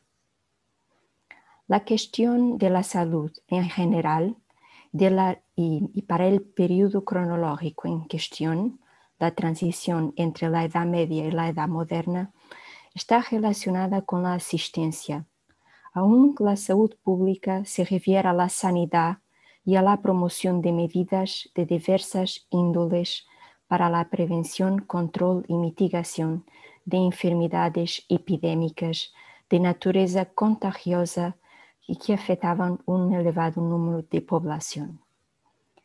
El hospital era la institución de referencia, pero hasta el siglo XVIII los hospitales eran instituciones de asistencia que trataban a muchos pacientes, pobres en general, pero también acogían a los peregrinos y se ocupaban de los niños abandonados.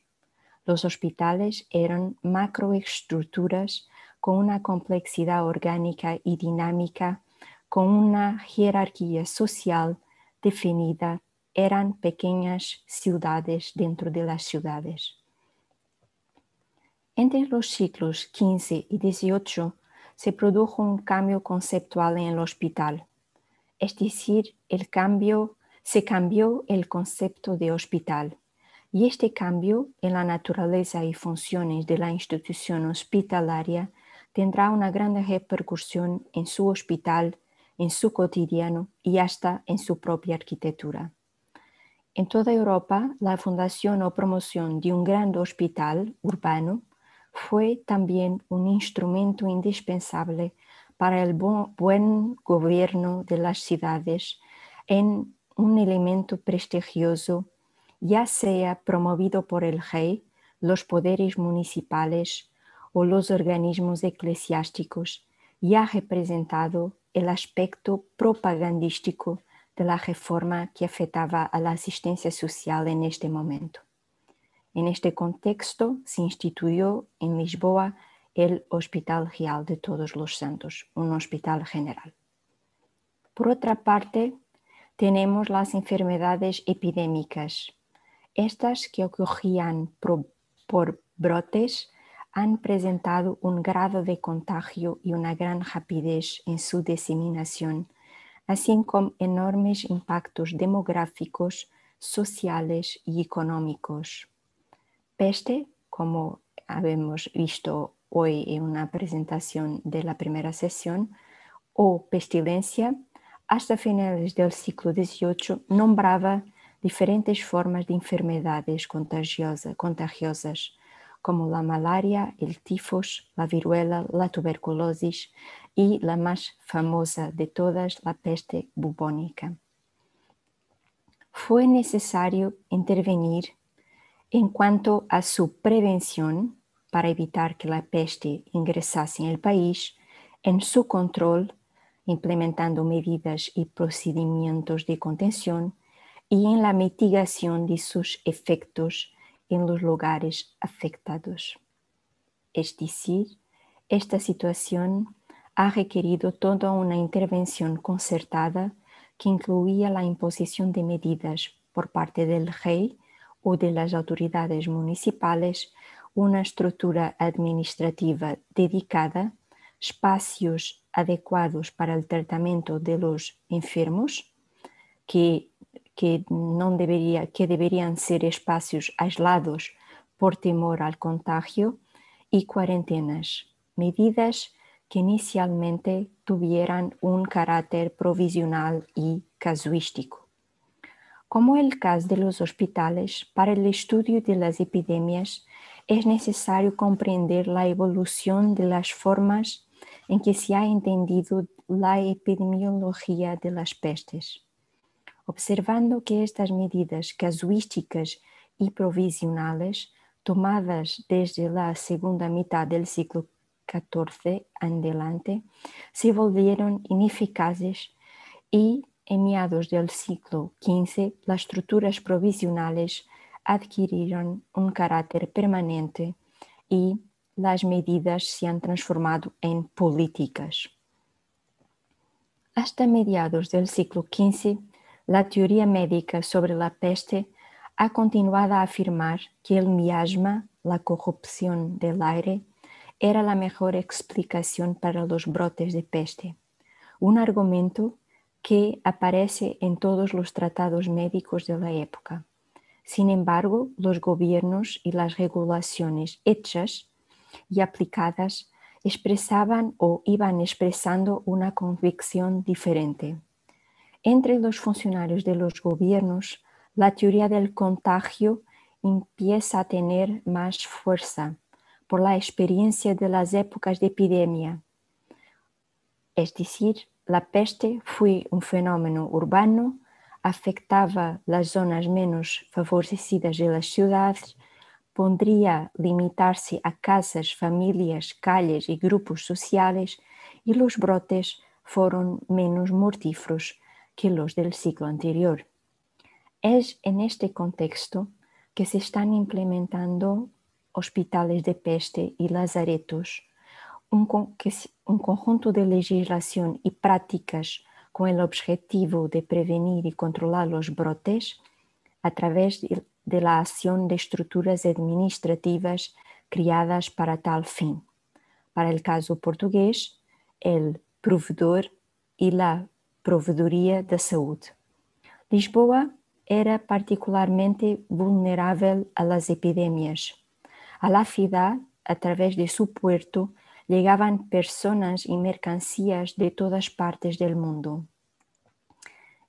Y es, en ese, y es por eso que desde el reinado de Don Juan I, por la acción del infante Don Duarte, se han tomado medidas para evitar el fundeo de navíos con personas sospechosas de peste que pudieran propagar la enfermedad por toda la ciudad y desde esta por todo el reino. Otras medidas con los mismos objetivos son desarrolladas posteriormente por varios monarcas. Para, eso, para nuestro caso, nos interesa centrarnos en el tema de los hospitales que se decían de peste. en el periodo en cuestión y que se generalizaban en el contexto que se ha expuesto. Hospitales de peste para el tratamiento y contención de pacientes, además de los lazaretos, para la realización de cuarentenas eran espacios de aislamiento entendidos como una de las principales formas de control del contagio, luego de la transmisibilidad de la enfermedad. Como en otras ciudades, el lugar para tratamiento de los pacientes con peste ha empezado como un espacio improvisado esta idea se confirma con un documento fechado de 1485 en el que el rey ha ordenado a la Cámara Municipal eh, que prepare una finca para albergar y tratar a los pacientes, ya que la finca utilizada para eso, con ocho camas, era insuficiente. Y en 1486, aunque la peste estaba disminuyendo en la ciudad, don Juan II determina que el hospital donde se curaban los pacientes, y cito, se torne logo a refazer, pronto se haga de nuevo, mostrando su estructura arquitectónica de campaña o, o emergencia construido debido a una crisis de salud pública. No conocemos todavía otros detalles de este hospital referido por don Juan II. En 1493, el ayuntamiento pretendía levantar casas para enfermos junto a la casa de San Lázaro y el monarca lo acepta. Tampoco sabemos algo más sobre estas casas. De nuevo, en 1510, el rey, ahora Don Manuel, recomienda que se haga una o dos casas para la curación de los enfermos, según se ha visto en muchas partes por la experiencia y la necesidad. Las casas deberían ser cerca una de la otra para que sean atendidas únicamente por un físico o cirujano. Ya en 1506, el mismo rey había ordenado que se aplicara en Lisboa medidas similares a las aplicadas en la ciudad de Génova para el control de epidemias.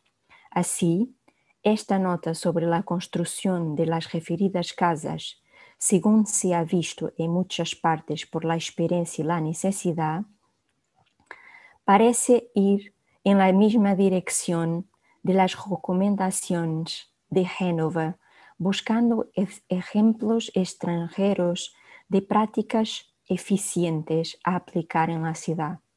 Sin embargo, el proyecto sería cancelado por el propio rey.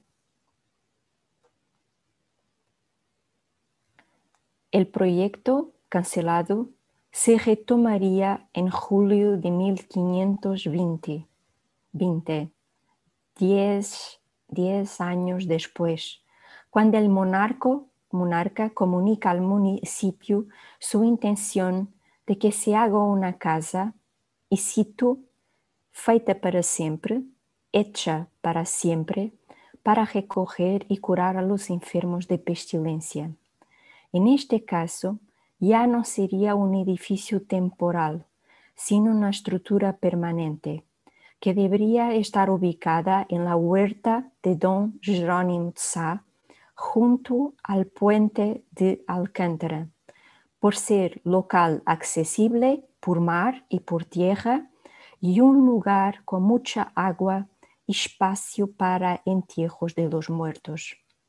Para la obra y equipamiento de la casa, el rey hace limosna de un millón de reales y exige una cantidad igual a la ciudad a través del ayuntamiento. Advierte también el monarca que para los cinco contos de reis, de reales, que debería costar la totalidad de la construcción y de lo necesario para el servicio de la casa y tratamiento de los enfermos, sería necesario co cobrar un impuesto a la gente de Lisboa. La construcción era significativa. Tendría 160 camas, talleres y otras casas necesarias. Y cito, como verás pintado para todo dar de imediato e arrematar a quem menos, por quem menos o faça. Como verás pintado todo para dar de imediato e rematar a quem por menos lo haga. Lamentablemente não há a pintura que refiere o documento e que corresponderia ao desenho, ao plano do edifício. Pero nos gostaria pensar que poderia se assemelhar ao exemplo de Milán Eh, enseñado hoy por la mañana por John Anderson. Hasta ahora no sabemos de qué manera o si la obra se ha completado, pero en 1523 Don Juan III refuerza la necesidad de, de, llevar a la casa de los enfermos tanto a los que quedaban enfermos en la ciudad como a los que se enfermaban fuera de ella.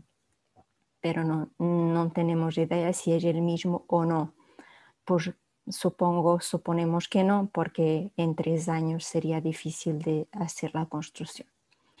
Otro momento fundamental en cuanto a los espacios para la recepción, tratamiento y contención de los enfermos de peste en la ciudad lo define el regimiento de la salud fechado de 1526 y atribuido por don Juan III a la ciudad de Lisboa. Este regimiento ha sido basado en unas notas tomadas por el juez Pedro Vaz, que visitó Italia y de primera mano conoció las medidas implementadas en algunas ciudades y las informó al rey. Estos apuntes, así como las normas definidas por el monarca sobre el tema, nos hablan de una casa de los enfermos y de una casa de los convalecientes. En esta última se deberían quedar las personas curadas de la peste durante 40 días más hasta que no presentasen ningún síntoma. La primera, la casa de los enfermos, descrita con más detalle que la segunda, la casa de los convalecientes, debería funcionar como un verdadero hospital, según el, documento, con un número suficiente de camas, suministros, funcionarios y un boticario físico, sangradores y sirvientes. Sabemos que esta no es la casa ubicada en Alcántara, porque para esta casa se consideraba otras dos ubicaciones posibles el Palacio de los Estados o unas casas reales en Santos, la Casa del Rey y la Casa de Mestre Felipe. Según el regimiento, los criterios a tener para la elección del, del local estaban relacionados con el acceso al agua, la ubicación geográfica del edificio, sin comprometer la proximidad con la ciudad pero evitando la concentración de personas, la facilidad de, eh, del proceso de inhumación de los difuntos um, y con la facilidad de limitar o, el acceso al edificio y, por otro lado, reforzar el mismo acceso al edificio, pero por um, entradas más uh, no tan directas. Como vemos, algunos de estos principios ya habían justificado la elección del sitio de Alcántara para el edificio mandado construir por Don Manuel. Sin embargo, el nuevo edificio sería más modesto. Debería tener solo 20 camas. El rey asignaría a Pedro Vaz la eh, función de discutir y decidir con el ayuntamiento el mejor lugar para instalar la casa según las hipótesis y proceder a su instalación y informar al rey de la, de la decisión. Aunque sin grandes detalles, hasta, hasta ahora el lugar, sabemos que el lugar elegido habrá sido Santos, pues en 1541 a João de Castillo se le paga por las obras en el Palacio de Santos y el documento indicaba la obra, y cito, el trabajo de la enfermería que se hizo para los enfermos de peste en la ciudad. No sabemos, sin embargo, si estos dos hospitales, lo de Alcántara y Santos, coexistieron o si el más reciente ha sustituido el más antiguo o si, a pesar de la intención de Don Manuel de hacer una construcción permanente, por el motivo que sea, la intención ha sido abandonado. Pero es posible que debido a la grandiosidad del proyecto, del cual no tenemos cualquier evidencia material o existencia, que el proyecto de Alcántara haya sido abandonado. Tanto para el caso del Hospital de Peste de Don Manuel en Alcántara, como para el del Don Juan II, Don Juan III en Santos, hay una inversión simbólica porque están patrocinados por los propios monarcas. Además, en Alcántara, la dimensión del edificio refuerza el tema y en el caso del Santos, la intervención de Juan de Castillo tiene el mismo significado. O sea, existe una inversión arquitectónico-artística y simbólica en estas estructuras como estructuras para garantizar la buena salud de las poblaciones, luego legitimar la reputación de sus promotores. Tras la acción de Don Juan III, otros monarcas lideraron otras iniciativas que han tenido un impacto en los edificios sanitarios de la ciudad de Lisboa. Si bien las prácticas de prevención y control de los brotes de peste no han sufrido cambios sustanciales, su impacto en la ciudad, es decir, en las experiencias urbanas y en el urbanismo, es significativo. Sin embargo, va este tema más allá de nuestra presentación. En conclusión, las arquitecturas de la salud en los albores de la modernidad, particularmente en el contexto urbano, están de modo muy profundo relacionadas con los conceptos de bien común y buen gobierno. Los hospitales urbanos del periodo premoderno fueron instituidos y patrocinados por poderes públicos, civiles y religiosos. En tiempos de crisis, es decir, de brotes epidémicos, las estructuras de salud se reforzaron de acuerdo con las teorías y prácticas desarrolladas en respuesta a la propia enfermedad.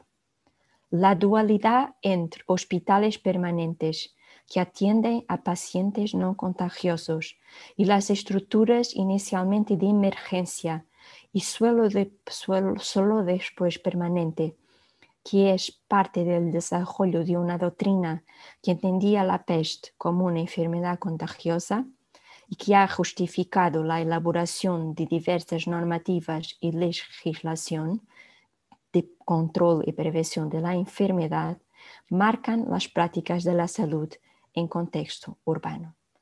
Muchas gracias por vuestra atención.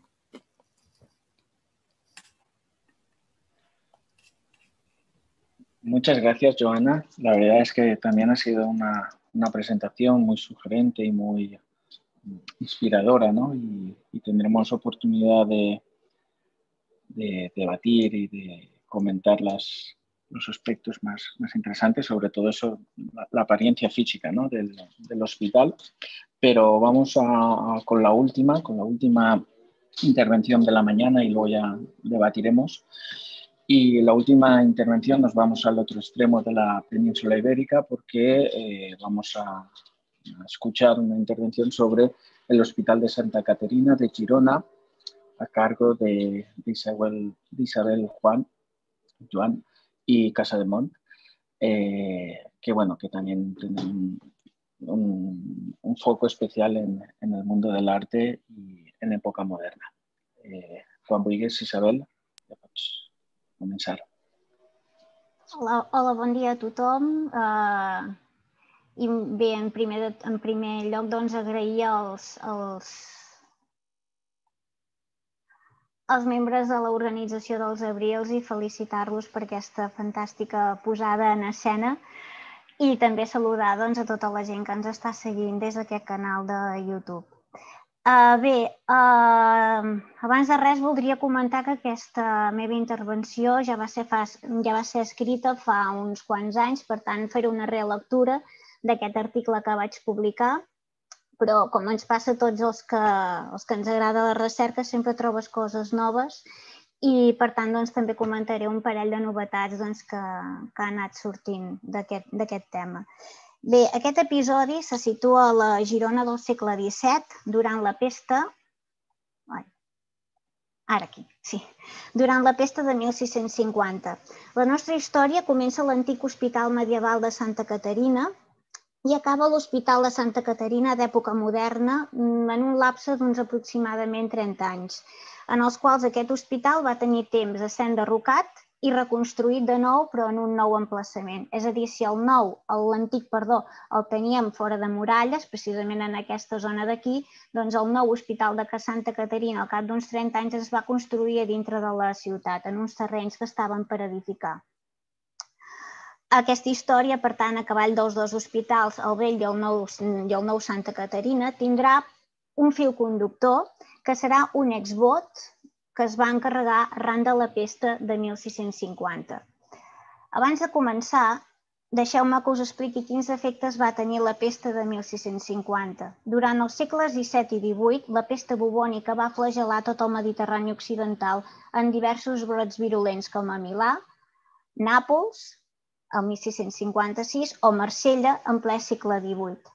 A Catalunya, la pesta de 1650 va arribar de València a causa d'unes robes infectades, probablement amb puces conductores de la malaltia, i va arrelar ràpidament a causa de les epidèmies, la manca d'higiene, la fam, tot el que, tot el que diguéssim, tot el que el bagatge doncs, de la guerra dels, dels segadors. A Girona, la pesta de, va arribar a la primavera de 1650, com descriu Jeroni la Real, el cronista de la ciutat. A brin d'abril morí l'infermer de l'hospital, amb dos bonys. Digués també que hauria comprada roba infecta de Tortosa d'algun soldat i continua més endavant.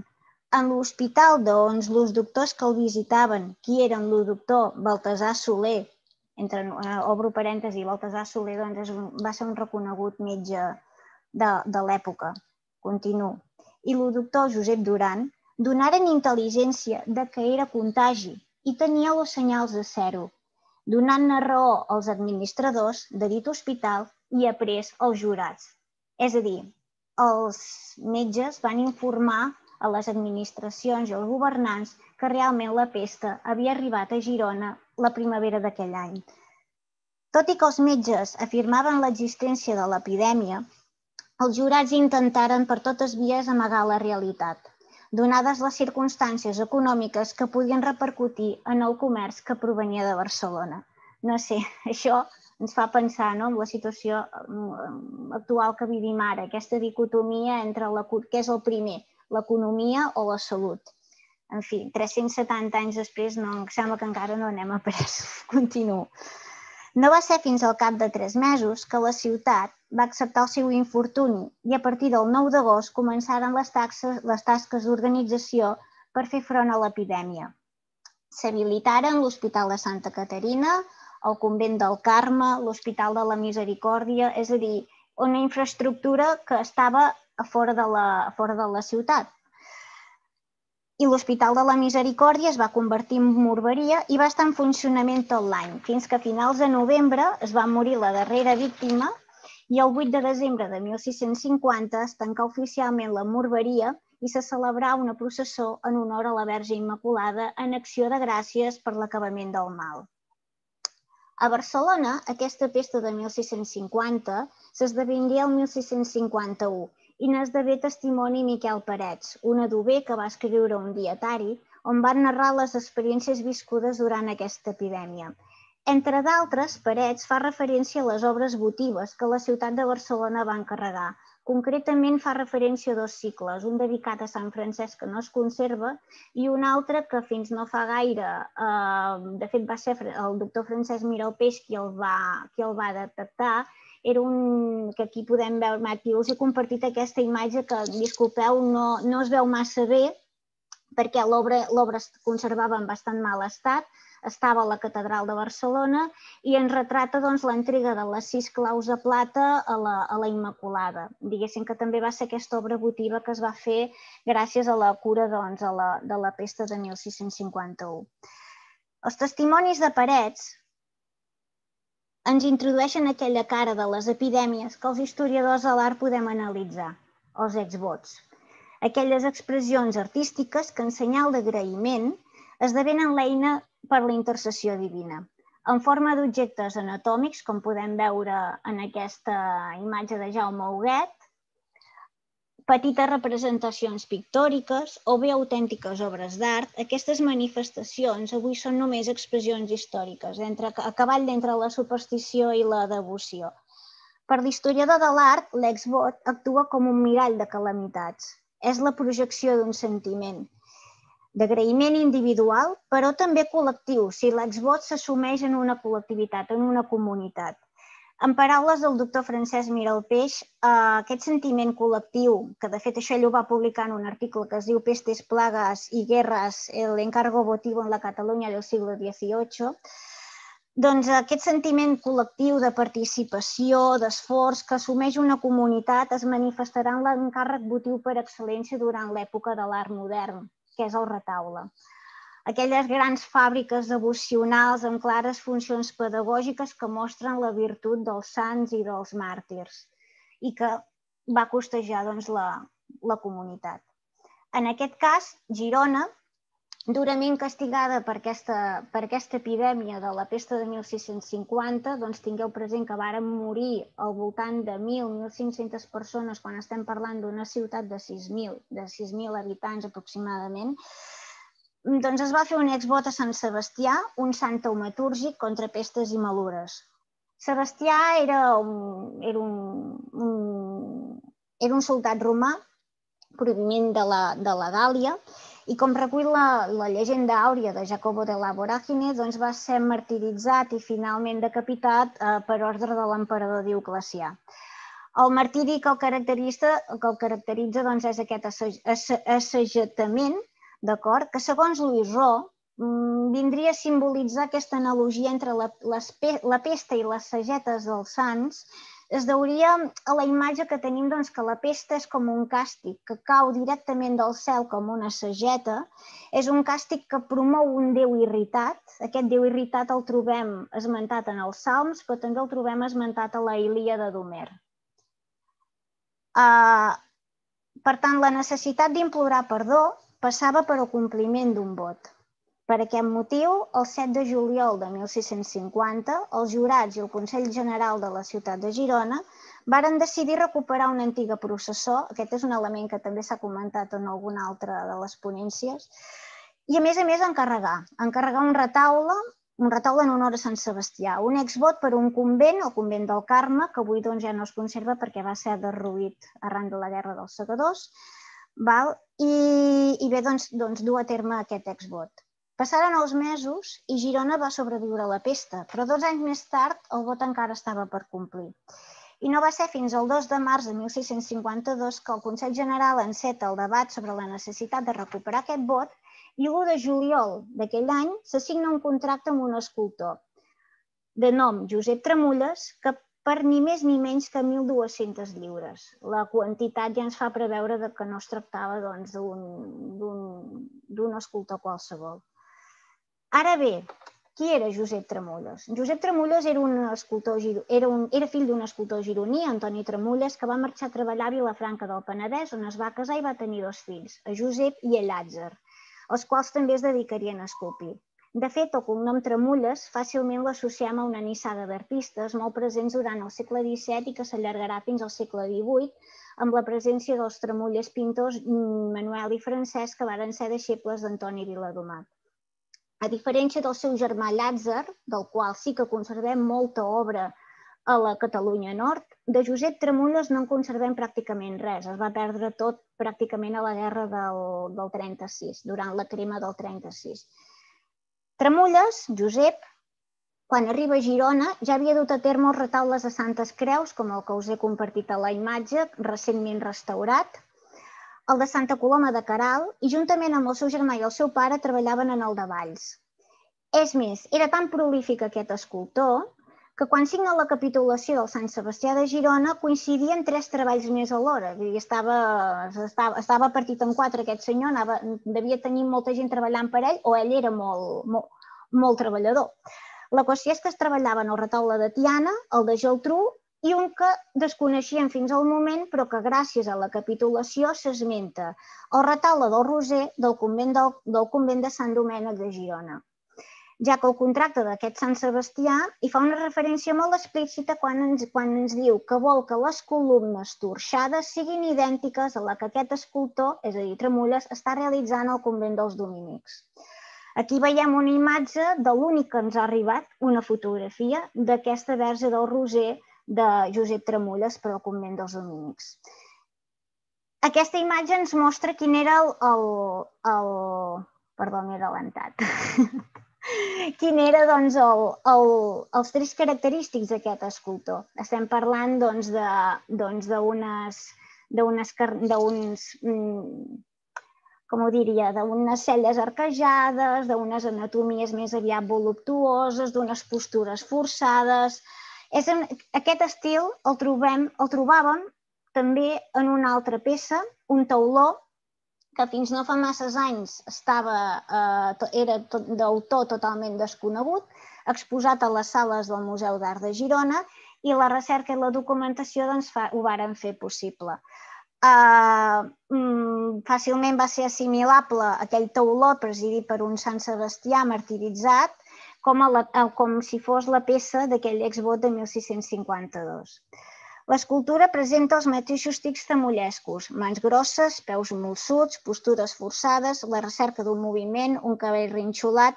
Tanmateix Tremulles també era innovador en postures en composicions retaulístiques. Li agradava desfer l'arquitectura del retaule, eh, utilitzava efectes escenogràfics, com podeu veure doncs, amb, aquests, amb aquests cortinatges que en retiren aquests, aquests àngels, um, les teles, els observadors, els fidels que actuaven compromesos amb aquell exvot, ho contemplaven i participaven d'aquesta catarsi.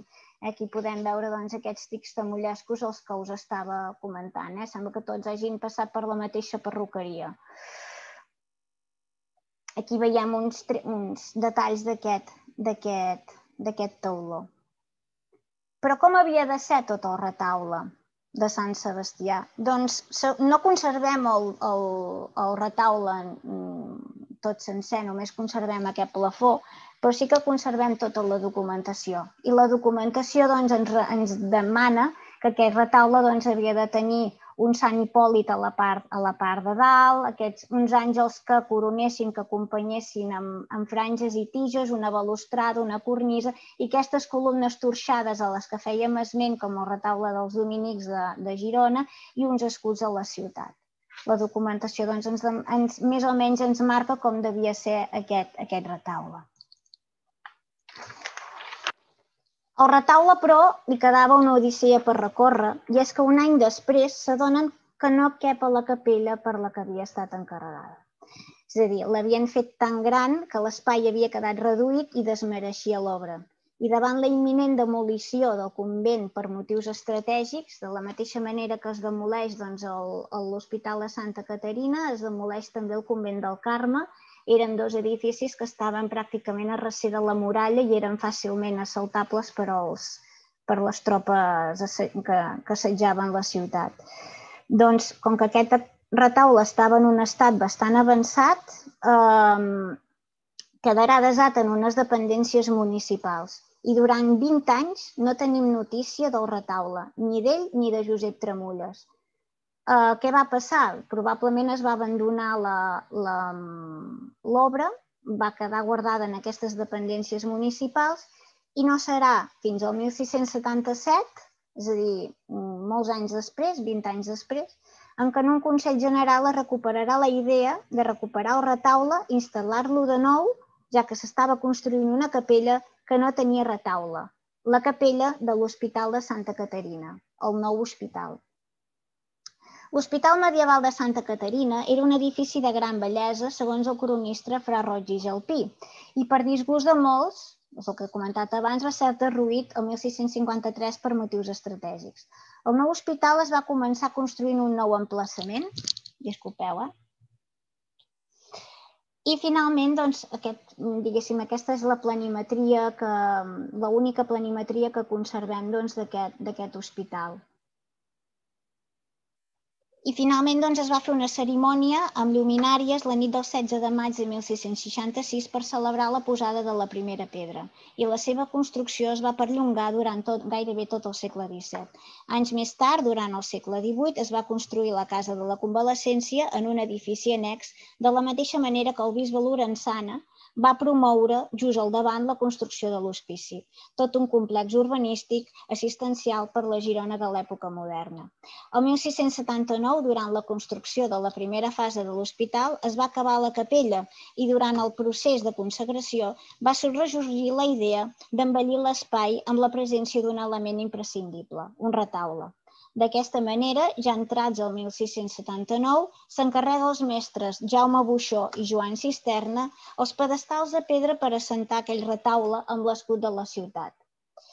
Gravat. I es contracta un nou escultor, Anton Bernoia, per tal, de que, per tal que acabi aquest retaule i li introdueixi modificacions que el puguin, diguéssim, que el puguin mm, fer més, més, més plàcid per l'hospital. Entre d'altres, hauria de canviar el Sant Hipòlit del coronament per, òbviament, una Santa Caterina i, malauradament, tampoc conservem cap altra figura que no sigui el tauló fet per tremulles. Això sí, de la mateixa manera que l'altre retaule, conservem tota la documentació escrita i podem més o menys imaginar que devia ser així. Eh, se substitueix la part de dalt el Sant Hipòlit per una Santa Caterina, s'incorporen sants um, amb episodis caritatius, com seria Sant Tomàs de Villanova, uh, Sant Narcís donant el, uh, el moïn als pobres, Sant Martí partint la capa el pobre. Finalment es va encarregar el daurat a Josep Duberós i Josep Germà, que eren dos dauradors. Avui, gràcies a la restauració, podem observar aquest fabulós estofat que, devia ten que va tenir un cost de més de 900 lliures, que ens mostra uns colors vius, uns daurats incandescents, unes filigranes a les robes i un fons de natura per anar descobrint amb la mirada. Aquí doncs, podeu veure l'abans i el després de la, de la restauració. El 28 de desembre es dugué a terme la cerimònia de consagració de l'església de l'hospital. Diuen les cròniques que des de la catedral fins a l'hospital es va fer una processó presidida pel bisbe, acompanyats per l'àliga imperial, els gegants, els capgrossos, músics i darrere els jurats de la ciutat. Arribats a la capella, es tancaren les portes, s'encengueren els ciris i s'inicià l'Eucaristia. Finalment el retaule podia exercir la seva funció. Pere Retaule.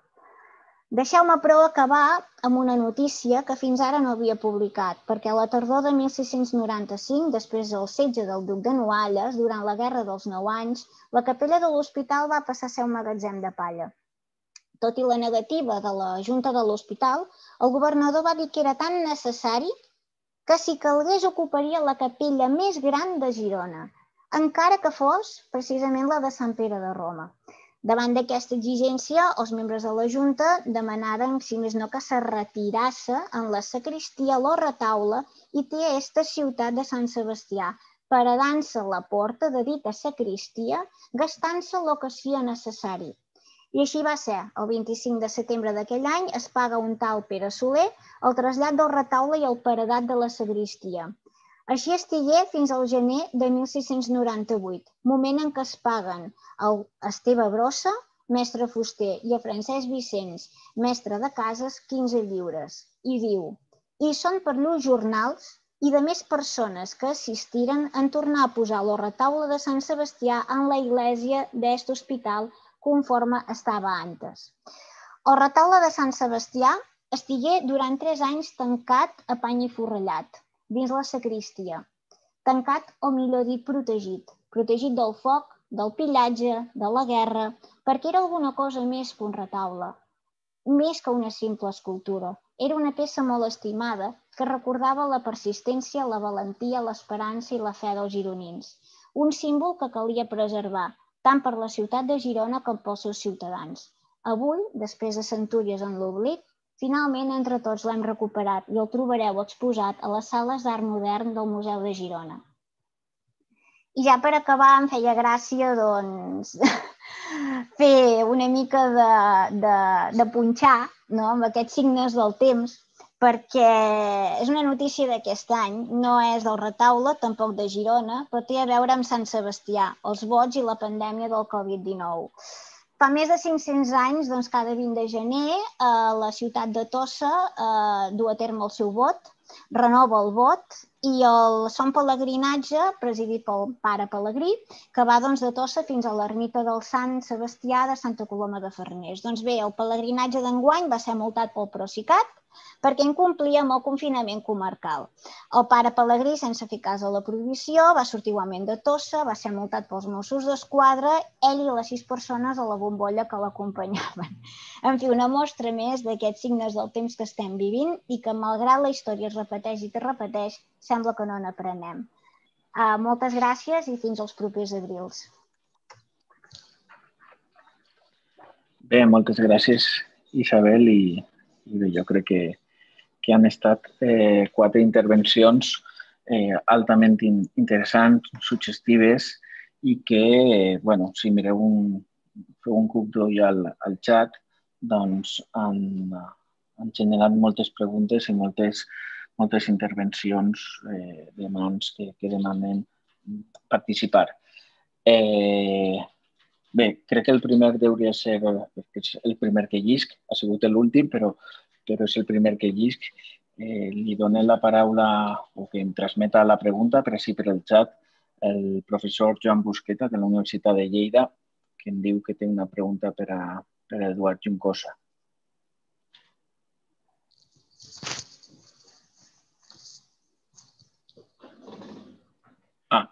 La pregunta és si amb la documentació que ha treballat podem trobar informació de com afecta l'epidèmia en les poblacions del Pla de Barcelona, tenint en compte que formen part de la jurisdicció de la ciutat.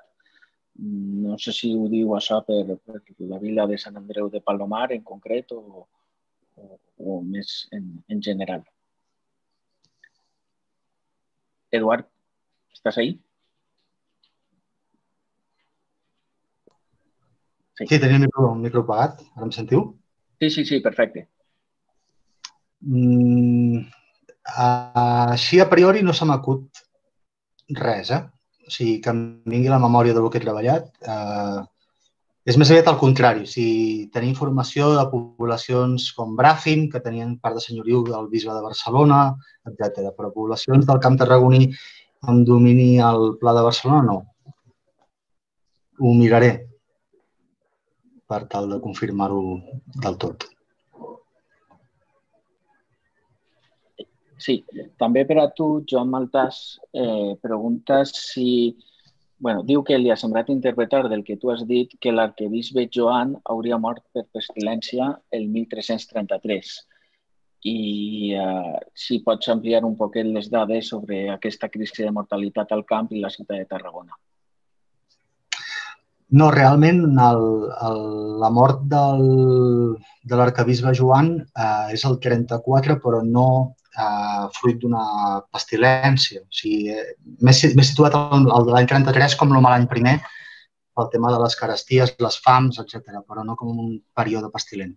Eh, la mort de l'arcabisbe, la causa no, no la conec, sé que va, va morir bastant jove i estic lluitant per tal de que es pugui fer un estudi del cadàver, perquè per sort és dels pocs que tenim eh, sencers, A més a més, no ha estat profanada mai el sepulcre i penso que seria interessantíssim poder-ho fer perquè tenim els estudis previs de Santes Creus amb, amb Blanca de Morú o amb Pere Gran i ja tindríem tres seqüència genètica de tres generacions, o sigui, penso que seria molt, molt interessant. El que sí que puc dir és que hi ha una documentació molt escabrosa al voltant de tot això, que és que la seva germana, una de les altres filles de, de Jaume II, que és la infanta Blanca, eren eh, priora de Sigena. Ah. I al moment de la mort del seu germà eh, va quedar tan afectada que va decidir fer un viatge des del monestir de Sixena fins a la catedral de Tarragona demanant poder estar a la nit eh, batllant eh, pel, pel seu germà, per l'ànima del seu germà, i va demanar les claus de la catedral. I el que va fer va ser eh, desenterrar el cadàver, pujar-lo en un carro i portar-lo fins a Sixena i enterrar-lo en, en una fossa que havia preparat el monestir perquè volia passar tota l'eternitat enterrada al costat del seu germà perquè s'estimaven tant que volia que fos així. Quan d'això se n'entera el, el rei, que en aquest cas ja és el germà Alfons, perquè ja ha renunciat al primogènit, eh, li demana a l'altre infant important, que és l'infant Pere, que abans de que se n'enteri el papa de que de qualsevol manera està enterrat el primat, perquè penseu que prèviament havia sigut primat de Toledo, eh, eh, es fes traslladar una altra vegada a la catedral. El document parla de com està inclús l'estat de putrefacció del cadàver, però no parla en cap moment de la causa de la mort del seu germà. És molt curiosa aquesta història d'amor entre germans perquè conec una altra família que, que ah, fins i tot, malgrat arribar a, a, a la Santa Seu, eh, no han tingut tan bona, tan bona fama. Eh, bueno, estic parlant de, del Porxo. Eh, a veure, una altra pregunta de, aquesta acaba d'entrar, de Jaume Mercè, diu, has mostrat que els pobles del voltant van rebre part de la població de la ciutat. Més enllà de la pressió que un brot epidèmic provocava sobre la societat, has pogut detectar si rere aquestes migracions també hi havia vincles d'amistat familiars? I, finalment, com van afrontar les autoritats municipals d'aquests pobles més petits l'arribada d'aquesta població nouvinguda? Bé, realment el que he d'advertir és que no he fet un estudi sistemàtic específicament sobre aquest àmbit. Eh, simplement eh, és una recerca que porto a terme esporàdicament i no com l'objecte principal de la investigació. Eh, el que sí que puc dir és que no, la tendència no sempre ha estat la mateixa. O sigui que aquesta idea de que de la ciutat marxa tothom cap al camp, eh, hi ha hagut moments que també del camp la gent ha anat a buscar certs serveis en, el, a la ciutat per falta de metges, per cirurgians o el que faci falta. No? Uh, però uh, el que sí que es veu, a priori, analitzant aquesta, aquestes dades demogràfiques, és que la tendència a la, al fre de la caiguda més forta es produeix justament en aquests espais propers als dominis de les muntanyes de Prades. O sigui que tindríem un creixement fort per cas de l'Aleixà, un cas de creixement fort per cas del Forja, de Montroig o d'Alcover. Aquestes són les poblacions que es veu claríssimament que s'atura o remet la caiguda forta. Per tant, jo ho interpreto com que és població que atrau a gent que ha marxat des de Tarragona. Que hi hagi vincles familiars té sentit, té sentit, perquè són poblacions que en generacions anteriors han pogut desplaçar-se cap a l'atracció que podia generar la, la ciutat. Mm, eh, bé, un poc per, per comentar alguna de les dades que has, que has donat i, i mentre te prepares per a una altra pregunta, sí que volia eh, fer un, un xicotet incís i és que has parlat de la dona de l'infant Pere, que va morir de, de pesta i, uh, i això ajuda a entendre per què Alfons el Vell, fill de, de l'infant i, i duc de Gandia, perquè Alfons el Vell i també Alfons el Jove tenien la dèria, una dèria molt, molt forta i una por molt forta al tema de, de la pesta i, i el mini brot, eh, al fons no, no anava amb tonteries, el mini brot pegava a fugir. Bé, eh, Paul Bridgewater pregunta si podries parlar una miqueta més sobre l'ús de les estructures hospitalàries i assistencials preexistents per combatre la pesta. Eh, diu, existeix una certa tensió entre dedicar a, a espais específics a la reclusió de malalts com el convent de Sant Francesc i l'acollida en els hospitals.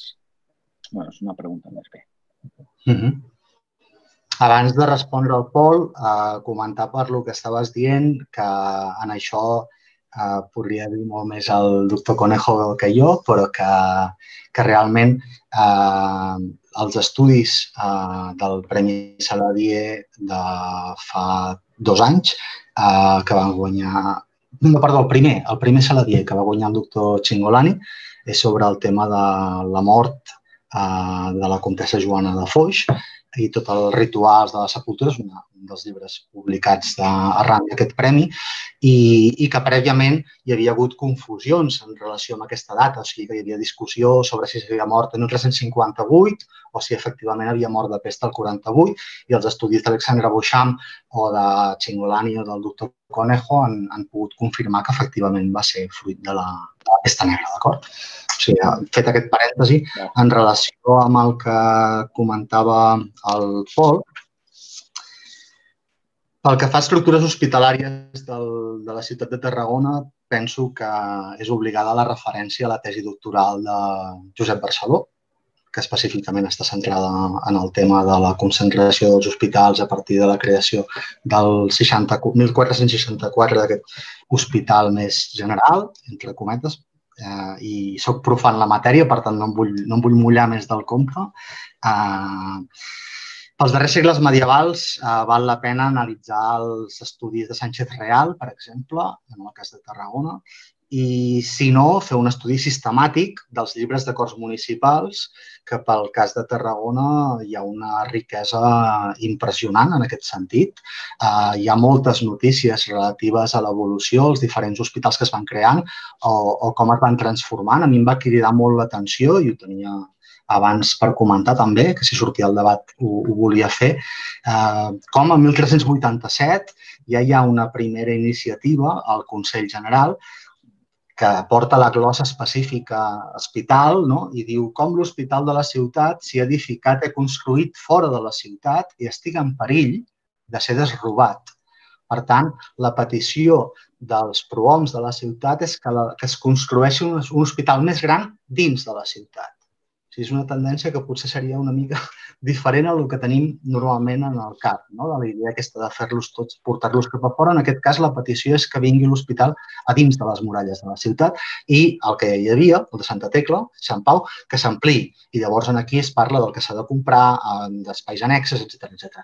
Aquesta petició s'acabarà consolidant ja en el segle, en el segle següent. D'acord? Um, hi ha fonts suficients per poder fer un estudi específic sobre aquestes evolucions i també sobre el tema de les resistències. Quan es dicten determinades polítiques de, de que la gent ha d'anar a l'hospital o s'ha de fer una transformació d'un espai arquitectònic diferent, suficientment ampli, com pot ser el convent de Sant Francesc, en el cas que posava abans, hi ha resistències inicials i hi ha resistències tant de la institució com de les persones a les que s'obliguen en aquella institució.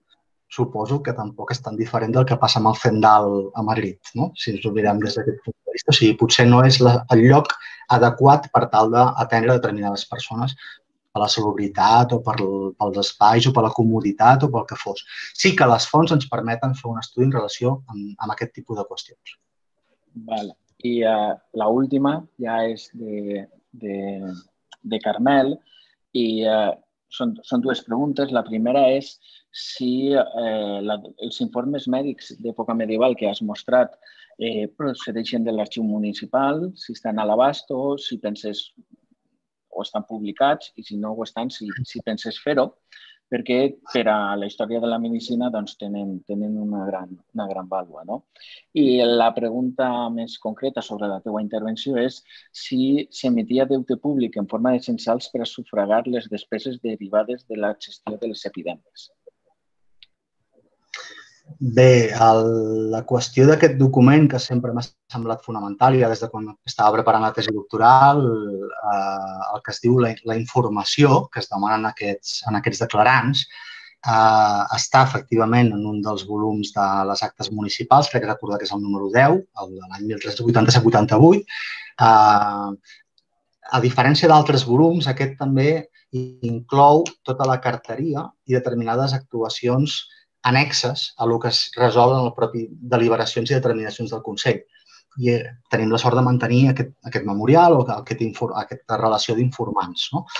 Um, Tenim les cartes del rei demanant que es facin aquest tipus d'accions, eh, per tant, completar la documentació municipal amb la documentació que ens ofereix, que ens forneix l'Arxiu Reial de Barcelona, l'ACA, però com a tal, aquest, docu aquest document va ser transcrit eh, als anys 80, l'any 1987, en una col·lecció que va començar a fer l'Ajuntament, que és aquesta, de les actes municipals del segle XIV, Uh, és una, una documentació uh, molt interessant per tenir un primer pas a accedir al que ens interessa, però s'ha de tenir en compte que molta d'aquesta documentació la van transcriure estudiants de paleografia de primers cursos de la Universitat Rovira i Virgili, que anaven a fer pràctiques a l'arxiu.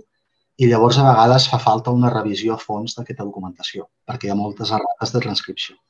Llavors, eh, sobre, sobre això, el document com a tal, eh, les declaracions estan en llatí, eh, el, convindria fer una, una edició crítica del, del document.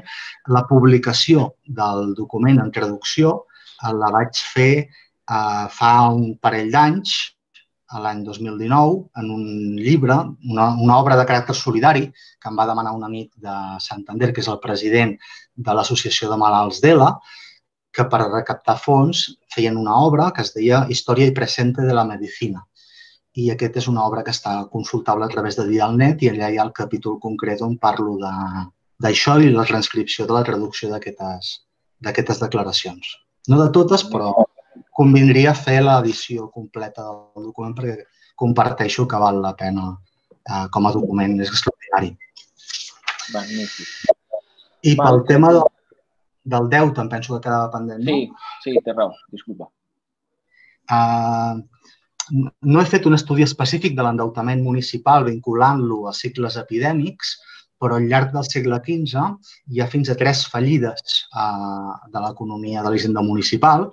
Eh, en aquests contextos hi ha, efectivament, emissions de deute, renegociacions amb els creditors, eh, dient que es pagaria abans aquells que rebaixessin la quota de l'interès, etc etc.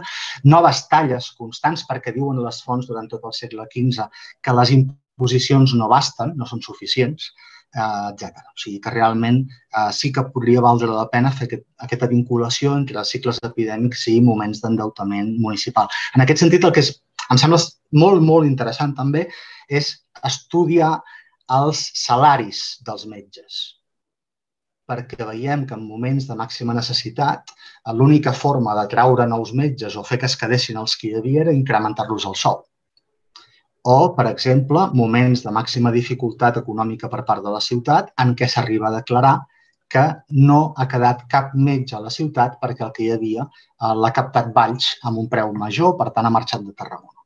I s'ha d'intentar que torni a Tarragona.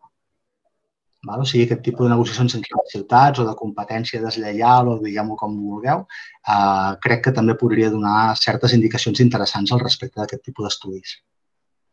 Molt bé. Val. Eh, crec que hi havia una pregunta per a... Mm, per a la professora Joana, a càrrec de, de Guillem Roca, és sobre la crema de vaixells que venen de zones contaminades i, eh, i l'ús d'espais per, a, ventilar les mercaderies.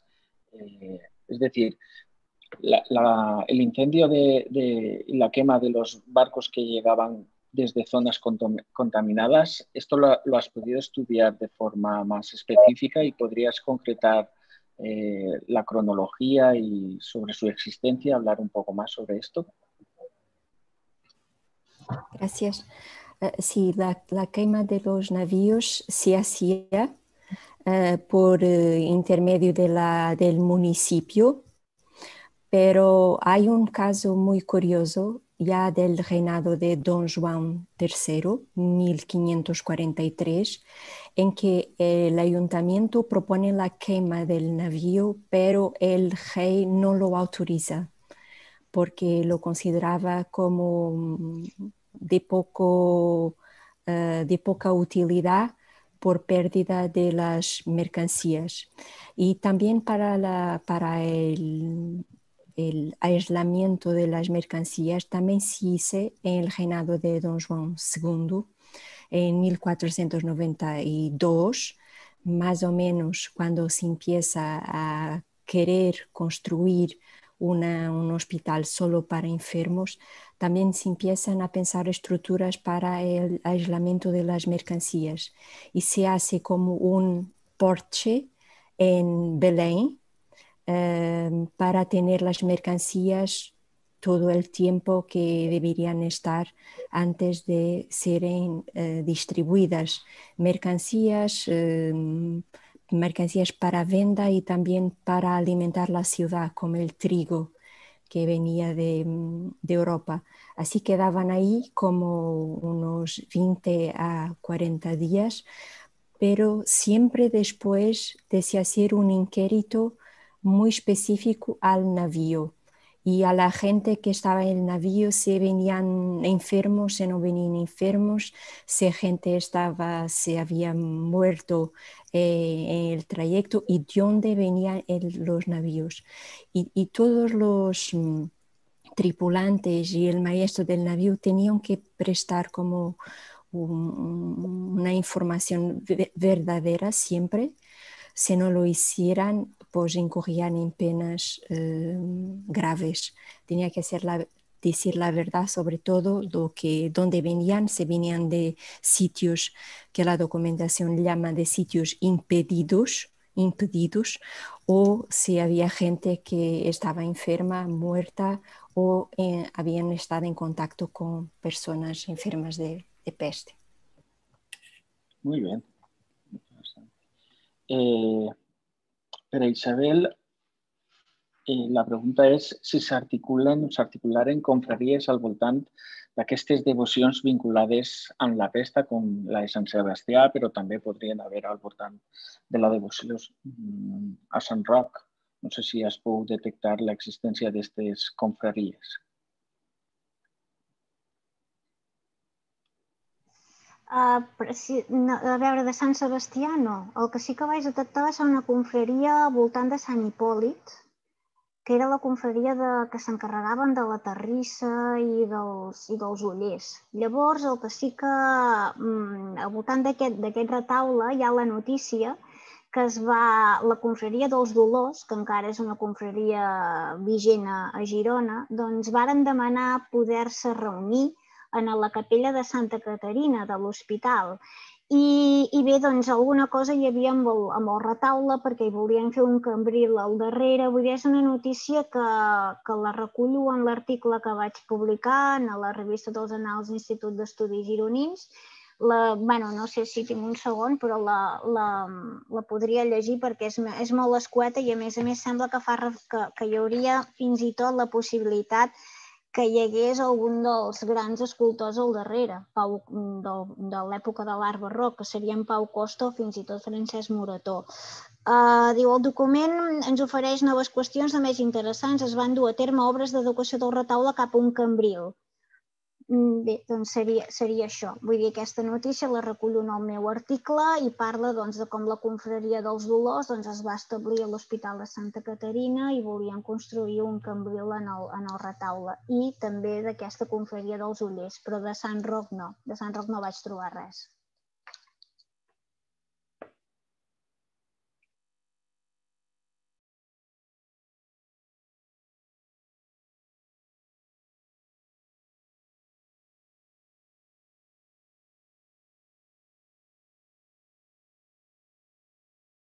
Eh, Frederic, no t'hem sentit. ara, ara, el ara, ara, apagat.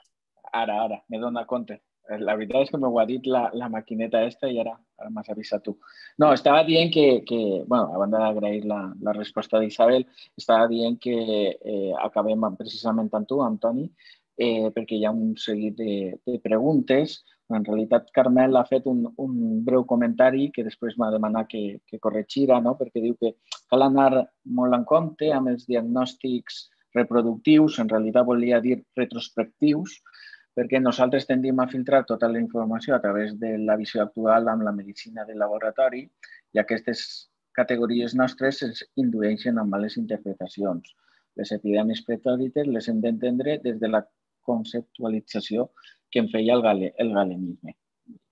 És, això és, és totalment cert. No?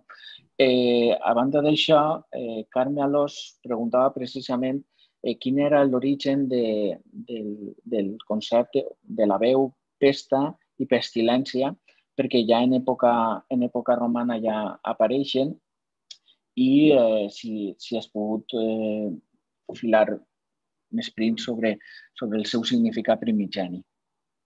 Bueno, um, en primer lloc, pel que fa al comentari del Carmel, ja li he dit per WhatsApp, ja sabia que em renyaria, i de fet ja ho he dit també en la meva intervenció, jo no, no sóc metge, no sóc historiador de la medicina i per tant doncs, eh, sé que tot això és molt delicat i que t'hi poses en un camp, a més a més, molt, eh, en el que fàcilment pots relliscar. Eh, en qualsevol cas, ja m'està bé que surti també la polèmica, perquè jo, a més a més, sóc un ignorant sobre el tema, però precisament he posat tres exemples d'imatges que han donat peu a aquestes, a aquestes lectures.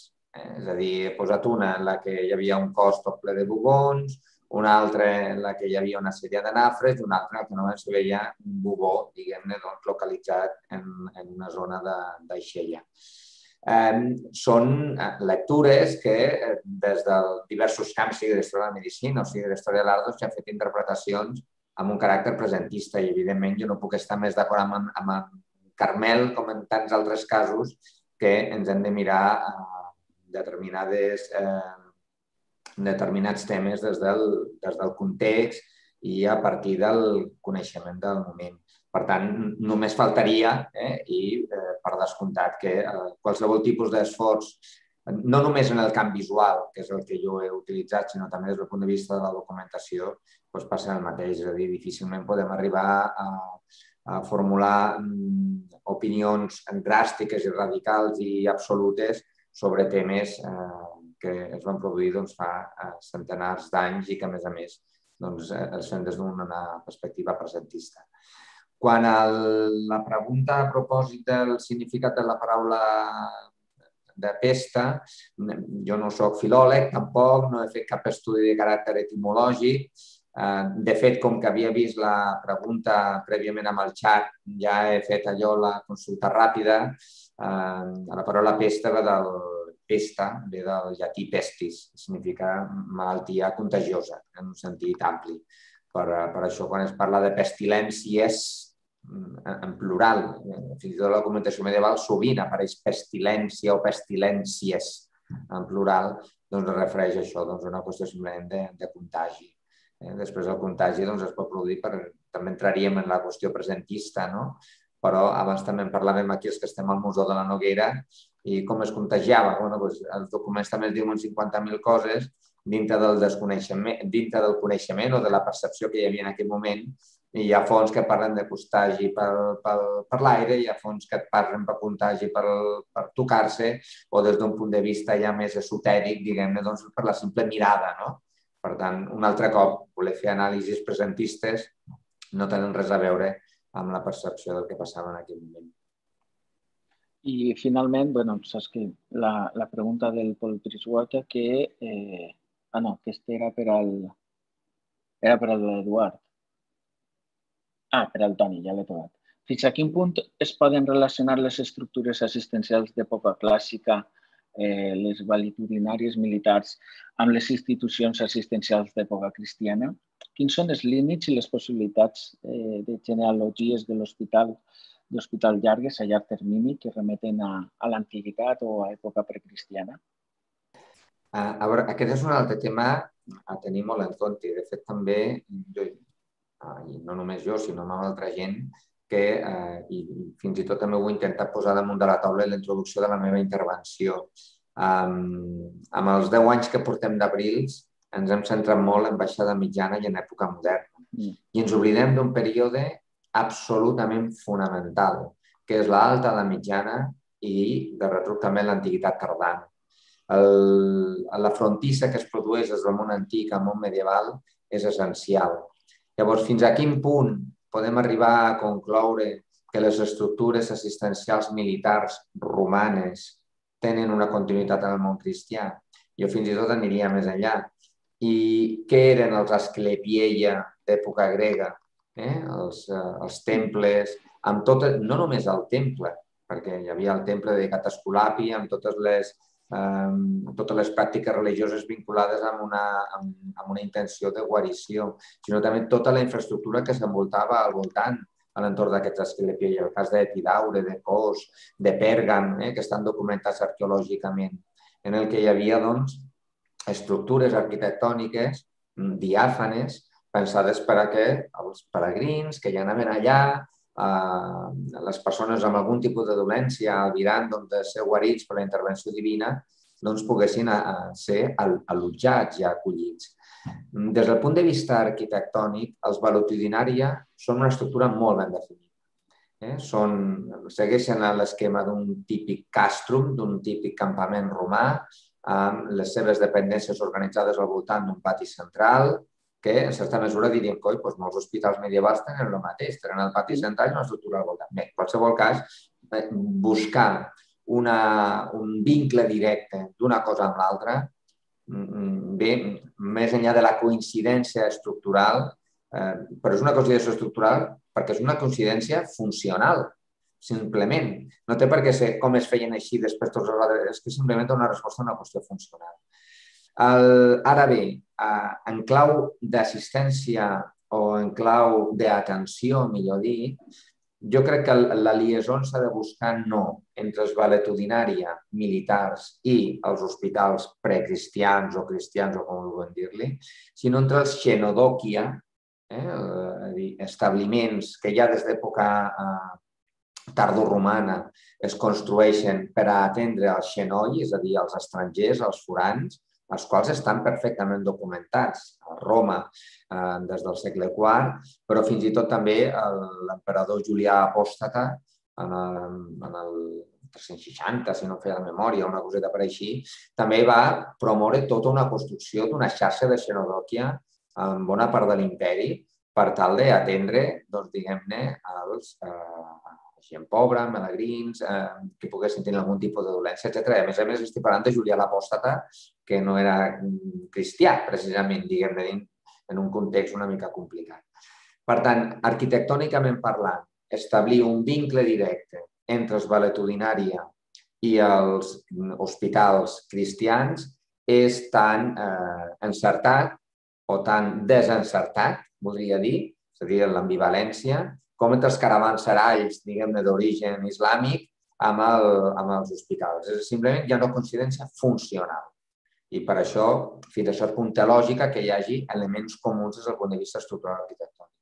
Quan a la qüestió funcional jo sí que hi veig més, eh, perdó, de la qüestió sanitària, assistencial, d'acolliment, sí que hi veig més una evolució natural del xenodòquia, xenodòquium, perdó, cap al que seria l'hospital tal com nosaltres l'entenem. Ara bé, fonamental, i, i, i, i, i tiro la canya, mm, els abrils hem de sortir de l'edat mitjana i moderna, de la baixa edat mitjana i moderna, i ens hem d'anar també una mica més enrere.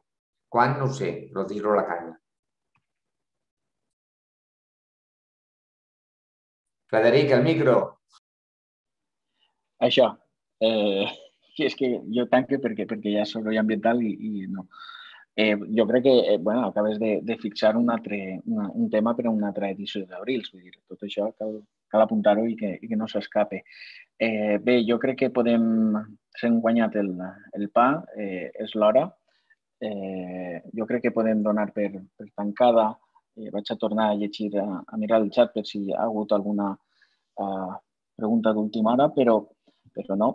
I, i per tant, podríem donar per, per acabada aquesta sessió del matí, aquesta segona sessió del matí.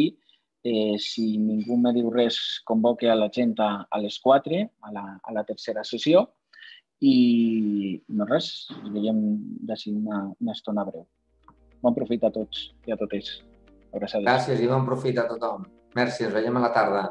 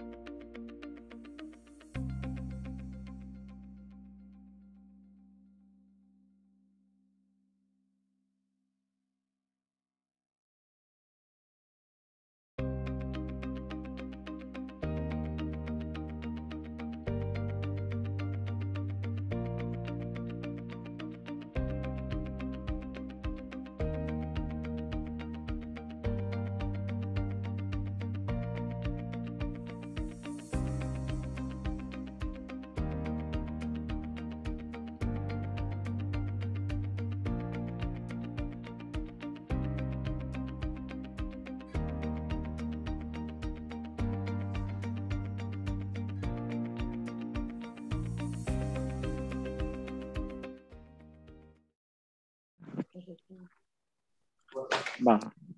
Bé, bona tarda a tothom. Reprenem la sessió d'aquests 10 abrils de l'hospital.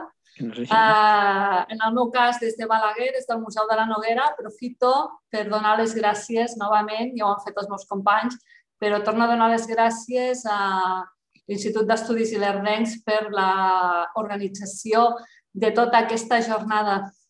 Em toca fer la presentació de la primera taula d'aquesta tarda, i us he de dir que estic encantada d'estar moderant una taula que el que farà és fer un repàs al tema dels hospitals en les terres lleidatanes. I a més a més de fer-ho amb una sèrie de gent que més o menys amb tots eh, ens coneixem o hem coincidit, però que alguns d'ells s'allunyen, alguns no, però s'allunyen del context purament formal i acadèmic de les universitats, perquè aquesta tarda parlarem des de centres d'estudis, parlarem des d'arxius, Parlarem des de museus i aprofito per reivindicar la feina que totes aquestes institucions fan de formiguetes en el territori, en la recerca en el territori i també reivindicar la recerca des del món local, la recerca local, que és el que ens ajuda d'alguna manera a bastir les grans línies de, de les estructures de recerca. Sense les petites recerques que es fan en el món local, segurament seria també complicat acabar d'omplir segons quins buits en aquestes grans estructures de recerca que després es faran també des de les universitats. Per tant, no m'allargo més. Anem a començar amb la primera de les comunicacions d'aquesta tarda. És la que ens faran la Carmen Berlabé i el Francesc Fité, eh, titulada Pandèmia, hospitals i la devoció a Sant Roc, a la Vall d'Age i a l'ermita de Colobó.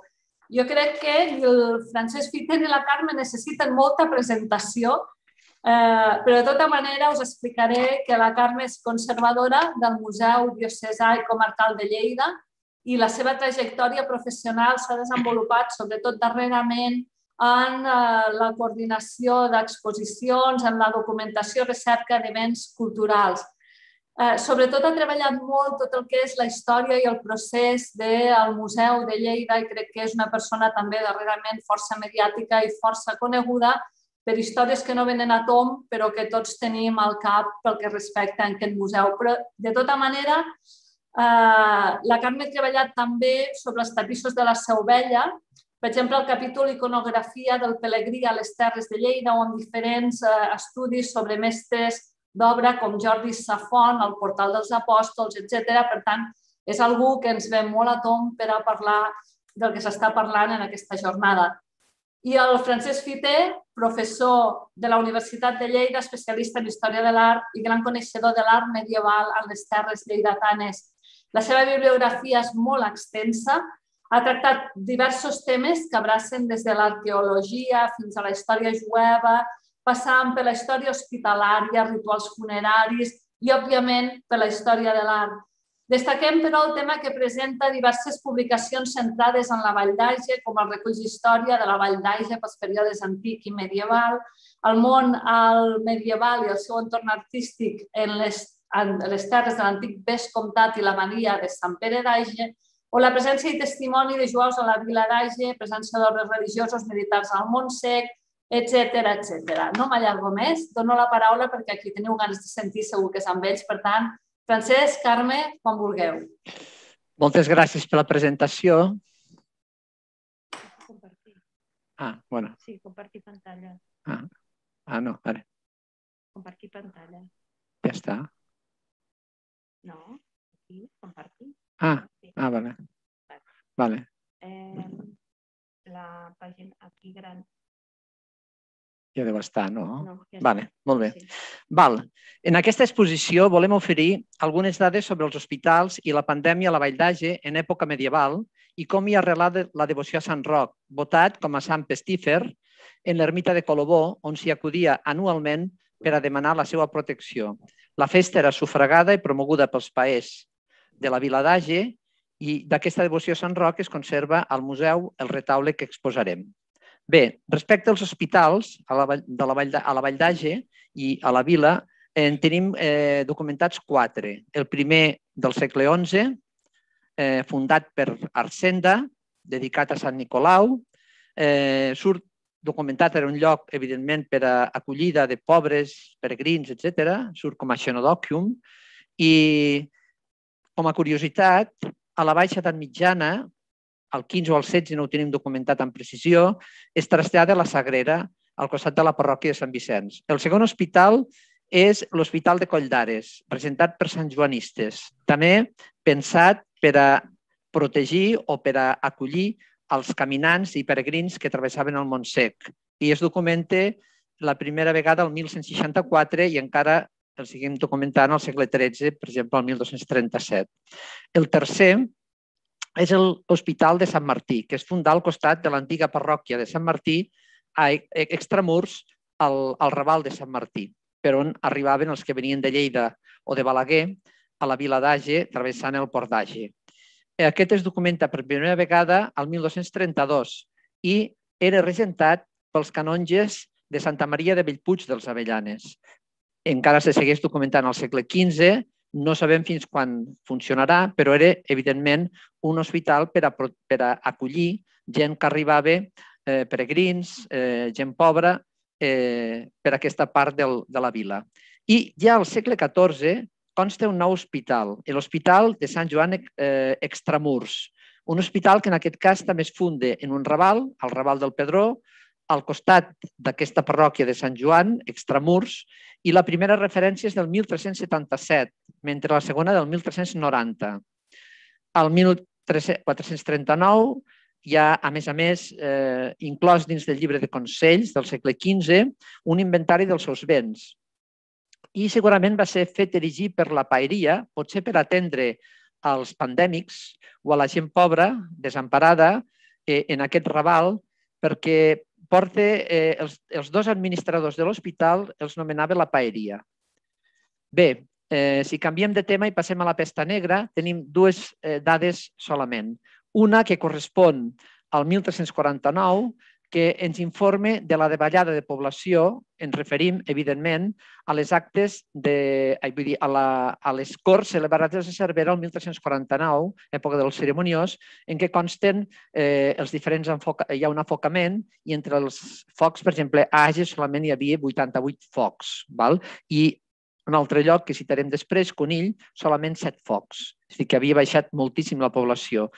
El Sanauja proposa una tercera part, però no ho podem verificar amb precisió.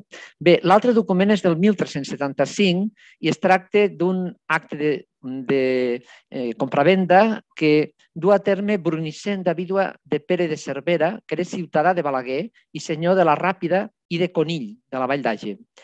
Eh, és del 4 de maig i aquesta senyora ven per preu de 8.000 sous a Gramontesos a Guillem Manaut, mercader habitant d'Age, els castells de Colobó i Conill, fent constar que havien quedat deshabitats arran de la pesta negra. O en el cas de Conill queden encara set habitants, no set focs, sinó set, set habitants, i Colobó s'havia despoblat del tot. Bé, hi ha un altre document eh, que és interessant per veure aquesta minva de població. La població després del 1349 s'anirà recuperant una mica eh, el 1386 bastant, però al segle XV hi ha una davallada tremenda. Eh? Hi ha diverses dades, no les donarem, però en el 1463, arran de la guerra de Joan II, Pedro d'Urrea, que era senyor de la Vila d'Age, senyor temporal i administrador de l'abadia de Sant Pere, visita i fa constar la pèrdua de població enorme i la forta misèria que està visquent i va, rebaixa els impostos en aquest sentit. I no conste que hi hagués pandèmia, però segurament hi hauria pels documents que anem a veure tot seguit. Les notícies de pandèmia a la Vall d'Age. A més a més d'aquesta del 1375, hi ha un document del 1459 eh, que és eh, una notícia del llibre de consells, en el qual eh, és molt interessant perquè diu que hi ha mancança de pebre i es contracta un especier, Miquel de Foix, per a muntar una botiga. Diu, atenent que morien a l'arredor de la vila i a totes parts i perquè els que mester ho hauran troben les coses necessàries. Dic que el, el pebre es devia utilitzar com a medicina per, aquesta, per, per la pesta. No? Aquesta és una notícia. Eh, les altres dues notícies que tenim també al llibre de consells, una és del 1475 i es refereix a una pràctica eh, per foragitar la pandèmia. No? que és que eh, es pren l'acord a nivell municipal de que eh, es passen a ser dies festius els dissabtes i els diumenges i es fa obligatòria una processó per preservar, diu, de la, de la pestilència i de la pedra, que devien considerat els, els, els mals pitjors, la pestilència, la pandèmia o la pedra, la pedra de, de, de, del, del mal temps. No?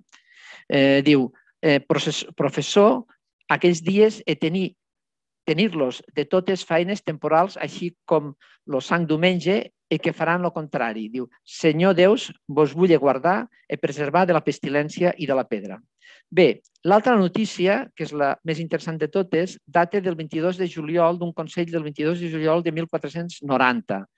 Diu, acorda no acceptar cap persona, el Consell, dins la vila que vingui de lloc de morts.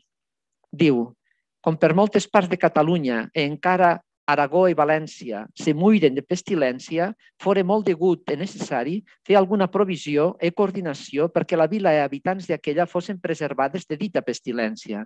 Proveir l'honorable Consell concordament que si d'algun estranger venia no puja estar acollit sinó haia 30 dies no si és, si és estat en lloc de morts i que la guarda del portal lo hagi de fer jurar que a 30 dies no és entrat en long que es moren. I aquell tal, i aquell, i aquell tal fent el jurament sí acollit per menjar i beure eh, passant son camí, un cop feta la, la quarantena. I més fa un deliberat per l'honorable Consell que si els habitants de la vila de Age van en lloc de morts, ell dormiran, ell dormiran, que hagin estat 20 dies fora de la vila i si de dia hi entraran, que hagin estat 10 jorns a la guarda del portal los haia a prendre el sagrament. bueno, són les dues notícies eh, més interessants. Encara hi ha una última notícia eh, dins d'aquests acords que diu que no, eh, eh, que no siguin acollits en cap ermita. Eh? No siguin acollits en alguna de les ermites, sobretot les ermites de pedra i colobó. I és interessant perquè aquestes ermites comencen a funcionar com a ermites al segle XIV. No sabem exactament quan, però al 1371 hi ha una carta de Pere el Ceremoniós, ai, de Pere el Ceremoniós, de Pere el, del, del comte Pere d'Urgell, eh, el gran comte Pere d'Urgell, en què encomana als paers que rebin a dos eh, fra menors que ell perquè els allotgen en les ermites per a fer eh, d'ermitans. Per tant, es converteixen aquestes ermites en eremitores. El comte d'Urgell tramet una carta el 14 d'octubre de, de 1371 eh, en, en, aquesta, en aquesta línia demanant que se'ls subministri per part del Batlle pa cada setmana, eina, és dir, escudelles i altres eines necessàries per poder-hi viure, és dir, que a partir d'aquest moment aquestes ermites eh, estaran provides d'ermitans, i això fins a l'època moderna. És interessant notar que a Colobó hi havia fundat l'altar dedicat a Sant Roc. Cap la possibilitat que al mateix segle XV. Eh, no en tenim constància, però deduïm que aquest sant pestífor fou votat per la vila per protegir-la de les pestilències. L'argument principal el basem, eh, com consta en els llibres de claveria de l'antiga paeria, la corporació municipal es feia càrrec de les despeses de la festivitat. Surten als, a la claveria surten anualment aquestes despeses, no? el pagament de la missa, del sermó i dels pans que repartien a tots els que acudien a la, a la, a la festa el dia 16 d'agost. No? Eh, els llibres de claveria, i fins i tot també surt sempre un, un menjar on, almenys des del segle XVII, era una rosada que feien i surt detallat tota la despesa. No? Bé, aquestes són les notícies i ara dono la, la paraula a la Carmen perquè continuarà doncs, amb aquesta devoció a Sant Roc i el retaule que va, segurament va ser promogut dels païs d'Age per a aquesta ermita.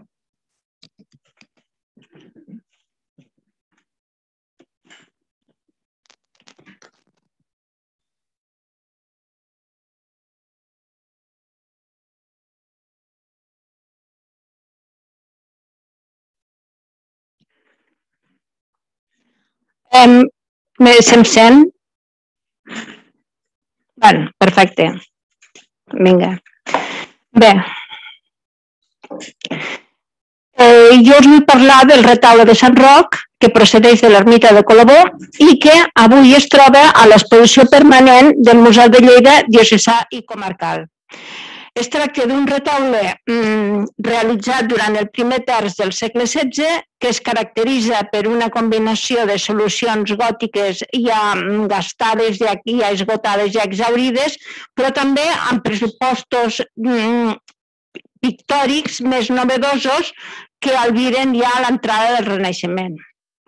Eh, Sant Roc, ara ens centrarem amb el titular, Sant Roc de Montpellier, va néixer aproximadament, o segons la majoria de les, de les fonts, l'any 1350 i final al 1371, tot i que hi ha algunes, algunes fonts que el col·loquen més amb, diguéssim, la data de naixement la col·loquen abans, i és el doblet iconogràfic de Sant Jaume. És un sant patró i protector de les malalties contagioses, especialment les pestíferes, per les quals s'invocava a Sant Sebastià, que és un clàssic abans de la, de la popularització de Sant Roc.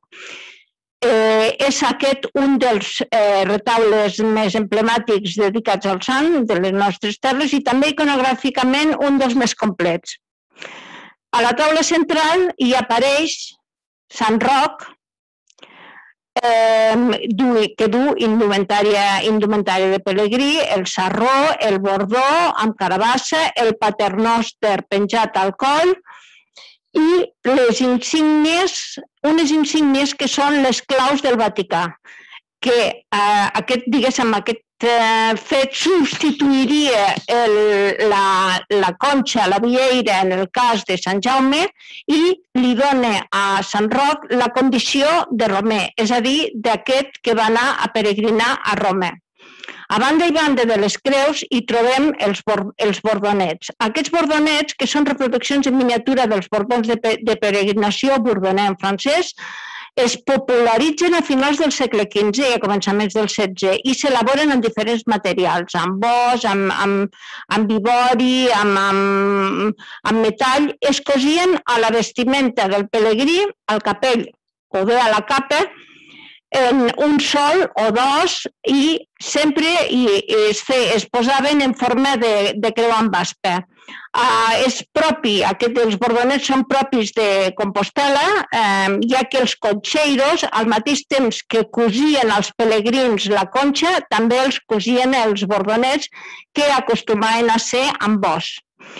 Eh, bé, Sant Roc, hem donat la data de naixement sobre el 1000, eh, aproximadament sobre el 1350, sabem que va, que va néixer a Montpellier, era, eh, va néixer al si d'una família noble eh, va ser orfe des de molt jove i decidí lliurar, lliurar els seus béns a hospitals i persones necessitades per, de, per dedicar-se en cos i ànima a la peregrinació. Bé, dins d'aquest context de peregrinació, dins d'aquesta singlatura, d'aquest viatge que va fer a Roma, va contra la peste, com veurem, però per acabar, diguéssim, amb aquesta, diguéssim, amb aquesta primera representació, dir que eh, acostuma a anar sempre eh, acompanyat d'un àngel, un àngel que el, que eh, l'ajuda a guarir-se de les ferides de la, o sigui, de la malaltia i eh, la sanar dels bubons que, havia, que, havia, mm, que tenia al seu cos amb motiu de la peste bubònica i el gos. El gos que en alguns contextos ha, ha tingut vida pròpia, per, per dir-ho d'alguna manera, ha tingut un recorregut propi i també una pròpia devoció, com és el cas de Barcelona. Ara no ens entretindrem amb això, però diguéssim que el, el gos ha tingut, com molts vosaltres ja sabeu, molta popularitat. I el, el gos acostuma, hi ha, hi ha diferents tipologies de gossos, podríem fer tot un, tot un repertori. Eh, sempre porta un pa a la boca precisament perquè se va encarregar el gos d'alimentar-lo mentre estava eh, convaleixent malalt eh, de la peste. Bé, un altre tret característic de Sant Roc és que té una marca de naixement i aquesta marca de naixement és una creu vermella al pit. Aquesta creu és la que va permetre, en el moment de la seva mort, identificar-lo com el fill de, de família noble que fou. Bé, eh, en relació al, a la seva, diguéssim, a la seva vida, a la seva peregrinació, eh, segons la llegenda, eh, va contraure, va quan tornava de Roma, a Piacenza, eh, es va dedicar a, a ajudar als, a curar els malalts de pesta i ell mateix va contraure la pesta. Eh, segons les fonts, ell es va retirar en un bosc o bé el van fer marxar perquè quan hi havia algun empestat el, eh, la persona amb els, seus, amb els seus béns havien de, eren expulsats de la, de la ciutat i es va refugiar al bosc. Allí va, eh, mm, va intentar eh, anar-se curant. De fet, miraculosament, va mm, fer brollar, una, va fer brollar aigua d'una font i que aquesta, aquesta font li servia per beure i també per curar-se de les ferides. I un gos cada dia eh, furtava de la, seva, de la casa del seu amo, furtava un pa i li portava a Sant Roc. L'amo del gos, que es deia Gotardo, de la, que era de la família dels Palastrini de Piacenza, s'havia eh, refugiat al bosc per fugir de la, de la pesta i un dia va seguir, eh, va seguir al gos i va veure que portava el, el pa a Sant Roc. El, el noble, el noble Gotardo, es va, va acollir Sant Roc, va ajudar a que, a que es guarís juntament amb l'Àngel, que també amb l'Àngel que també va contribuir a la seva, a la seva mm, curació i es va convertir en deixeble seu. Va deixar tots els béns que tenia, era una, també una persona noble, una persona benestant i acomodada, va, va donar tots els seus béns i es va dedicar a seguir a Roc. Bé, aquí trobem una escena en què el veiem a les portes d'una ciutat. Les portes d'una... La seva, diguéssim, la representació a, la, a, a les portes de la ciutat té sentit perquè els malalts i empestats, com us ha comentat abans el francès, no podien entrar a les ciutats i els que havien estat detectats a l'interior eren expulsats i havien de romandre en, com una mena d'improvisats hospitals destinats exclusivament a atendre aquests malalts infectats de pesta i així poder alliberar la, res, la, respe, la resta mm, d'hospitals. Per tant, aquí veiem a Sant Roc, en una porta, en una, a l'entrada d'una ciutat, no sabem quina ciutat podria ser, podria ser Bo, Boguera, que és la ciutat on es diu, segons algunes fonts, que va morir, o podria ser Montpellier, que la seva ciutat nadiva, en la que algunes altres fonts di, diuen que va morir. La qüestió és que en arribar a sigui Boguera o sigui en Montpellier, va ser mm, detingut i va romandre a la presó durant cinc anys. I al cap d'aquests cinc anys eh, va morir. Aquí veiem el moment en què s'està duent a terme aquesta detenció. Eh, va ser eh, pres, va ser confós per un espia. Eh, en aquell moment, a Boguera, a, a Boguera, a Boguera hi havia el, els Visconti estaven en guerra amb el, amb el papat, amb el papa, que el papa s'estava en, en, en aquell temps s'estava a Avinyó. Aleshores, no eren ben rebuts els pelegrins ni eh, qualsevol foraster que arribés a la ciutat. Sant Roc va ser interrogat respecte al seu origen, ell no va voler eh, fer cap menció al, al seu origen noble ni a lliurar la seva identitat i va ser eh, pues, mm, tancat a la presó. En aquesta, en aquesta darrera imatge veiem, és una imatge un tant, un, un tant confusiva o un tant eh, eh, misteriosa, per dir-ho d'alguna manera. Veiem eh, Sant Roc, que segons la, segons la llegenda de la seva, de la seva vida, eh, en arribar al moment de la seva mort, quan ell va notar que arribava la seva mort, va demanar eh, un, un sacerdot per a confessar-se i per a prendre, evidentment, per prendre la comunió i el sacerdot, que en aquest cas estaria representat eh, per, un, per un bisbe, va veure un gran resplendor a la cel·la i del cos de Sant Roc va sortir també una gran luminària, una, un gran resplendor.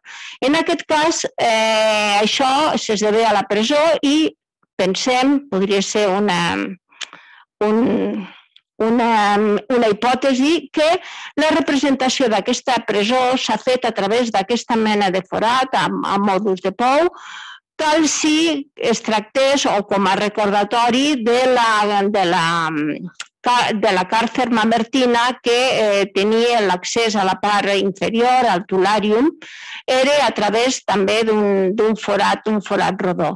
Aleshores, en aquest cas, la resolució d'aquesta, diguéssim, d'aquesta explicació de tot allò que està passant al, a la presó s'ha resolt amb un exterior, també unes muralles que representen una ciutat amb una sèrie de personatges, atès que en aquell moment es va identificar qui era Sant Roc. I eh, podem veure aquest moment eh, a través del gest teatral que fa aquest personatge en què està assenyalant. Està assenyalant el pit de Sant Roc, atès que la seva marca de naixement, una creu al pit, li, eh, diguéssim, l'identificava i una, cèdula, una, una cèdula que duia també penjada eh, inequívocament ens trobem en el moment de la, de la mort de Sant Roc perquè aquí veiem dos àngels que eh, estan enlairant la seva, la seva ànima al cel. Per tant, no pot ser interpretat com un altre moment, sinó el, el de la mort. I realment eh, el que és interessant, veiem aquí el retaule, el retaule sencer, tal com està exposat al museu, tal com hem vist, hem vist abans, i el que és interessant és, tal com us ha comentat el, el francès, que eh, a Colobó eh, l'Ajuntament pagava eh, els pans el dia de la festa de Sant Roc, que era l'endemà de l'Assumpció, és a dir, el dia 16 d'agost, i el retaule de Colobó té uns guardapols que no estan col·locats, però que eh, tenen aquesta representació, un escut eh, en forma romboidal on es veu una panera amb pans i a l'altra la, banda, a la banda dreta, els escacs que són propis del, de l'escut eh, d'Agi. Per tant, d'aquesta manera eh, s'està, diguéssim, eh, confirmant aquesta vinculació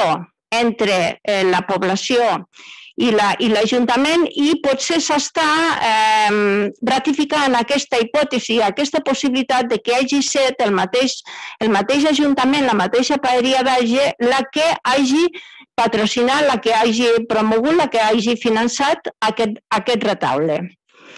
Eh, realment el culte a Sant Roc és un culte que ha estat eh, molt estès ja per acabar a les terres de, tant a les terres de, de, de Catalunya, de la, zona, de la zona de Catalunya, com a les terres de València.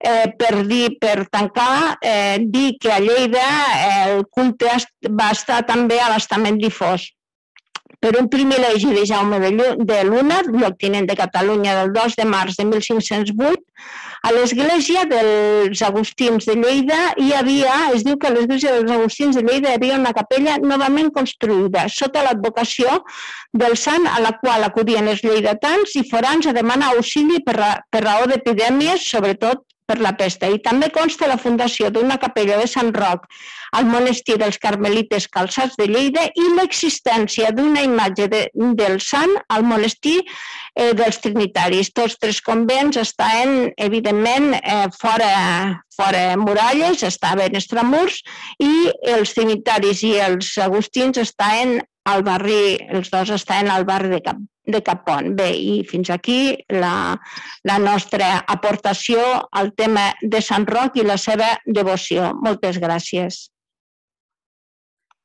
Molt bé. Uh, moltíssimes gràcies, Francesc Carme. Crec que uh, queda molt palès i molt bé, a més, la relació que hi ha en aquest cas entre el que és la recerca sobre la documentació històrica i la història de l'art. Una vinculació absoluta i un exemple fantàstic. Uh, gràcies també per cenyir-vos molt a, a l'horari, eh? ho, ho heu fet molt bé. Anem a continuar ara, després recordeu que teniu per fer preguntes, podeu deixar-les al xat, les anirem repassant i les, uh, les portarem al debat.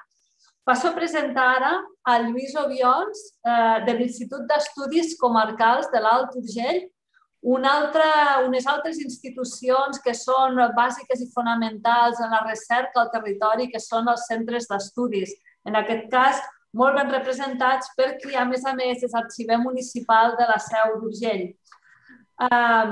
El Lluís ha centrat els seus estudis en l'època moderna als Pirineus, especialment entre els segles XVI i XVIII, a l'Alt Urgell i a la Cerdanya, i bona part de la seva obra es centra eh, en la Seu d'Urgell. Destaquen els, els seus estudis sobre les lluites de bàndols en aquest territori muntanyell i recentment ha publicat en col·laboració amb Erola Simón la Cerdanya de 1603, el Tractat del Comtat de Cerdanya de Joan Trigall. També el 2019 va publicar el govern de la ciutat d'Urgell al segle XVI, Jeroni Grau i el seu tractat per al govern municipal sobre el bandolerisme Destaquen diverses publicacions com l'Oniu dels bandolers de Catalunya als setges del castell d'Arsèguel de 1588-1592 i els capítols del llibre Dissidents polítics dans le pays català du XIIe au XVIe siècle i el bandolerisme a la Cerdanya, algunes precisions, entre altres. I avui, justament, el Lluís ens parlarà de malaltia i perill de peste, avisos transpirinencs de malalties contagioses a la Seu d'Urgell del segle XVI i XVII. Sí que, Lluís, com vulguis. Molt bé, gràcies, Carme, gràcies a, a tots els assistents uh, avui. Uh, us compartiré pantalla també per veure una mica el, el PowerPoint que he preparat per parlar-vos d'aquesta temàtica si em permeteu. Exacte. Bé, eh, una mica el que us vinc a presentar jo avui és no pas un estudi tancat, sinó una mostra, una, diguem-ne, uns apunts sobre futures línies de recerca a partir d'una documentació molt concreta.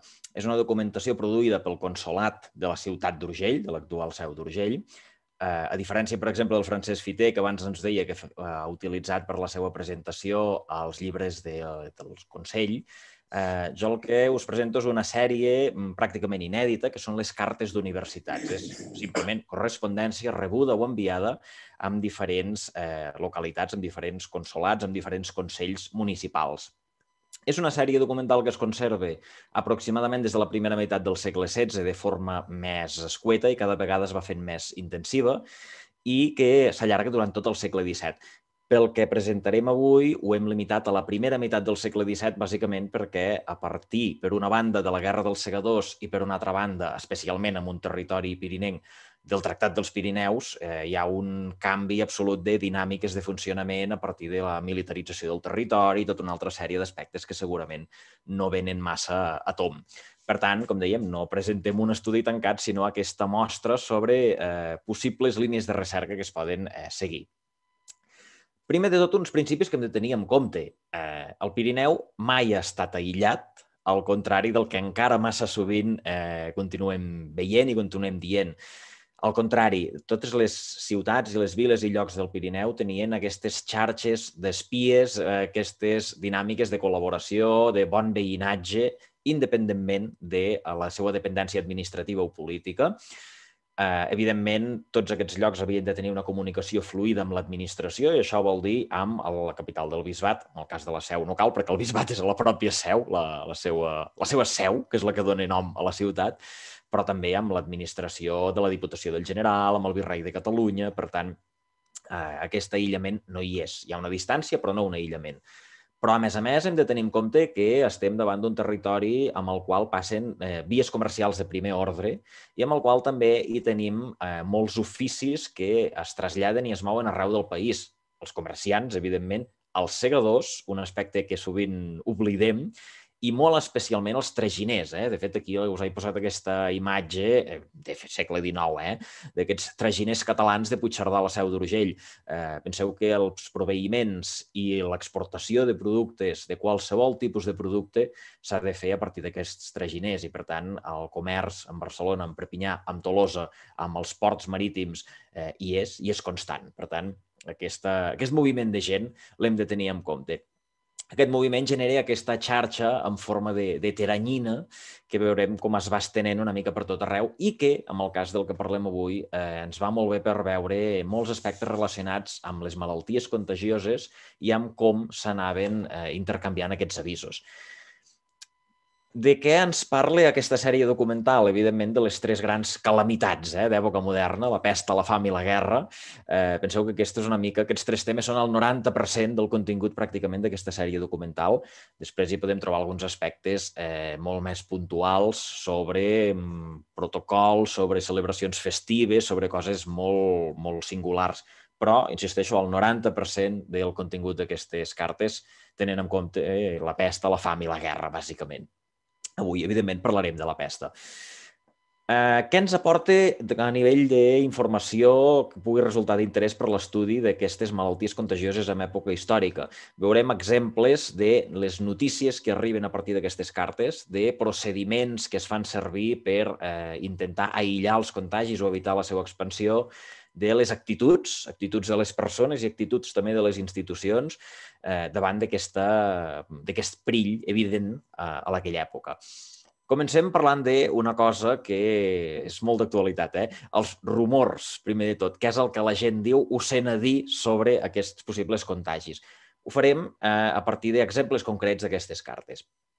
Per exemple, ara, si permeteu... Mm, poder veure el document complet. Així, disculpeu, no veia el document complet.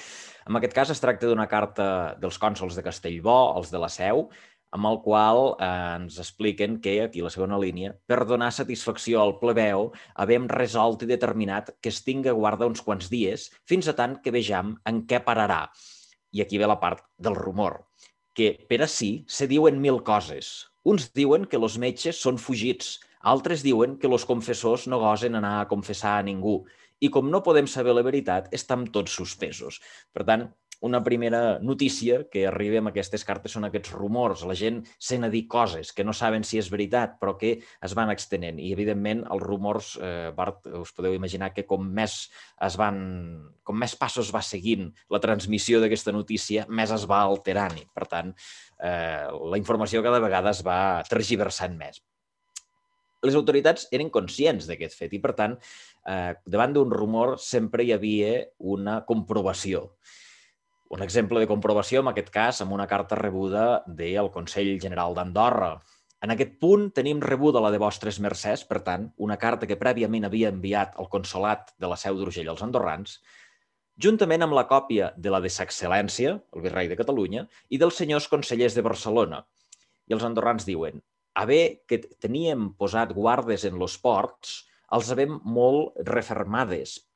Per tant, han eh, assegurat aquestes guardes que tenen els ports de muntanya. I, eh, del part, tenim enviat tenim enviat home propi i express en França. Aquesta és una mica la frase clau que ens interessa. Home propi i express en França, que l'han enviat, ells ens diuen, fins a Tarascó i en continent que serà arribat donarem, a vostres mercè, donarem avís a vostres mercès del que passe.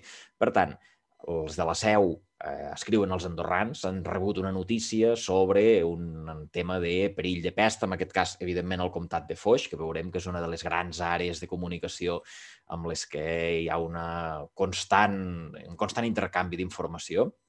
Els andorrans asseguren, per una banda, que han refermat aquestes guardes que tenen als ports, però, sobretot, han enviat un home per saber exactament què és el que passa de primera mà, per, per altra banda, tornar aquesta resposta a la seu. Això a vegades porta a desmentir informacions. Ho veurem en un cas a Puigcerdà. Tenim entès que vostres mercès no volen admetre els que van en eixa ciutat d'esta vila i amb pòlissa de salut, per tant, la gent de Puigcerdà es queixen que no deixen entrar els puigcerdanesos a la seu, dient que tenim en la vall de Carol lo mal contagiós de pesta, del qual no es preserva Nostre Senyor per sa infinita misericòrdia. Del que fem admiració, aquí és on eh, els de Puigcerdà es defensen, eh?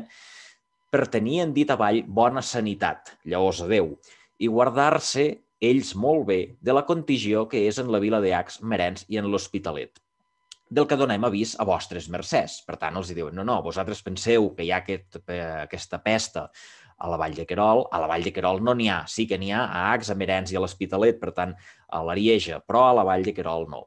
I a més a més, juntament, eh, els hi donen avís també, com dit a contigió eh, de pesta, sabem que és en el lloc de Pollestres, distant mitja llegua de Perpinyà, i tenim entès seria també dit mal en la vila de Perpinyà. Per tant, no només hi ha el desmentiment d'aquest rumor que ha arribat a la seu, sinó que hi ha, al contrari, una informació afegida, una informació, en podríem dir que qualitativament pot ser interessant per la ciutat d'Urgell per, en aquest cas, evitar aquestes entrades de persones que puguin venir de, de lloc de morts. Eh? Tot això ens defineix una xarxa transpirinenca, que crec que és un dels, una de les claus a l'hora d'entendre què passa no només a nivell de, de la seu, sinó a nivell eh, de tota l'àrea pirinenca, una, una xarxa que la visió actual de uh, les realitats estatals i també de les comunicacions, després hi insistirem una mica en aquest tema, ens l'ha fet perdre molt de vista. Eh? En aquest cas trobem una carta dels cònsols de Tarascó, a l'Arieja, a tocar de Foix, eh, a part a nivell lingüístic interessantíssima, amb una barreja de català, francès, occità, eh, eh, amb la qual informen del que està passant. Ells ens diuen que, encara que lo mal o dins Tolosa, en qualques parts no hi deixen entrar persona que no hi porta un bon certificat d'allà on, on són les persones. Eh, no us sé llegir aquesta paraula, la veritat, perquè ara mateix la tinc tapada eh, pel, disculpeu, pel, per la pròpia imatge. Eh? Fan rendre compte en quina part van, o sigui, els hi fan demanar on van i què hi van a fer. I per totes les altres viles tenen bona guarda, com és Autarriba, Saberdú, Maseres, Pàmies, Varilles, Foix i dins Tarascó. I tenen bona guarda i no deixen entrar persona alguna que no porten certificat. So que nosaltres tenim més assegurat és que lo mal de la pesta és a Mirapeix i Aigües Vives, en qualques mesons, Mes Mossur de Miropés i el senyor bisbe hi donen gran remedi i han fet sortir tota la gent de fora i les fan fer quarantena. Per tant, eh, una situació que a vegades pot sorprendre una mica a nivell territorial, eh, quan parlem eh, des del nostre punt de vista, veurem aquí com realment les notícies que arriben a la seu són de Barcelona, o són de Tarragona, o són de Balaguer, però són també de eh, l'Arieja i, en aquest cas, notícies que arriben fins i tot de Tolosa i, com veurem, en alguns altres casos més enllà. He volgut posar sobre mapa dos exemples que crec que són molt significatius, un per habitual i un altre per singular. Començarem per l'habitual. Eh? Eh, una de les grans vies de comunicació amb les que arriba la informació a la seu és des de Foix. Penseu que les vies de comunicació eh, de Tolosa cap a Foix i de Foix travessant les collades de, del Pirineu cap al sud són camins comercials de primeríssim ordre, com ha estudiat molt bé el Patrici Pujada, per exemple, i, per tant, són vies comercials, però també vies per on circulen les persones i la informació. Des de Foix, habitualment, les notícies arriben via Tarascó. De Tarascó, aquestes notícies van cap a la vall de Vic de Sos i des de Vic de Sos per Siguer cap a Ordino, normalment aquestes notícies arriben a Andorra, des d'on, des d'Andorra, s'envien a la seu. Això per una banda, però per una altra banda tenim una segona via des de Tarascó, passant cap a Ax, pujant per l'Arieja, travessant el port de Pimoren cap a la vall de Querol i arribant a Puigcerdà. I, per tant, també des de Puigcerdà aquesta informació torni a arribar a la seu. Aquests són uns camins i unes vies habituals eh, tant d'invasions d'exèrcits com de eh, productes comercials, com en aquest cas, com veiem, d'avisos. I el cas singular, hem vist el freqüent, anem a veure el singular. Un avís de pesta a Narbona i a l'Eucata.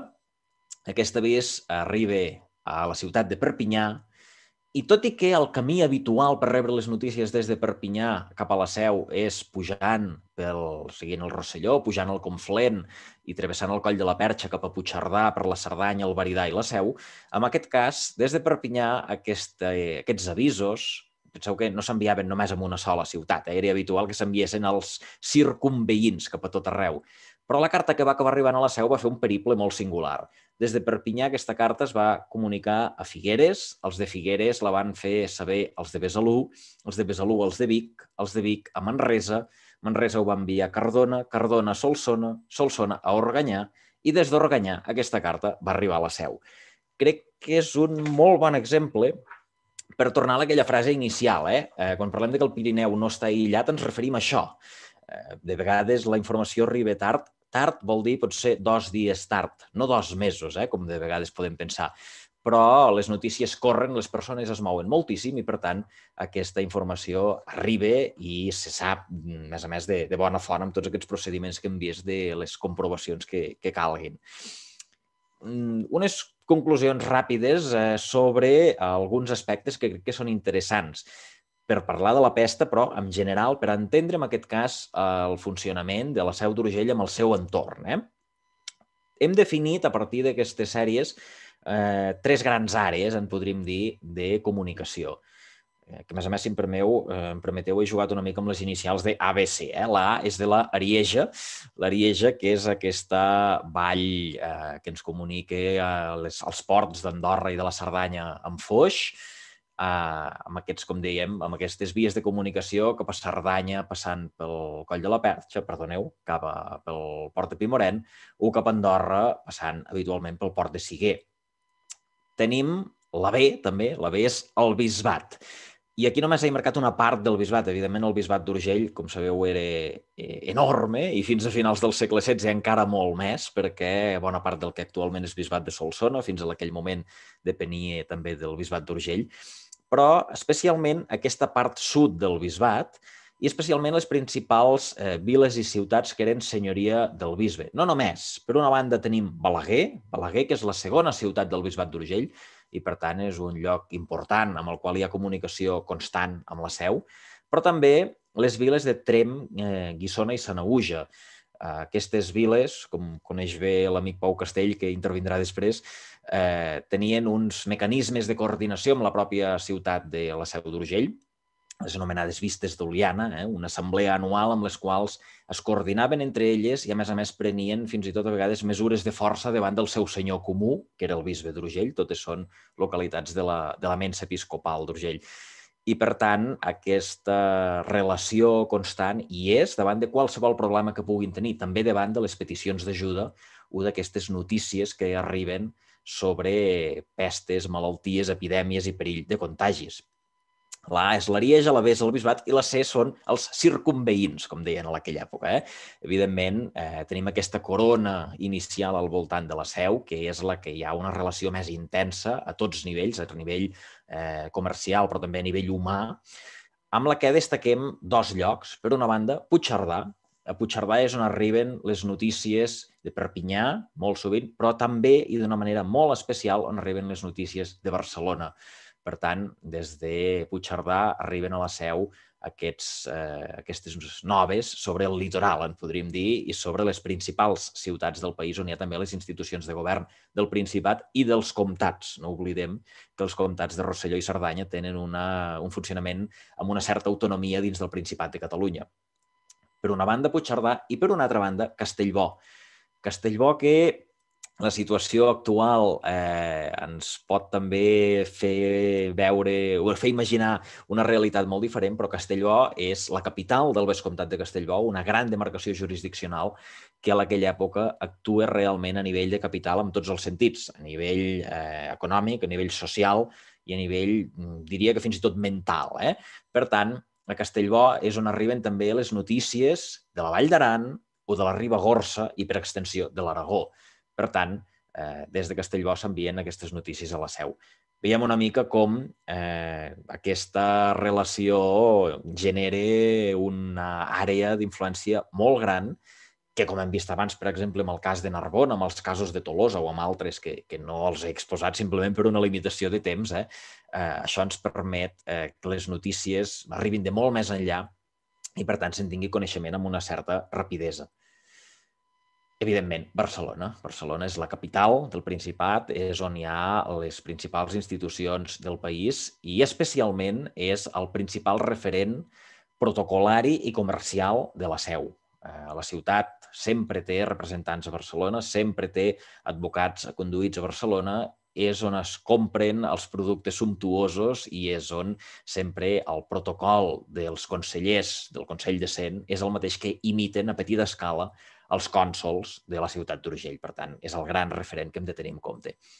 Per acabar, insistir una vegada més, però si no, ho he fet prou, eh, amb tota aquesta comunicació, amb aquesta gran mobilitat, una mobilitat de persones, de mercaderies i de notícies molt gran, difícil a vegades de resseguir a la documentació, però que l'hem de tenir en compte sempre quan fem estudis sobre el Pirineu, especialment en aquest cas en època moderna. Aquestes vies de comerç transpirinenc eh, fonamentals per entendre totes aquestes dinàmiques i us ho exemplifico amb un cas una mica potser pot semblar anecdòtic. Eh?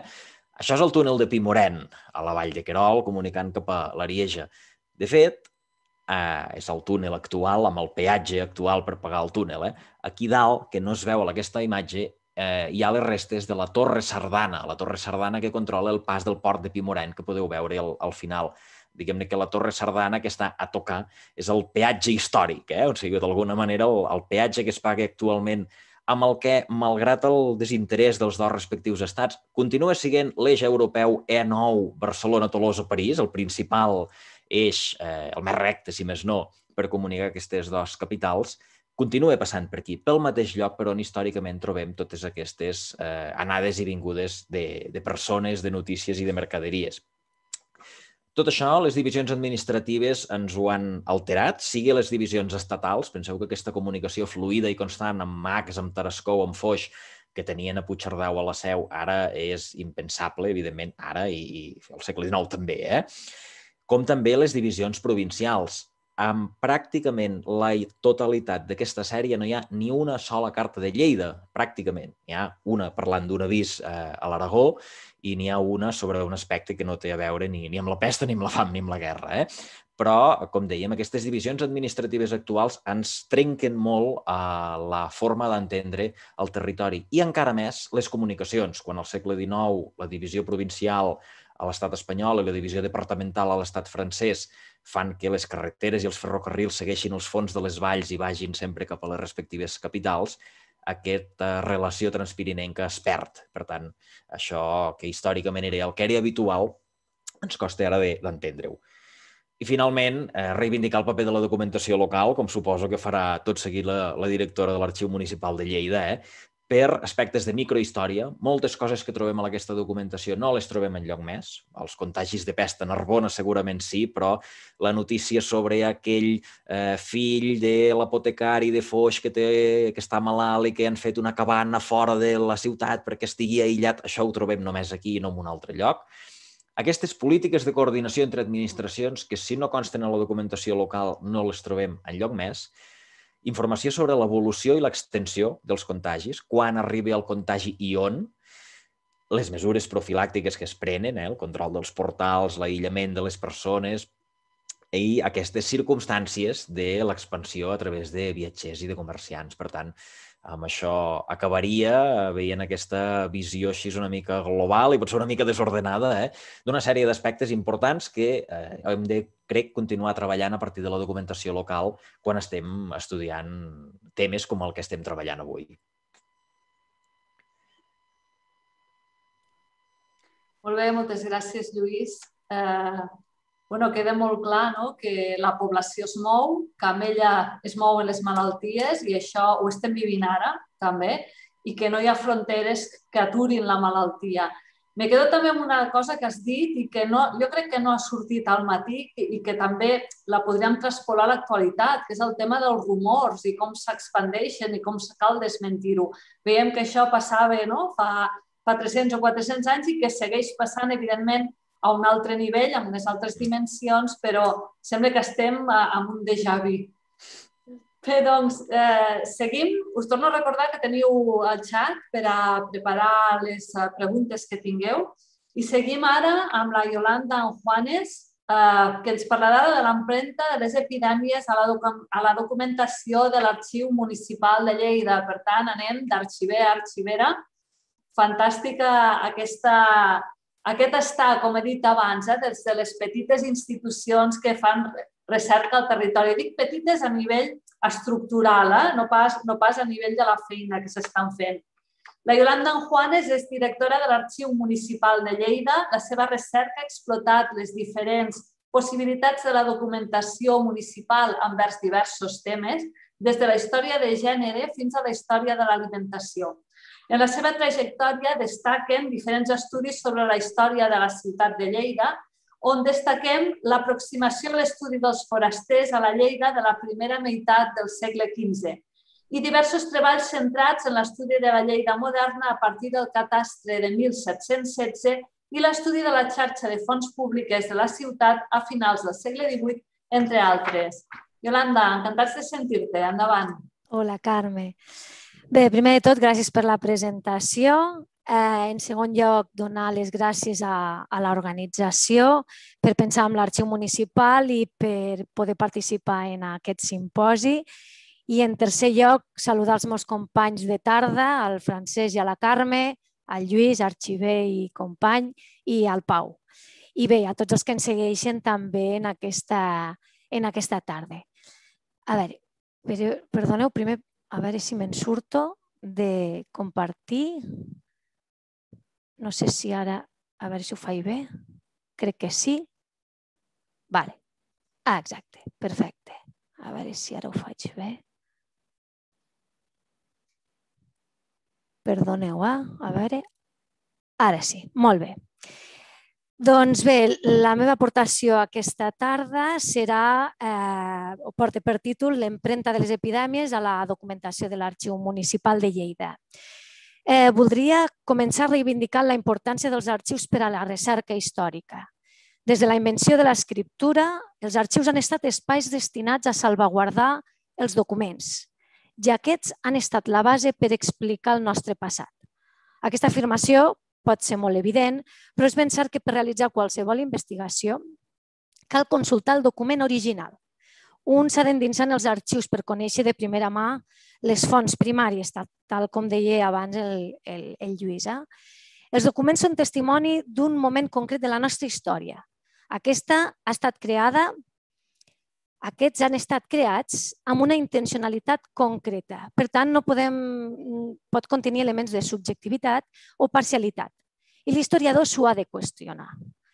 Aquest ha de contrastar la veracitat de la documentació que consulta amb altres fonts i alhora contextualitzar-lo en el moment concret en què es redacta. El document sempre ha de ser qüestionat en relació amb un objectiu de recerca, un document aïllat del conjunt en què ha estat produït per sentit i bona part de la informació que ens, que ens permet comprendre'l. Per això és important analitzar-lo tenint en compte la seva procedència. I tan important és trobar la informació com preguntar-nos per l'absència d'aquesta. De vegades les fonts indirectes supleixen la falta de documentació que s'ha perdut. D'aquí la importància que l'investigador sàpiga extraure la informació amb què compta i amb la que no. L'Arxiu Municipal de Lleida conserva la documentació generada per l'Ajuntament des de 1150. El fet de conservar tants segles d'història el fa ric en informació i permet a l'historiador investigar qualsevol aspecte de la crònica de la nostra ciutat des del segle XII. Això sí, sempre amb la, amb la, amb la documentació generada per la pròpia institució. Els fons que conserva l'arxiu municipal es podrien dividir en dos grans blocs el municipal, que aniria del segle XII fins al segle XXI, i, els, i és la documentació generada per la pròpia institució reflex de les vicissituds que ha experimentat el municipi des de 1149. I els fons no municipals, fruit de diverses donacions, dipòsits i altres fons que per atzar han fet cap a l'arxiu. Entre ells trobem fons religiosos, personals, musicals, filmis, fotogràfics, personals, etc. Tenim la certesa que des del segle XIV s'han anat succeint diferents epidèmies al llarg de la història de la ciutat que han fet trontollar la societat en cada època. Gràcies a la documentació conservada en els arxius queda l'empremta d'aquells moments viscuts i la possibilitat de conèixer com es va viure. És cert que són moltes les investigacions sobre salut pública que s'han iniciat a partir de la documentació que conserva l'arxiu de la ciutat però també és cert que en queden moltes per al seu estudi. Les possibilitats que dona la documentació permetrien narrar part d'una història desconeguda encara per explicar. Les sèries del fons municipal d'obligada consulta pel període municipal per al dit estudi serien, sens dubtes, i aquí en aquesta, en aquesta part n'hi reflecteixo tres, que serien en, primera, en, primera, en primer lloc els llibres d'actes del Consell General. Per aquest període concret, de 1.300 a 1.500, existeix 32 còdecs. El primer que conservem data de 1340 i abraçaria fins a 1486. és una llàstima perquè existeix un buit considerable, finals del segle XV, principis del segle XVI, ja que el següent no comença fins a 1517. Aquesta sèrie conté les actes de cada una de les sessions del Consell i els acords que es prenien en ell, de tots els assumptes relacionats amb la ciutat de Lleida. És la font genuïda de les administracions locals i és sens dubte la sèrie més llarga en el temps que conservem a l'arxiu i una de les fonts més riques de les quals podem extraure molta informació per a aquest període concret. Una altra sèrie d'obligada consulta serien els llibres del Consell particular. En aquest cas, només nou volums conservem del període indicat. El primer data de 1420 i va fins a 1491. Va ser creada amb la finalitat que en els casos d'urgència no fos necessari convocar el Consell General i a manera de comissions especials tenia al seu càrrec l'estudi i la resolució de, de determinats assumptes. Serà però a partir del segle XVII que apareixeran diferenciades les dites comissions i es coneixeran amb el nom de promenies. Es crearà, es crearà, per exemple, la promenia de l'hospital, que és la comissió especialitzada pels assumptes relacionats amb l'Hospital General de, Sant, de Santa Maria. Una altra sèrie seria la de, de, la de llibres de seguretats. Aquesta sèrie documental inclou nomenaments d'oficis, atorgaments de llicències, pagaments de deutes, arrendaments, homenatges, sacraments, es, es pot definir com un recull d'actes que garantia un acord entre dues parts. És una sèrie molt desconeguda dins del fons municipal, de, de l'Arxiu Municipal de Lleida, i que pren rellevància ja que hem trobat acords de nomenaments, de contractació de personal vinculat a l'hospital, per exemple. Una altra sèrie serien la dels llibres de crims, amb 62 volums, és la sèrie en la qual trobaríem més documentació per a aquest període, eh, trobem eh, dits codes contenen les actes, declaracions i les vistes criminals que tenien lloc davant la Cort i Beguer. Algunes de les sentències i algunes de les sentències que dictaven, no totes. És segurament la font que dona més possibilitat per a l'estudi de la vida quotidiana en època medieval i alhora podríem considerar-la com una de les fonts indirectes per a l'estudi de la sanitat. Font estudiada en diverses disciplines, des de la perspectiva jurídica, mèdica, urbanística i fins i tot des del punt de vista filològic. Investigadors com, Guillem Roca i el doctor Manel Camps l'han utilitzat pel, per les seves tesis doctoral. Altra documentació a remarcar també serien dos llibres singulars que no formen sèrie i que conservem a l'arxiu que podrien ser estudiats per documentar aspectes també de la sanitat. Un és el llibre anomenat Privilegis, Estatuts i Ordinacions de la ciutat de Lleida, que recull documentació del segle XIII al XV i és conegut també com el llibre verd petit, donades les tapes del seu color. Recull diversos privilegis reials, ordinacions de la ciutat, els usatges de Barcelona i els costums de Lleida les constituïdines i l'herdenses foren una compilació del dret local, del dret lleidatà, encarregat al cònsol i jurista de la ciutat Guillem Botet el 1228.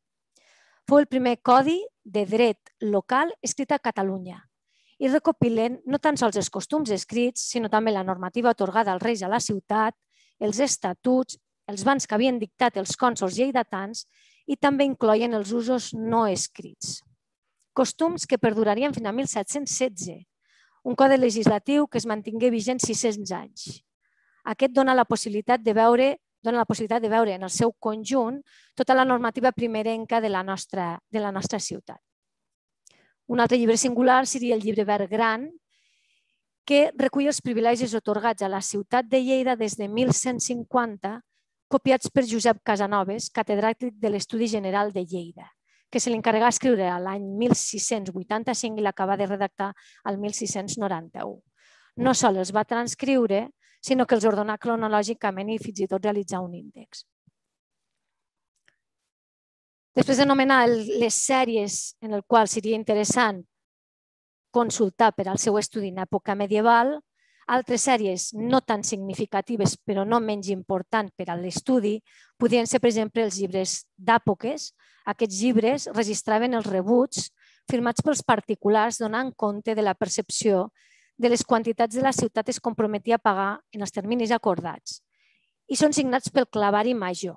Aquest era la persona encarregada de pagar els salaris als oficis ordenaris de la ciutat i els censals que la ciutat feia a favor de particulars.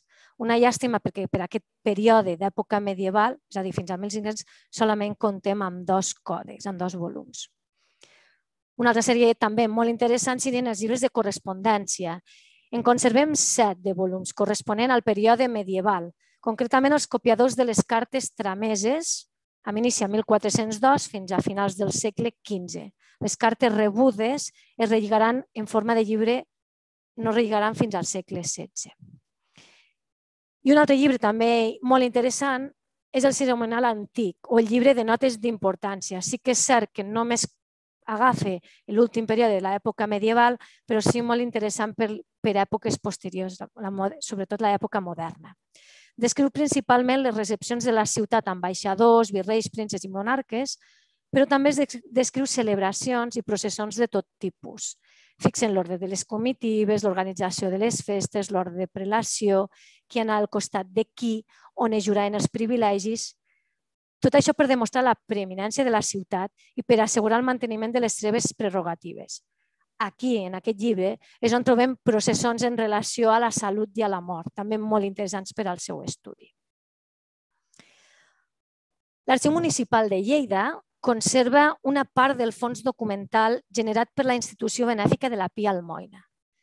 Aquest no forma part del fons municipal. Consta d'uns 450 documents entre lligalls, còdecs i pergamins i el període, el període cronològic abasta des del segle XIII fins al segle XIX. La Pia Almoina, fundada i dotada econòmicament l'any 1168 i administrada pel capítol de la Seu, era una institució destinada a socórrer els necessitats dels peregrins a partir de donacions i llegats en format de censal, diners o aliment. La seva tasca principal era l'alimentació de pobres, perdoneu, l'alimentació de pobres, de peregrins, de peregrines, de vídues, aquesta documentació devia fer cap a l'arxiu en temps de la desamortització, mitjans del segle, del segle XIX, quan la Junta de Enajenació de los Bienes del Clero es va fer càrrec dels béns de l'Església i aquesta després passa al que seria la Junta municipal, de Beneficència Municipal i, per tant, a mans de l'Ajuntament. Aquí segurament és per aquesta la raó que es troba aquesta documentació a l'arxiu municipal. Historiadors com Agustí Prim Tarragó, Pere Sanauja, Prim Bertran i més recentment Guillem Roca i Núria Preixens han estudiat la documentació de la institució de les diferents perspectives i visions, des de l'alimentació, funcionament, les persones acollides, a partir dels comptes, capbreus, testaments, censals i tota la documentació que abarga aquest fons en concret. Què vull dir amb tot això que he definit i que he intentat fer una pinzellada de aquella documentació susceptible d'estudis en relació a la salut, eh, a la salut pública a la ciutat de Lleida. Doncs donar la, les pautes per, poder, per possibles temes a estudiar en aquest període concret, aquest de 1300 a 1600. Quins serien els temes possibles amb la a estudiar o a, o aprofundir, perquè molts ja han estat estudiats a partir de la documentació conservada a l'arxiu, doncs el cicle de pestes, abordat magníficament ja pel doctor Roca Cabau fins a mitjans del segle XIV en la seva, en la seva tesi doctoral i ara en aquest simposi ampliat fins al segle XVI. No sols la incidència de la pesta en la societat lleidatana, sinó també les mesures que el propi Consell General prengué en relació a aquesta. Valdria la pena també conèixer la preocupació de la pròpia institució en relació a altres poblacions a partir de la correspondència rebuda i enviada. I així fa incident també incisió amb el que deia el meu company, el Lluís, no? amb, amb la sèrie aquesta de la, de la correspondència, no? Que a vegades potser no ha estat prou estudiada. Un altre, un altre tema, un altre possible tema, no? altres problemàtiques amb la salut, com per exemple la plaga de la llagosta que és cert que afecten principalment al camp, però que indirectament suposa un, suposa un problema o suposava un problema per a la salut. Lleida en patir una molt important a mitjans del segle XV i queda palesa en la documentació que conservem. Les professions en relació a la salut pública, des dels càrrecs municipals, com el de Mostasaf o el del Pare d'Orfes, aquest pot ser més lligat a, a la beneficència, les relacionades amb l'estudi general, sobretot les vinculades amb la càtedra de Medicina, estudiat també pel doctor Joan Busqueta, o les professions, o les professions relacionades directament amb el malalt i amb les malalties, com els metges, apotecaris, els adroguers o les llevadores, per exemple. Molt lligat a les professions també seria l'estudi dels gremis i de les confraries. També molt interessant l'estudi de les malalties, quines eren les més comunes, els símptomes, les cures, les medicines emprades. El control de l'Ajuntament sobre, la, sobre la població malalta, la normativa, els bans, els pregons, els acords presos, la manera d'enterrar els morts per infecció, en el qual hem trobat informació que diuen com s'han d'enterrar de, si aquell mort està afectat per, un, per la pesta o per una infecció concreta, eh, el control de la pobresa i la marginalitat.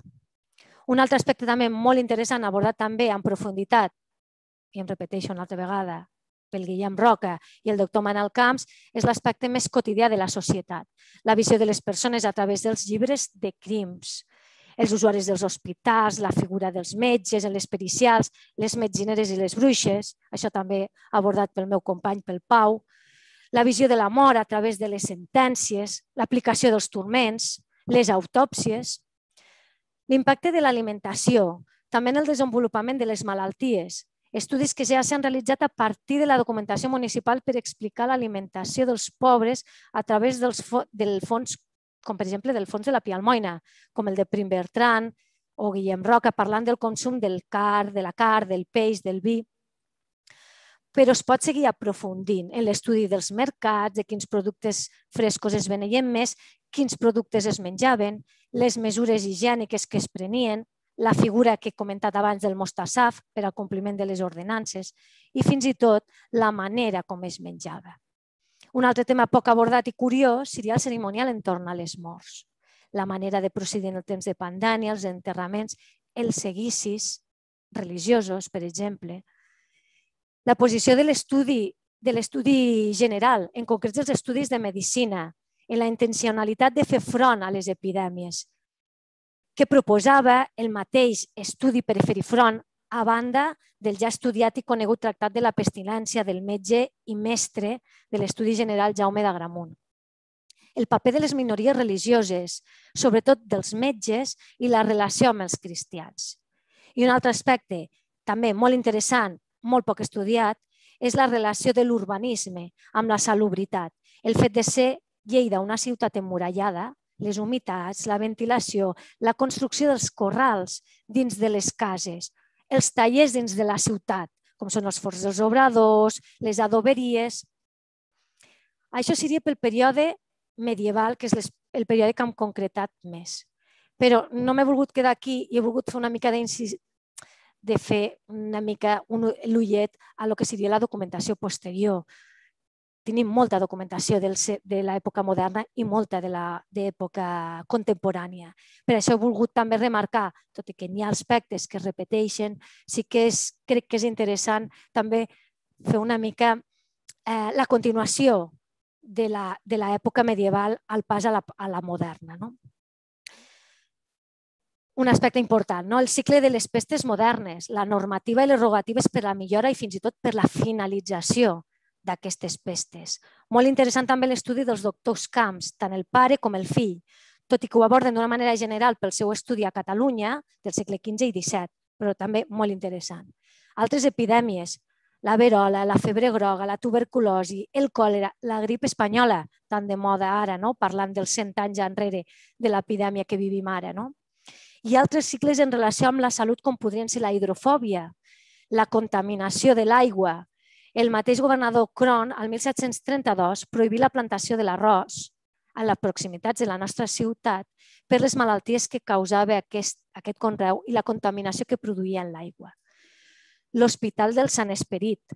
Prim Bertran fa un magnífic, un magnífic treball del, de l'hospital entre els segles XII mm, i XV, però seria també un bon treball veure la seva evolució fins al XVII i el seu posterior i la seva posterior davallada i mort fins al segle XVIII. Un tema poc abordat també, la mortalitat infantil, segurament per la falta de documentació i d'informació. En segona pinzellada és ànit escolar de la mortalitat infantil a finals del XIX a partir dels llibres de defunció que conservem a, a l'arxiu. També a destacar i poc estudiat és l'estudi dels gremis i les confraries relacionats amb la salut pública, apotecaris, adroguers, cirurgians, el funcionament de l'Hospital General en època moderna i contemporània. Molt interessant, penso, perquè és un hospital medieval, fin, ai, perdoneu, un hospital municipal fins al, fins al segle XX. I, el de, I sobretot trobo que ha de ser molt interessant el desenvolupament d'aquest hospital en períodes d'entreguerres, no? d'entreguerres i en períodes de guerra. Un altre estudi encara per realitzar seria l'evolució de la pialmoina a partir del segle XVI. Tornem a anomenar el cerimonial entorn a la salut, però centrant-nos en època moderna i contemporània, les celebracions per festejar la salut dels reis, les rogatives, els tedeums, els cerimonials dels enterraments, l'exposició del cadàver, per exemple, el seguici, la vestimenta d'aquests, l'oració fúnebre. I no menys important, ja a principis del segle XIX, seria la gestió dels cementiris municipals, els, els costums emprats per l'enterrament i tot el que suposava de normativa. En definitiva, hi ha manera de conclusió resaltar la feina feta pels diferents investigadors que han emprat la documentació municipal de l'arxiu per als seus estudis, prenent com a base la salut pública i encoratjar a la resta d'investigadors d'endinsar-se entre els documents que conserva l'arxiu de la ciutat i que encara estan per estudiar. Moltes gràcies. Moltes gràcies, Yolanda. Mm, crec que ens ha quedat claríssim que hi ha moltíssima feina a fer, però crec que també és molt esperançador no? veure tot el camí que tenim encara per córrer i potser hauríem no, de fer, jo crec que amb això ho, hem, ho hem comentat tant alguna vegada, no? fer una crida a, als estudiants, als investigadors, no sé si a les universitats suposo que fan el que poden, però també a les institucions que cal estimular la recerca, uh -huh. perquè no? queda Exacte. claríssim que de camp per córrer n'hi ha moltíssim i que, i que hi ha molta feina per fer. Però eh, jo crec que és molt estimulant saber-ho també. Eh? Molt bé, gràcies. Molt bé, gràcies, Yolanda. I anem amb la darrera de les intervencions d'aquesta tarda. Eh, es la farà el company i amic Pau Castell, la seva intervenció porta per títol L'Hospital de Pobres de la vila de Trem, als segles XII-XVI, aproximació al funcionament d'una institució hospitalària d'àmbit rural. Perquè no els, pels que no el conegueu, el Pau és professor a la Universitat de Barcelona, és la quota universitària que tenim aquesta tarda juntament amb el doctor Fiter. La seva recerca s'ha centrat sobretot en l'estudi del fenomen de la bruixeria a Catalunya, aquest tema li va dedicar la seva tesi doctoral, Orígens i evolució de la cacera de bruixes a Catalunya als segles XV i XVI, premiada per la Fundació Noguera, però també ha publicat articles i algun llibre en aquest sentit, com el de l'exposició de la, feta per la xarxa de museus de les Terres de Lleida i Aran, se'n parlava i n'hi havia bruixeria al Pirineu i a les Terres de Ponent. A més a més, com hem dit, té diversos articles sobre el tema, on destacaríem When What Witches Suffocate Children o The Mythical Complex of the Iberian Witch, així com el capítol Con toda templança i moderació, el santo oficio ante la caza de brujas en Catalunya. El 2019 va editar juntament amb Carme Montaner el llibre de privilegis de la vila de Trem, 1079-1487. Però avui, Pau, no parlarem de bruixes, tot i que segurament alguna relació eh, hi acabaríem trobant o segur que també les van culpar d'alguna cosa sobre el tema. Com vulguis, Pau. Molt bé, moltes gràcies, Carme, per la presentació. Bona tarda a tothom. Gràcies a l'organització també, especialment al, al Guillem per la convidada. Efectivament, no, no, avui no parlarem de bruixes, tot i que després de sentir algunes de les um, intervencions d'aquest matí, efectivament hi hauria, hi hauria de tema, eh? perquè sobretot veiem les sèries estadístiques no? I, i aquests uh, pics uh, epidèmics, uh, la informació amb la que jo treballo de pics persecutoris, diguem, de casos per bruixeria, doncs uh, coincideixen força. Per tant, hi ha feina a fer, eh? si algú s'anima, doncs ens hi podem posar. Um, compartiré la, la presentació i començaré per no menjar-me uh, més temps, suposo que la veieu. Bé, um, jo el que faré avui és presentar els resultats provisionals eh, d'una petita recerca sobre un hospital força desconegut, que és l'Hospital Medieval eh, de la vila de Trem.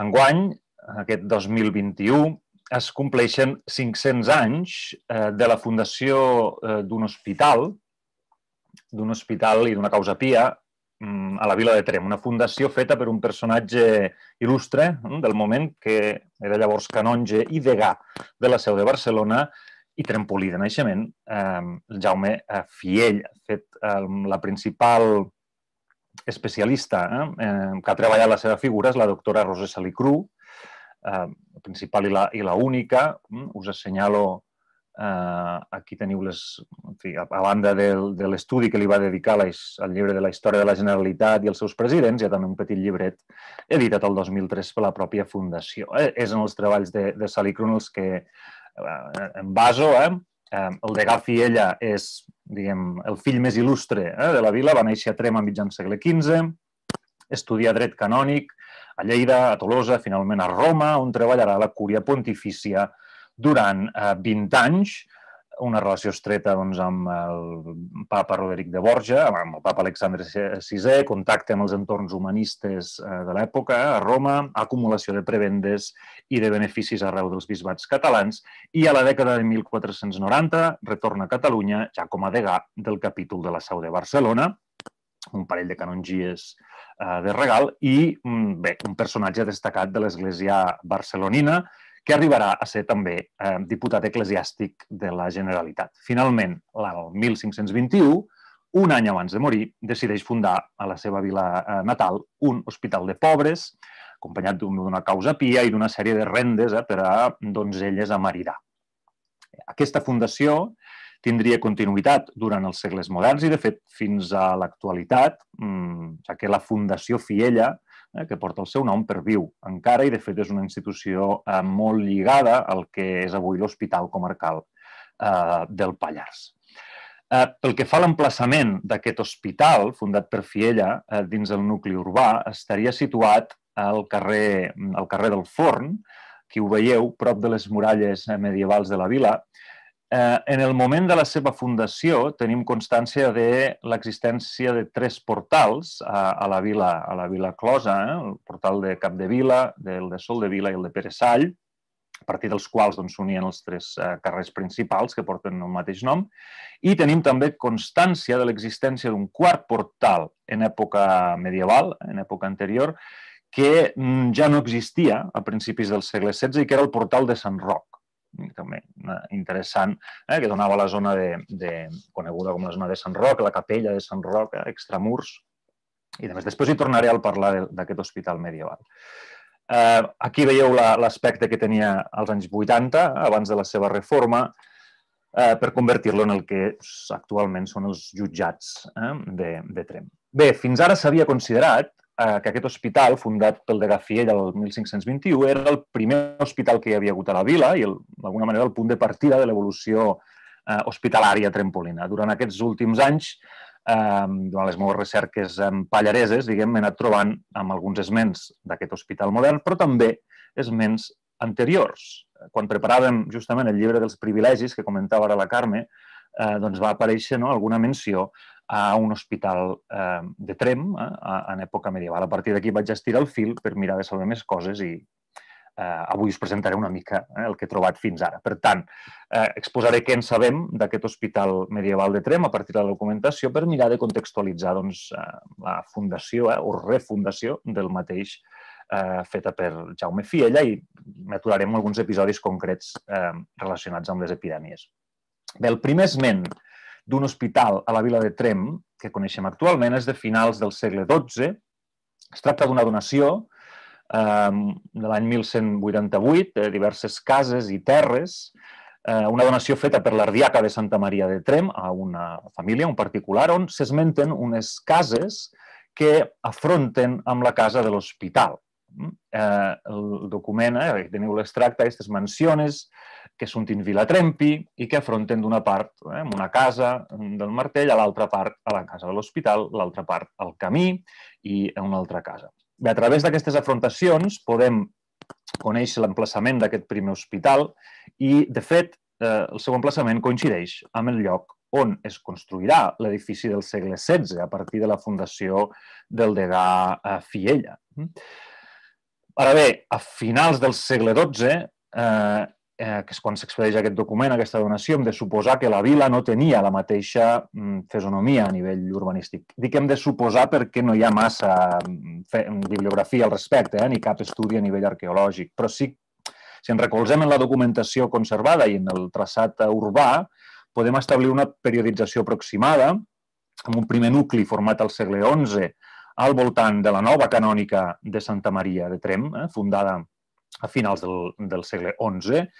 Una segona fase d'ampliació d'aquest eh, primer nucli, a mesura que la vila es va consolidant com a centre eh, polític, sobretot comercial, eh, de la zona, i finalment una tercera fase que trenca la zona sud, la zona del Mercadal, i dels sols de vila, que és quan tenim ja doncs, els esments eh, d'aquesta fortificació de la vila, amb una muralla, sis torres rodones, els portals, etc etc. Per tant, aquest primer esment de l'hospital correspondria eh, probablement a aquestes primeres fases no? i el seu emplaçament, per tant, es podria relacionar amb aquest desaparegut portal de Sant Roc, eh, que comentava abans, eh, una de les vies d'accés eh, a la vila. Sigui com sigui, aquest és eh, diguem l'únic esment eh, que he pogut trobar anterior a l'època baixa medieval. El següent esment eh, és ja de 200 anys més tard, eh, en el segle XIV, i es tracta d'un document dels registres de cúria de la Seu, eh, de la Seu d'Urgell, segons el qual el bisbe d'Urgell, que era el senyor eh, de la vila de Trem, eh, concedeix una sèrie de pensions censals per al manteniment de l'hospital eh, de la vila. Mm? Estem en un context de crisi, eh, després de l'entrada i saqueig de Trem per les companyies blanques, el 1368, fi, és un moment on s'uneixen també les quatre confraries que hi havia a la vila perquè no es poden mantenir i eh, doncs aquell any, l'any 1382, el bisbe Berenguer d'Erill concedeix a l'Hospital de Trem un seguit de censals eh, que eren censals que diversos particulars pagaven anteriorment als pobres de Crist i que sumen un total d'uns 107 sous eh, i 3 diners. Amb aquesta concessió eh, s'esmenten també per primer cop els administradors de l'hospital. Eh? Se'ns diu eh, que aquests administradors hauran d'invertir els diners eh, d'aquests censals pel seu manteniment, pel manteniment de l'hospital, perquè els pobres de Crist s'hi puguin hospedar, se'ls pugui vestir i donar tot allò necessari i l'hauran de mantenir en bon estat i, si cal, eh, fer-hi reparacions. Finalment, el bisbe estableix també que en el cas que el seu oficial, és a dir, l'oficial episcopal eh, de la vila, i els cònsols de Trem ho trobessin pertinent, es podran destinar també una part eh, d'aquests eh, diners a les donzelles eh, per maridar, eh, puelis maritandis. Aquesta darrera menció, la dirigida a l'oficial del bisbe i als, i cònsols, ens dona ja alguna pista eh, pel que fa a la mm, gestió d'aquesta institució a finals del 14 i en concret sobre el paper del Consell Municipal. El Consell de la Vila de Trem estava encapçalat eh, per tres cònsols, eh, cònsol en cap, clavari i obrer, que juntament amb vuit prohoms eh, formaven el Consell Reduït, eh, el Consell de Prohoms, com se l'anomenava, i després hi havia doncs, el Consell General, amb un nombre variable al voltant d'una quarantena de consellers.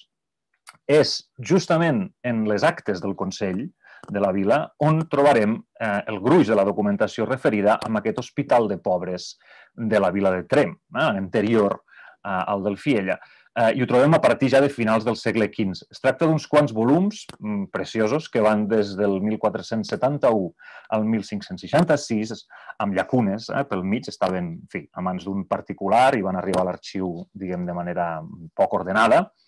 Um, aquestes actes, um, les, alguns ja ho sabeu, les tinc completament editades des de fa ja una colla d'anys i repartides entre col·legues i amics, però encara no he tingut temps eh, de publicar-les, però vaja, que si algú li interessa algun dels aspectes que comentaré, doncs li puc fer arribar el text en qüestió sense problema. Bé, les actes municipals de Trem, a partir de 1471, fan referència, evidentment, a la gestió de l'hospital. De fet, ja en la pròpia elecció de cònsols eh, i de personatges, elecció que es feia cada any, el primer diumenge de Pasqua, mm, s'esmenten invariablement tant els administradors de l'hospital com els oïdors eh, de comptes i també els plegadors als pobres vergonyants i als pobres a vestir. A més a més, tenim també registrats els diversos inventaris que es feien cada any. Eh? Dins dels mateixos llibres d'actes s'inclouen aquests inventaris de béns de, de l'hospital i també el nomenament d'hospitalers, eh, de les persones que tenien que regien eh, l'hospital en comanda, sovint eh, dones eh, o, o parelles. Bé, si buidem tota aquesta documentació dels, dels diversos anys, ja dic que hi ha moltes llacunes eh, pel mig perquè s'han conservat només a nivell fragmentari eh, alguns, alguns llibres d'actes, però aquí us presento eh, un, un exemple d'uns quants anys eh, de les primeres dècades del 16 on veiem això, eh, els dos administradors, un sempre és un canonge mm, del capítol eh, i un altre és membre del Consell. Eh, dos administradors, tres, tres oïdors de comptes habitualment i eh, finalment doncs, dos, eh, dos plegadors eh, pels pobres vergonyants i dos més pels eh, pobres a vestir.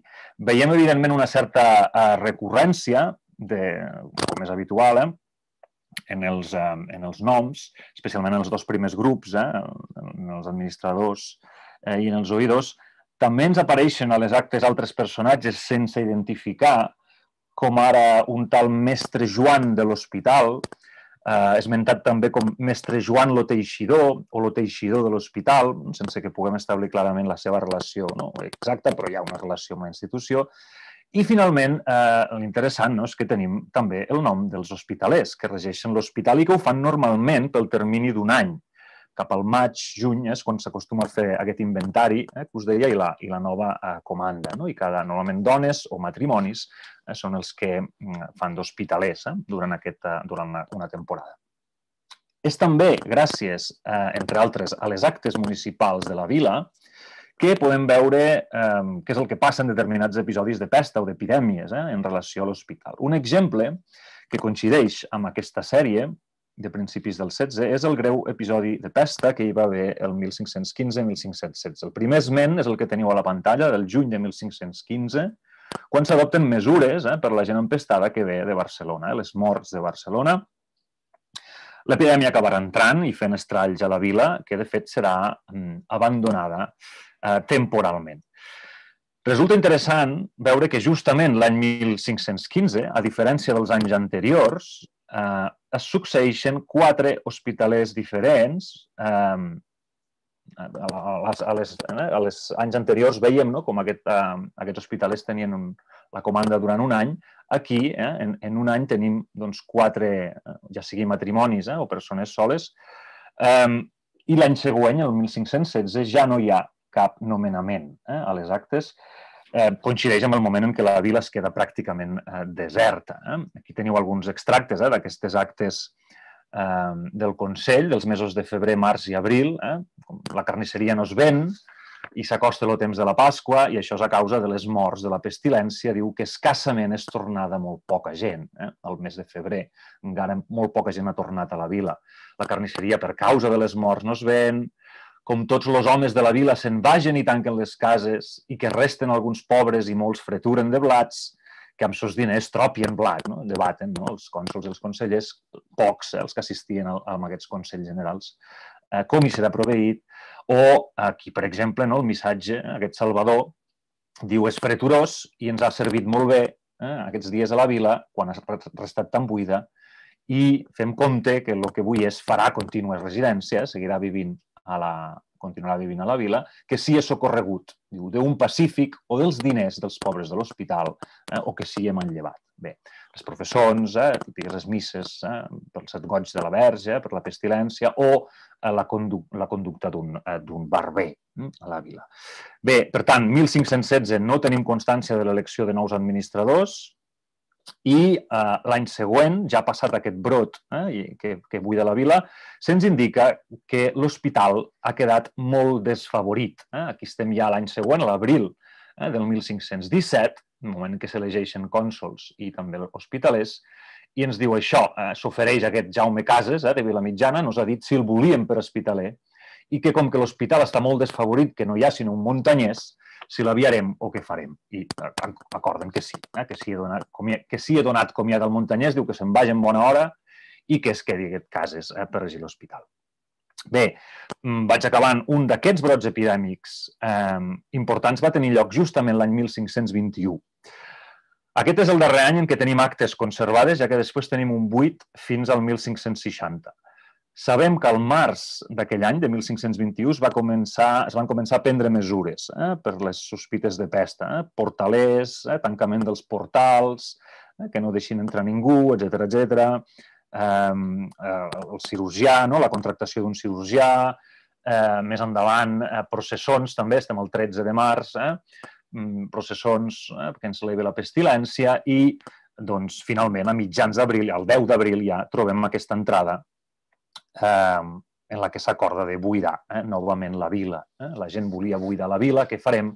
I després de deliberar acorden amb aquest explícit que tothom isca, eh? que tothom isca, l'argent en l'arxiu, eh, tancat i, i tothom fora. Bé, justament aquell mateix any, això estem al mes d'abril, eh, uns mesos més tard és quan va tenir lloc la redacció de la causa Pia amb la que he començat la intervenció per part del degà de Barcelona, Jaume Fiella, al setembre de 1521, és quan es redacta el document que estableix la construcció d'un nou hospital i la seva dotació.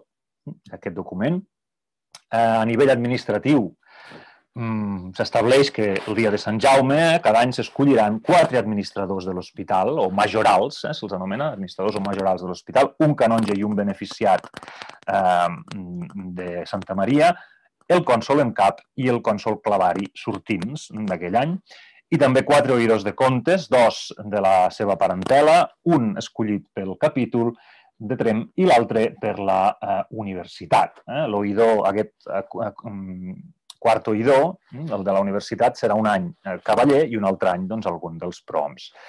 Eh, a nivell econòmic, això va acompanyat d'una important dotació econòmica eh, destinada al manteniment del Sant Hospital, que eh, s'ocuparà d'una banda d'acollir els pobres, tant homes com dones, als que s'ha de donar, diu, habitació amb llit i roba per dormir i taula per menjar i menjar, tot especificant que si tenen bona salut, diu, tan sols poden romandre tres dies a la casa per evitar que, es pugui, que se'n puguin aprofitar gallofres i belitres. Eh? Això sí, en el cas d'estar malalt, se'ls ha de donar menjar eh? i assistència del metge i medicines, segons s'acostuma a fer amb les persones de la població. Com us dic, el següent quadern d'actes que conservem és ja de 1560, per tant l'últim és del 1521, amb aquest episodi de pesta, i el segon és eh, de 1560, i en aquest hi veiem ja com se seguirà respectant en la lletra allò que havia estat establert eh, pel fundador. Eh? Aquí teniu un exemple, un acte del 1561, en què s'escullen doncs, el majoral i l'oïdor de l'hospital, en se'ns diu segons l'ordinació eh, que va deixar feta l'Odegà, eh? és a dir, l'Odegà Fiella, 40 anys abans. I aquella institució hospitalària es va consolidar ràpidament i, de fet, un segle més tard eh, veiem com un canonge de Santa Maria de Trem, el doctor Grima, esmentava ja que a Trem, diu, hi són domiciliades 20 cases de cavallers, molts doctors i juristes, doctors metges i altres artistes en totes les facultats, de tal manera que no hi ha memòria d'homes que mai hagi estat necessari fer venir d'altres ciutats. I ens diu més endavant, havent en la dita ciutat un hospital amb una renda folgada, poguent cedir eh, que l'Hospital General d'aquestes terres, poguent cedir l'Hospital General d'aquestes terres, ja que en ell s'hi admeten eh, pobres d'arreu.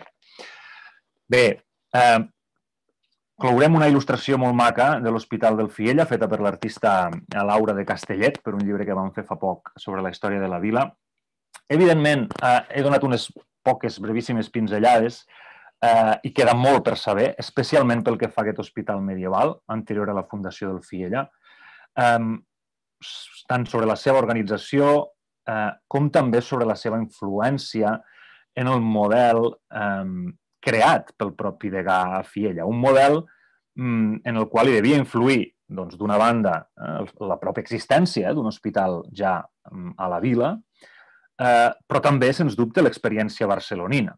Mm, eh, I aquí tenim col·legues que han treballat el tema i que segur que hi poden dir molt més que no pas jo també altres aspectes com la pròpia influència de l'hospital en el seu entorn, eh, més enllà del, pop, del propi nucli urbà, mm, això que apuntava ja el canon Gebrima.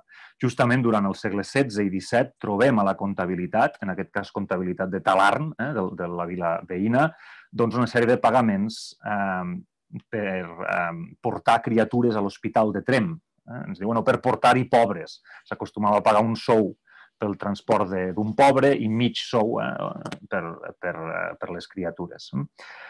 En definitiva, doncs, eh, queda molt camí per conèixer millor la funció, l'impacte d'aquest petit hospital medieval i la seva posició en la xarxa hospitalària al Pallars i a Catalunya. Eh, 20 minutets, doncs acabo aquí. Moltes gràcies. Moltes gràcies, Pau. Fantàstic el cronometratge, 20 minuts. De fet, gràcies a tots, eh, perquè us heu senyit molt al temps. Pau, fantàstica eh, la, la recerca que has fet. Em quedo, ostres, m'he quedat amb una cosa i, i que direu, segurament és menor eh, per tot el que estem parlant avui, però és la presència de dones com a hospitaleres. De, em sembla molt interessant no? que, que anem documentant a les dones en llocs i, i en llocs de certa responsabilitat, quan sabeu que la història de les dones està, està molt camí per recórrer i molt camí per fer. Per tant, superinteressant eh, aquest, aquesta pinzellada, aquest apunt, que també ens obre a l'esperança. Bé, doncs, eh, com dèiem, moltes gràcies a tots. Si us sembla, anem a veure eh, el que ens han anat deixant escrit al xat. Hi ha diverses preguntes. Començarem per una pregunta que fa el Toni Conejo, pregunta per en Francesc Fité i la Carmen Berlabé. He entès que l'espai assistencial de l'ermita de Colobó apareix referida a la documentació amb el nom de Xenodòquium. En quina cronologia només hi surt el terme Xenodòquium? Carme, Francesc?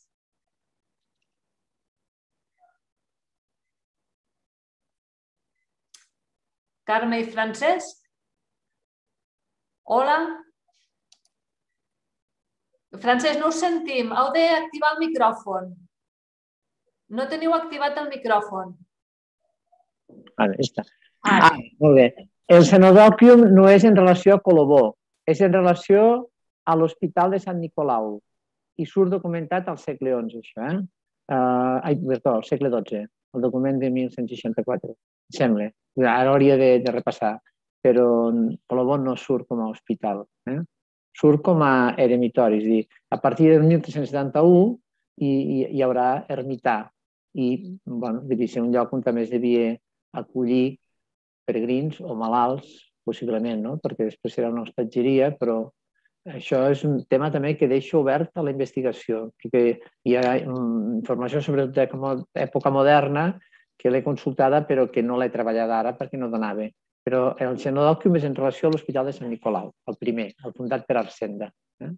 on surt aquesta referència. Molt bé. No marxeu, Francesc, perquè en J. Corbella pregunta també al doctor Fité alguna vegada es van ajuntar o fusionar els diferents hospitals fundats a la vila d'Agen? No, no, no. Eh, l'hospital, eh, aquest hospital que depenia de, de Bellpuig de les Avellanes, el documentem al 12 i al 13, eh, hi ha alguna referència al 15, suposo que hi ha un moment que es deixa d'utilitzar perquè ja no se'n parla més. En canvi, l'Hospital de Sant Joan, clar, comença al segle XV i s'hauria de continuar investigant, eh? però és possible eh, que molt modernament s'adjuntés tot perquè després consta solament un hospital, mm, un hospital únic. Eh? Jo això ja no he estudiat, he estudiat l'època medieval, però en l'època medieval no s'adjunten, eh? Estan separats com els he comentat. El de, també l'hospital de, de Coll d'Ares, després del 13, a mi no, no tinc més referències documentals fins al moment. Eh? S'hauria de mirar altra documentació per veure si segueix constant. És tot. Molt bé, gràcies, Francesc Carmen. Uh, Toni Conejo pregunta per a Lluís Obiols. Diu, a partir d'aquesta xarxa de comunicació que has explicat, els hospitals de colls coneguts des d'inicis d'edat mitjana, Coll de la Perxa, Pimorent, en l'època que has parlat, funcionaven com a tals? Saps fins quan? Bé, eh, la veritat, Toni, no ho sé. Eh, sé que, per exemple, al dietari de la fidelíssima vila de Puigcerdà se cita la construcció d'hospitals a les tres principals collades, a la Perxa, a Pimorent i al Coll de Jou, diguem-ne anant cap al Ripollès, eh? Eh, crec que eh, la fundació la vincula al segle XIV, si no recordo malament. El que sí que és veritat que, per exemple, al Priorat de Sant Joan de la Perxa, això passa a dependre dels hospitalers d'Arles, del monestir d'Arles, i a partir del 15 crec que desapareix ja amb la denominació d'hospital. Eh, a nivell més de xarxa, diguem-ne, amb la seu, no et surten referenciats, perquè en aquest moment en tot cas, tens un hospital urbà, com seria el cas del de Trem, que, que ens ha explicat el Pau, però en aquest cas, aparentment no han d'estar en funcionament, aparentment, eh? perquè ho saps millor que no pas jo, en aquest cas, la, la seva funció també d'assistència als viatgers, eh, més enllà del tema sanitari, sembla, sembla que no, no es manté o, o hi ha altres localitats que agafen aquesta funció. Eh? Estic pensant, per exemple, el cas a l'Arieja mateix, el cas de l'Hospitalet, és l'antic hospital de Santa Susana que acaba convertit en un nucli de població estable encara avui. Eh? Per tant, no, no ho conec, però si més no, a partir del segle XV jo no els, no els he trobat documentats de moment. Bé, seguim. Uh, Guillem Roca pregunta per a Lluís Obiols sobre els certificats de sanitat, quan es comencen a utilitzar? Jo els trobo a principis del 17, però no sé des de quan. Fins i tot, si no recordo malament, i ara també ho hauria de repassar, crec que hi ha un moment que és la ciutat de Barcelona precisament que envia un model, un model de certificat per dir, escolteu, els certificats s'han de fer d'aquesta manera, eh, crec que és en un moment en el que hi ha previst alguna visita reial a la ciutat o alguna cosa així. I suposo que és per mantenir una mica la, la seguretat a nivell sanitari. Eh?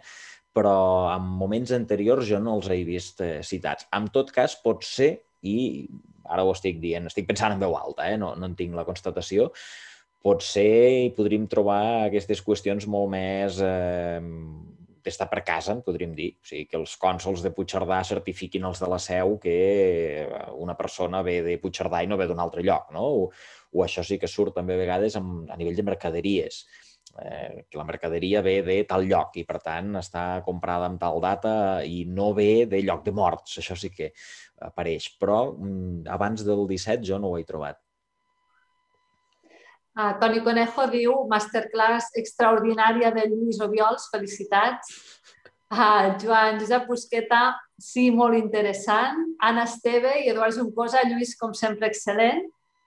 I anem a l'Enric, que diu pregunta tangencial per Lluís Obiols. He trobat documentat, documentat la construcció d'un hospital a Organyà. Em podries orientar on puc trobar informació del mateix? Si no recordo malament, eh, amb el cas d'Organyà és una situació també similar a la que ens ha explicat tant el Francesc Fiter com el Pau Castell. És un hospital vinculat a la canònica de Santa Maria d'Organyà, crec que fundat el 12, però no ho conec amb, amb suficient precisió però si no recordo malament, a l'arxiver del Bisbat d'Urgell, mossèn Benigne Marquès, havia treballat el tema fa temps, eh, precisament vinculant-ho a la Fundació de la Canònica de Santa Maria. No sé si pot el Francesc Fiteu coneix millor per època i per temàtica, eh? Però crec que és això. En aquest cas sí que no sé tampoc fins quan està en funcionament, tinc la sensació que ha de ser un hospital de molt reduïdes dimensions, com hi havia també un hospital a la vila de Castellbó, eh? per exemple, aquestes, aquesta xarxa urbana que a vegades ara no tenim molt clara, eh? de petites viles, estic pensant en eh, Gòsol, Sant Llorenç de Morunys, eh, això, Castellbó, Tírbia, són localitats que actuen com a capital a aquella època i, per tant, mantenen aquestes institucions, segurament amb, amb poca dotació, però suficient per fer la funció per la que estan destinades. En el cas d'Organyà, el que diem, no sé fins quan està en funcionament. Amb, el, amb l'agreujant que la documentació d'Organyà està destruïda pràcticament amb la seva totalitat el, durant la Guerra Civil, amb la qual cosa podríem buscar referències tangencials, però a nivell de gestió del municipi, mm, malament. No sé, Francesc Fiter, si per al·lusions vols dir alguna cosa? Francesc, veure, moment. El, el, sí? No, jo el cas d'Organyà no el conec bé, eh? Em sona l'estudi aquest de, de mossèn Beningue Marquès i sí, és una cosa semblant a la d'Age, és veritat. És veritat. No, no, tampoc tinc la informació ara. Mm, mm -hmm. Però bueno, és un cas semblant, no? I el de Trem, no? Perquè Trem, al fi al cap, era, era, era una ciutat del bisbe. I per tant, jo ho ha explicat molt bé el Pau, com la ciutat sorgeix d'un mercat al voltant de l'església i va creixent, no? És un creixement a nivell urbanístic superinteressant, no? Perquè si miréssim, miréssim ara l'urbanisme, aquest urbanisme que va envoltant l'església i va prendre aquesta forma eh, envoltant-la, és superinteressant, no? Però bueno, són casos, casos semblants, no? És qüestió de, de seguir estudiant. Nosaltres hem, hem obert, diguem, la, el meló i ara mm, s'ha de seguir aprofundint. Eh, per exemple, la documentació d'època moderna d'Age s'ha d'estudiar més a fons del que jo l'he estudiat. M'he centrat més en el medieval, però Per exemple, això que ha parlat dels certificats, jo també els he vist a l'Ajuntament i també al segle XVII, no? eh, que s'expedien per poder viatjar quan en èpoques de pandèmia. Tant és, hi ha tot molta, molta feina a fer. Val. Exacte, ben bé, és l'obertura del meló. Tant de bo, tant de bo aquestes jornades siguin l'obertura d'un meló, almenys a nivell territorial. No? Sí. Eh, seguim Margarida Güell i Toni Conejo i Lluís Obiols, gràcies, ho he trobat epustuflant, interessantíssim. Uh, Joan Busqueta, molt bona, la descripció possibilitats de la documentació de l'Arxiu Municipal de Lleida i Holanda. Carmel, la documentació de Lleida és fabulosa, efectivament. Toni Conejo, pregunta per al Pau Castell. L'hospital tenia dos administradors i tres oïdors de comptes. Per què tants oïdors? Sí, no, no et sé contestar, Toni, no ho sé.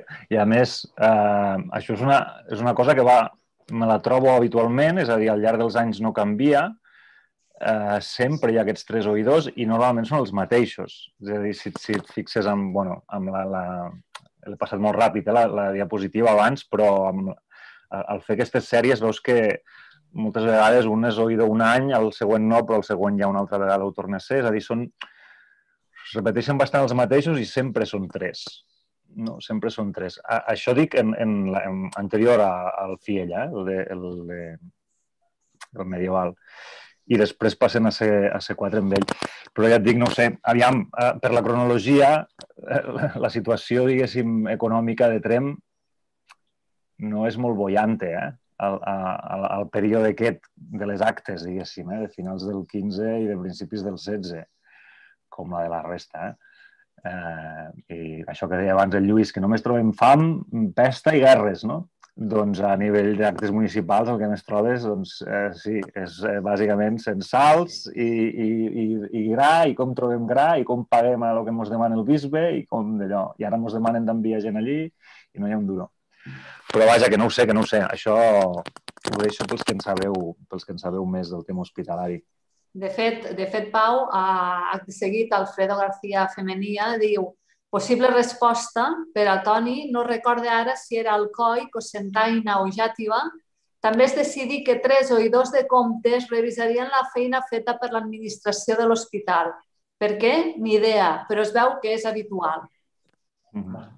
Uh, Toni Conejo respon gràcies al fred, però tres em semblen un nombre important. Seguim. Guillem Roca pregunta per al Pau Castell. Quan la gent marxa de Trem davant la pesta i buiden la vila, on van? Són acollits en un altre municipi? Gran pregunta, jo també me la vaig posar quan estava transcrivint el, el, tot això, perquè efectivament, igual que eh, tens aquesta referència no, de que la gent marxa de Trem, també tens moltes referències de dir tanqueu la porta als de Talarn, o que no vingui ningú de puesto empestat, evidentment, no? les primeres mesures que es prenen sempre són de, de tancar el d'això. Llavors, no ho sé, no ho sé, mm, perquè no, no ho sé perquè no, no, no hi ha cap dada en, en les actes o en la documentació municipal que jo he consultat que ens ho, que ens ho digui. Eh? O sigui, sí, i, I tampoc, evidentment, el Pallars no és una terra de, no és una terra de masos, diguéssim, com, a, com altres zones, no ho sé. No ho sé, si acampaven fora, si... Hi ha alguns anys que jo he pensat, alguns, alguns episodis de pesta sí que permetrien doncs, acampar durant un temps. Eh, perquè moltes vegades això, no? mesos de juny, eh, maig, juny, al febrer és més fotut eh, a, la, a la conca de Trem si no tens un, un sostre al, al damunt. Això una mica amb el que comentes, eh, Pau, amb el cas dels de, registres de consells de la vila de Puigcerdà, a vegades el 16, aquestes pestes, per exemple, de 1521 i això, sí que hi ha referències de la gent de Puigcerdà que marxen de Puigcerdà i se'n van per la terra de Cerdanya. Suposo que llocs a vegades, eh, que penseu que el que diem de les capitals, eh, eh, estar a Puigcerdà és una primera línia d'ascens social per a la gent dels pobles que s'instal·len a Puigcerdà, pugen eh, a nivell social, poden enviar els fills a estudiar fora i després molts d'aquests fills, per exemple, seran jutges de la Real Audiència de Barcelona. Eh? Per tant, és, és una escala així molt progressiva. Per tant, suposo que tenen residències familiars o cases de parents en diferents pobles de Cerdanya ja. i en algun moment d'aquests de, de pesta recordo un, un registre de consells de Puigcerdà amb el que es diu que demanen que no toquin a morts perquè han de tocar tan sovint que la gent s'espante i fins i tot que eh, la gent que ha marxat de la vila acaba sortint herba als carrers. Per tant, cosa que devia ser prou habitual en situacions extremes, això mateix que va passar a Trem. Eh? Mm, sí, tant. Clar, clar. Sí, d'ordinacions aquestes passa que són totes del 16 en endavant, no? Ja, ja entrem al teu terreno. I són, i són, són molt maques. Sí, sí, a Trem ja s'han conservat aquestes, uh, unes ordinacions justament del, del 16 en algun episodi d'aquests que, és, que també esmenten això, no? que s'ha de fer pels que es queden, diguéssim, pels que es queden, no? que el metge no vagi a les cases, que els metges els hi digui el que han de fer i que ells ho fagin, que mantingui la distància social, no? És allò, 20 passes o 30 passes, no? Que es parlin a crits però que no s'acostin, etc. No? Que la roba que entri es cremi, que les cartes que arribin es suquin amb vinagre, que, clar, vull dir, sí, sí, això sí que hi és. Um, seguim, doncs, amb el xat. Uh, Jota Corbella diu, Pau Castell, podríem dir que l'Hospital del Canonge Fiella absorbeix i continua l'anterior? Clar, no sé, jo tinc més preguntes que respostes, ja ho veieu, eh? Lo, lo, lo que, la meva intenció d'avui era presentar el que tinc, tot, tot el que tinc, perquè els que en saben més que jo eh, puguin dir. Clar, a mi em fa l'efecte que... Aviam, és una, sí, és una refundació, podríem dir, o no sé. Ell decideix fundar un hospital a Trem i, i, i l'ubica al mateix lloc on ja hi havia la casa de l'hospital, amb una situació bastant mm, precària econòmicament en aquells moments, perquè venim d'una sèrie de danyades també de, de pestes i perquè la pròpia documentació ens ho, ens ho mostra, no? que, que la situació està eh, a nivell econòmic eh, malament. I, però, però, diguéssim, absorbir l'hospital és que a mi em dóna la sensació que els, en els anys abans l'hospital és molt poca cosa i si mirem els inventaris, últims inventaris, ho, es veu no? que, que no són uns inventaris molt rics, precisament. No? Mm, rellança, podríem dir, rellança l'hospital, no sé. També és curiós que ell, en el seu document, que és molt, és molt bonic el document, i, i de fet crec que el tenen digitalitzat, vull dir que el podeu consultar uh, per internet a, a, a Arxius GEMCAT, ell, ell fa tota una part autobiogràfica on explica la seva vida, després explica els motius de per què funda un hospital a Trem, eh, vull dir, es considera que ho ha, ho ha de justificar, diguem, no? perquè ella està a Barcelona i diu, havent-hi tants llocs i tants poblats i tantes viles a Catalunya on, les, on la podria fundar, jo decideixo fundar-lo a Trem. Eh, etc. I llavors explica, no? És, són diversos folis, però mai en cap moment no s'esmenta l'existència prèvia d'un hospital. És a dir, no fa cap referència a que, a que ja hi hagi un hospital a Trem. En cap moment ho diu. Per això sempre s'havia pensat que vull dir que, que era una fundació, diguéssim, ex nihilo, que, era, que, era, que decidia fundar un, un hospital allà on no n'hi havia. No? I la novetat és aquesta, gràcies a les actes i gràcies a aquests quatre esments, doncs n'hi havia un altre. Però com era, com funcionava, doncs ben poca cosa, ben poca cosa en sabem. Diu en Joan Busqueta, aquesta sessió tercera és una gran aportació quan el tema dels hospitals rurals de muntanya, Valldaixa, la Seu d'Urgell, Trem, sovint poc tractats, almenys a Catalunya, molt bé també, Pau. Salvatore Marino, enhorabona a tots els ponents de la tarda, molt interessant el cas de Trem, enhorabona Pau. Una curiositat, quines són les denominacions o intitulacions de l'hospital al llarg de la Baixa Edat Mitjana? Les nominacions o intitulacions, què, què, vol, què vol dir? Una curiositat, quines són les denominacions o intitulacions de l'hospital al llarg de la baixa edat mitjana? Ah, o sigui, com li, el, la, el, no, no, no té, li diuen Sant Hospital, Sant Hospital o Hospital. Sí, no, no, no té... Sí, el Sant Hospital o l'Hospital. Sí. El Carmel diu això de les dones hospitaleres és bastant freqüent Paul Bridgewater, molt interessant la referència d'en Pau Castell a la naturalesa de l'Hospital de Trem com a general d'aquestes terres. Remet al sentit de general com a hospital de referència d'una ciutat o territori determinat. En unes dates semblants, al segle XVII, l'Hospital de la Santa Creu és nomenat Hospital General de tot el Principat. Toni Conejo, gràcies Francesc. Eh, Pau Castell, en la foto de l'edifici dels anys 1980 es veu una solana. Encara hi és? En saps la funció original? No, ja no hi és. Uh, no, no, ja no hi és. Es va reformar i, aviam, la reforma és la... Bueno, en fi, ha conservat allò l'entrada, alguns adovellats, però, però tota la part superior de les golfes ha anat fora i queden dos pisos. I, i no, la veritat. Per això, de, fet, no us he volgut ni posar la imatge actual de com està la cosa, he preferit posar-vos la dels anys 80 i, i prou. Però no, i tampoc crec que estigui gens estudiat, eh? Vull dir que... Això. El lío. Dani Rubio diu al Pau Castells, hi ha constància de la malaltia a l'hora d'ingressar els malalts a l'hospital? Clar, no tenim, és a dir, no tenim registres de l'hospital com a tal. No, no. I exist, sabem que existien perquè, per exemple, el canonge Grim els esmenta, el llibre de comptes de l'hospital, tal. Però no, no, no, no s'han conservat o no els tenim a l'arxiu, perquè mai ho pots dir, eh, tractant-se de, del Pallars, potser estan a casa d'algú i un dia apareixeran però no, no tenim eh, aquests llibres. I llavors l'únic que tens són les actes del Consell, que a vegades sí que t'ho diuen. Eh, Talarn se, se moren de glànula eh, i per tant els deixeu entrar o el que sigui, no? però són, vull dir, són eh, esments això, que has d'enganxar no? d'aquí d'allà. No? no hi ha documentació generada per la pròpia, per la pròpia institució. Uh -huh. Toni Conejo, referent al que comentàvem abans no? de, de la creació de l'hospital, diu jo diria que el cas de Trem és una creació nova que substitueix l'antiga, encara que potser això ho han de dir en Pau o la Rosa Salicru, de recollir rendes almoines llegats de l'anterior. No és infreqüent. Diu que és la seva opinió. Mm. Molt, molt possiblement, sí, sí. El, el tema és que, clar, dona la impressió, si llegim únicament el document del Fiella, que, diguéssim, que la, la, la, el sostén econòmic, diguéssim, de la, de la, de la institució és, és, és ell. Vull dir, és ell i el seu, i el seu llegat i els censals que ells deixen no? i els interessos d'aquests censals, etc etc.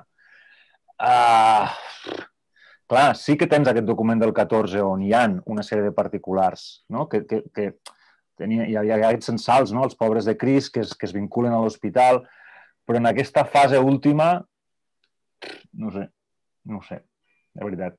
Sí, ja parlarem amb la Rosa Salicru i a veure si, si em sap dir alguna cosa més. El Toni Conejo, sobre el comentari després de l'edifici La, Sonala, la Solana, diu, doncs, un desastre de reforma i diverses admiracions al darrere. Dani Rubio, gràcies, Pau. Jota Corbella, felicitats per les ponències i gràcies per les respostes. Uh, no sé si teniu algú, alguna cosa més a afegir a algú dels ponents. Aquí acaba de moment el xat. Sí, jo volia afegir. Sí, Francesc? Sí, volia afegir en relació a, al, al Pau. Eh?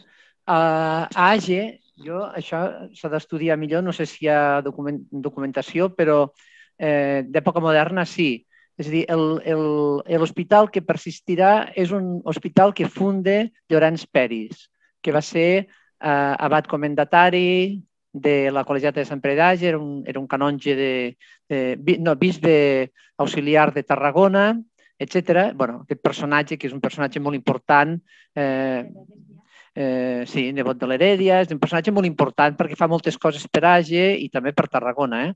I aquí una de les coses que fa és fundar l'hospital, que jo crec que és el trasllat de l'antic hospital que havia fundat l'Arsenda a la Sagrera de Sant Vicenç d'Age, que és on persistirà l'hospital i encara en els llibres de visita, estic pensant en els del segle XVIII, surt referenciat aquest hospital que va ser destruït el 1835 arran de la Primera Guerra Carlina no, i que després, a expenses de l'últim arxiprest, es va eh, edificar l'edifici que ara en diem de l'hospital. Eh? Però és que és un hospital que ha durat fins molt recentment però es podria investigar més, però diríem que l'últim hospital que va tenir el poble va ser aquesta fundació del 1500 eh, i escaig, 30 o anys 40, que és el que és el moment que regeix aquest personatge, el Llorenç mm. Peris. Bueno, només era això, en relació al que havia comentat el Pau. Merci, merci. Va. Molt bé. Si alguna altra paraula dels ponents? Jo, no? jo tenia només alguna dada pel Lluís, però ja que estem aquí la, la puc compartir, perquè no, no sé si l'havia enviat i m'ha fet pensar quan estava explicant amb això de les, de les comunicacions, perquè jo Trem està més avall, però evidentment també et trobes aquestes connexions transpirinenques.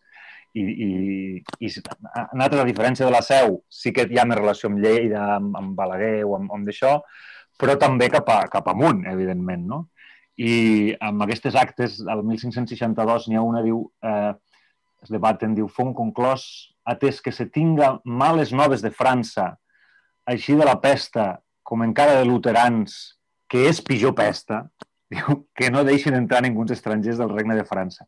Va fer especialment gràcia això i m'ha semblat també molt actual, no? Aquestes males noves de França, aquesta gent que ve de, França, aquesta gent empestada que ve de França i que se'ls, evidentment se'ls hi prohibeix no? entrar, entrar a la vila. I aquest luterans, que és pitjor pesta encara.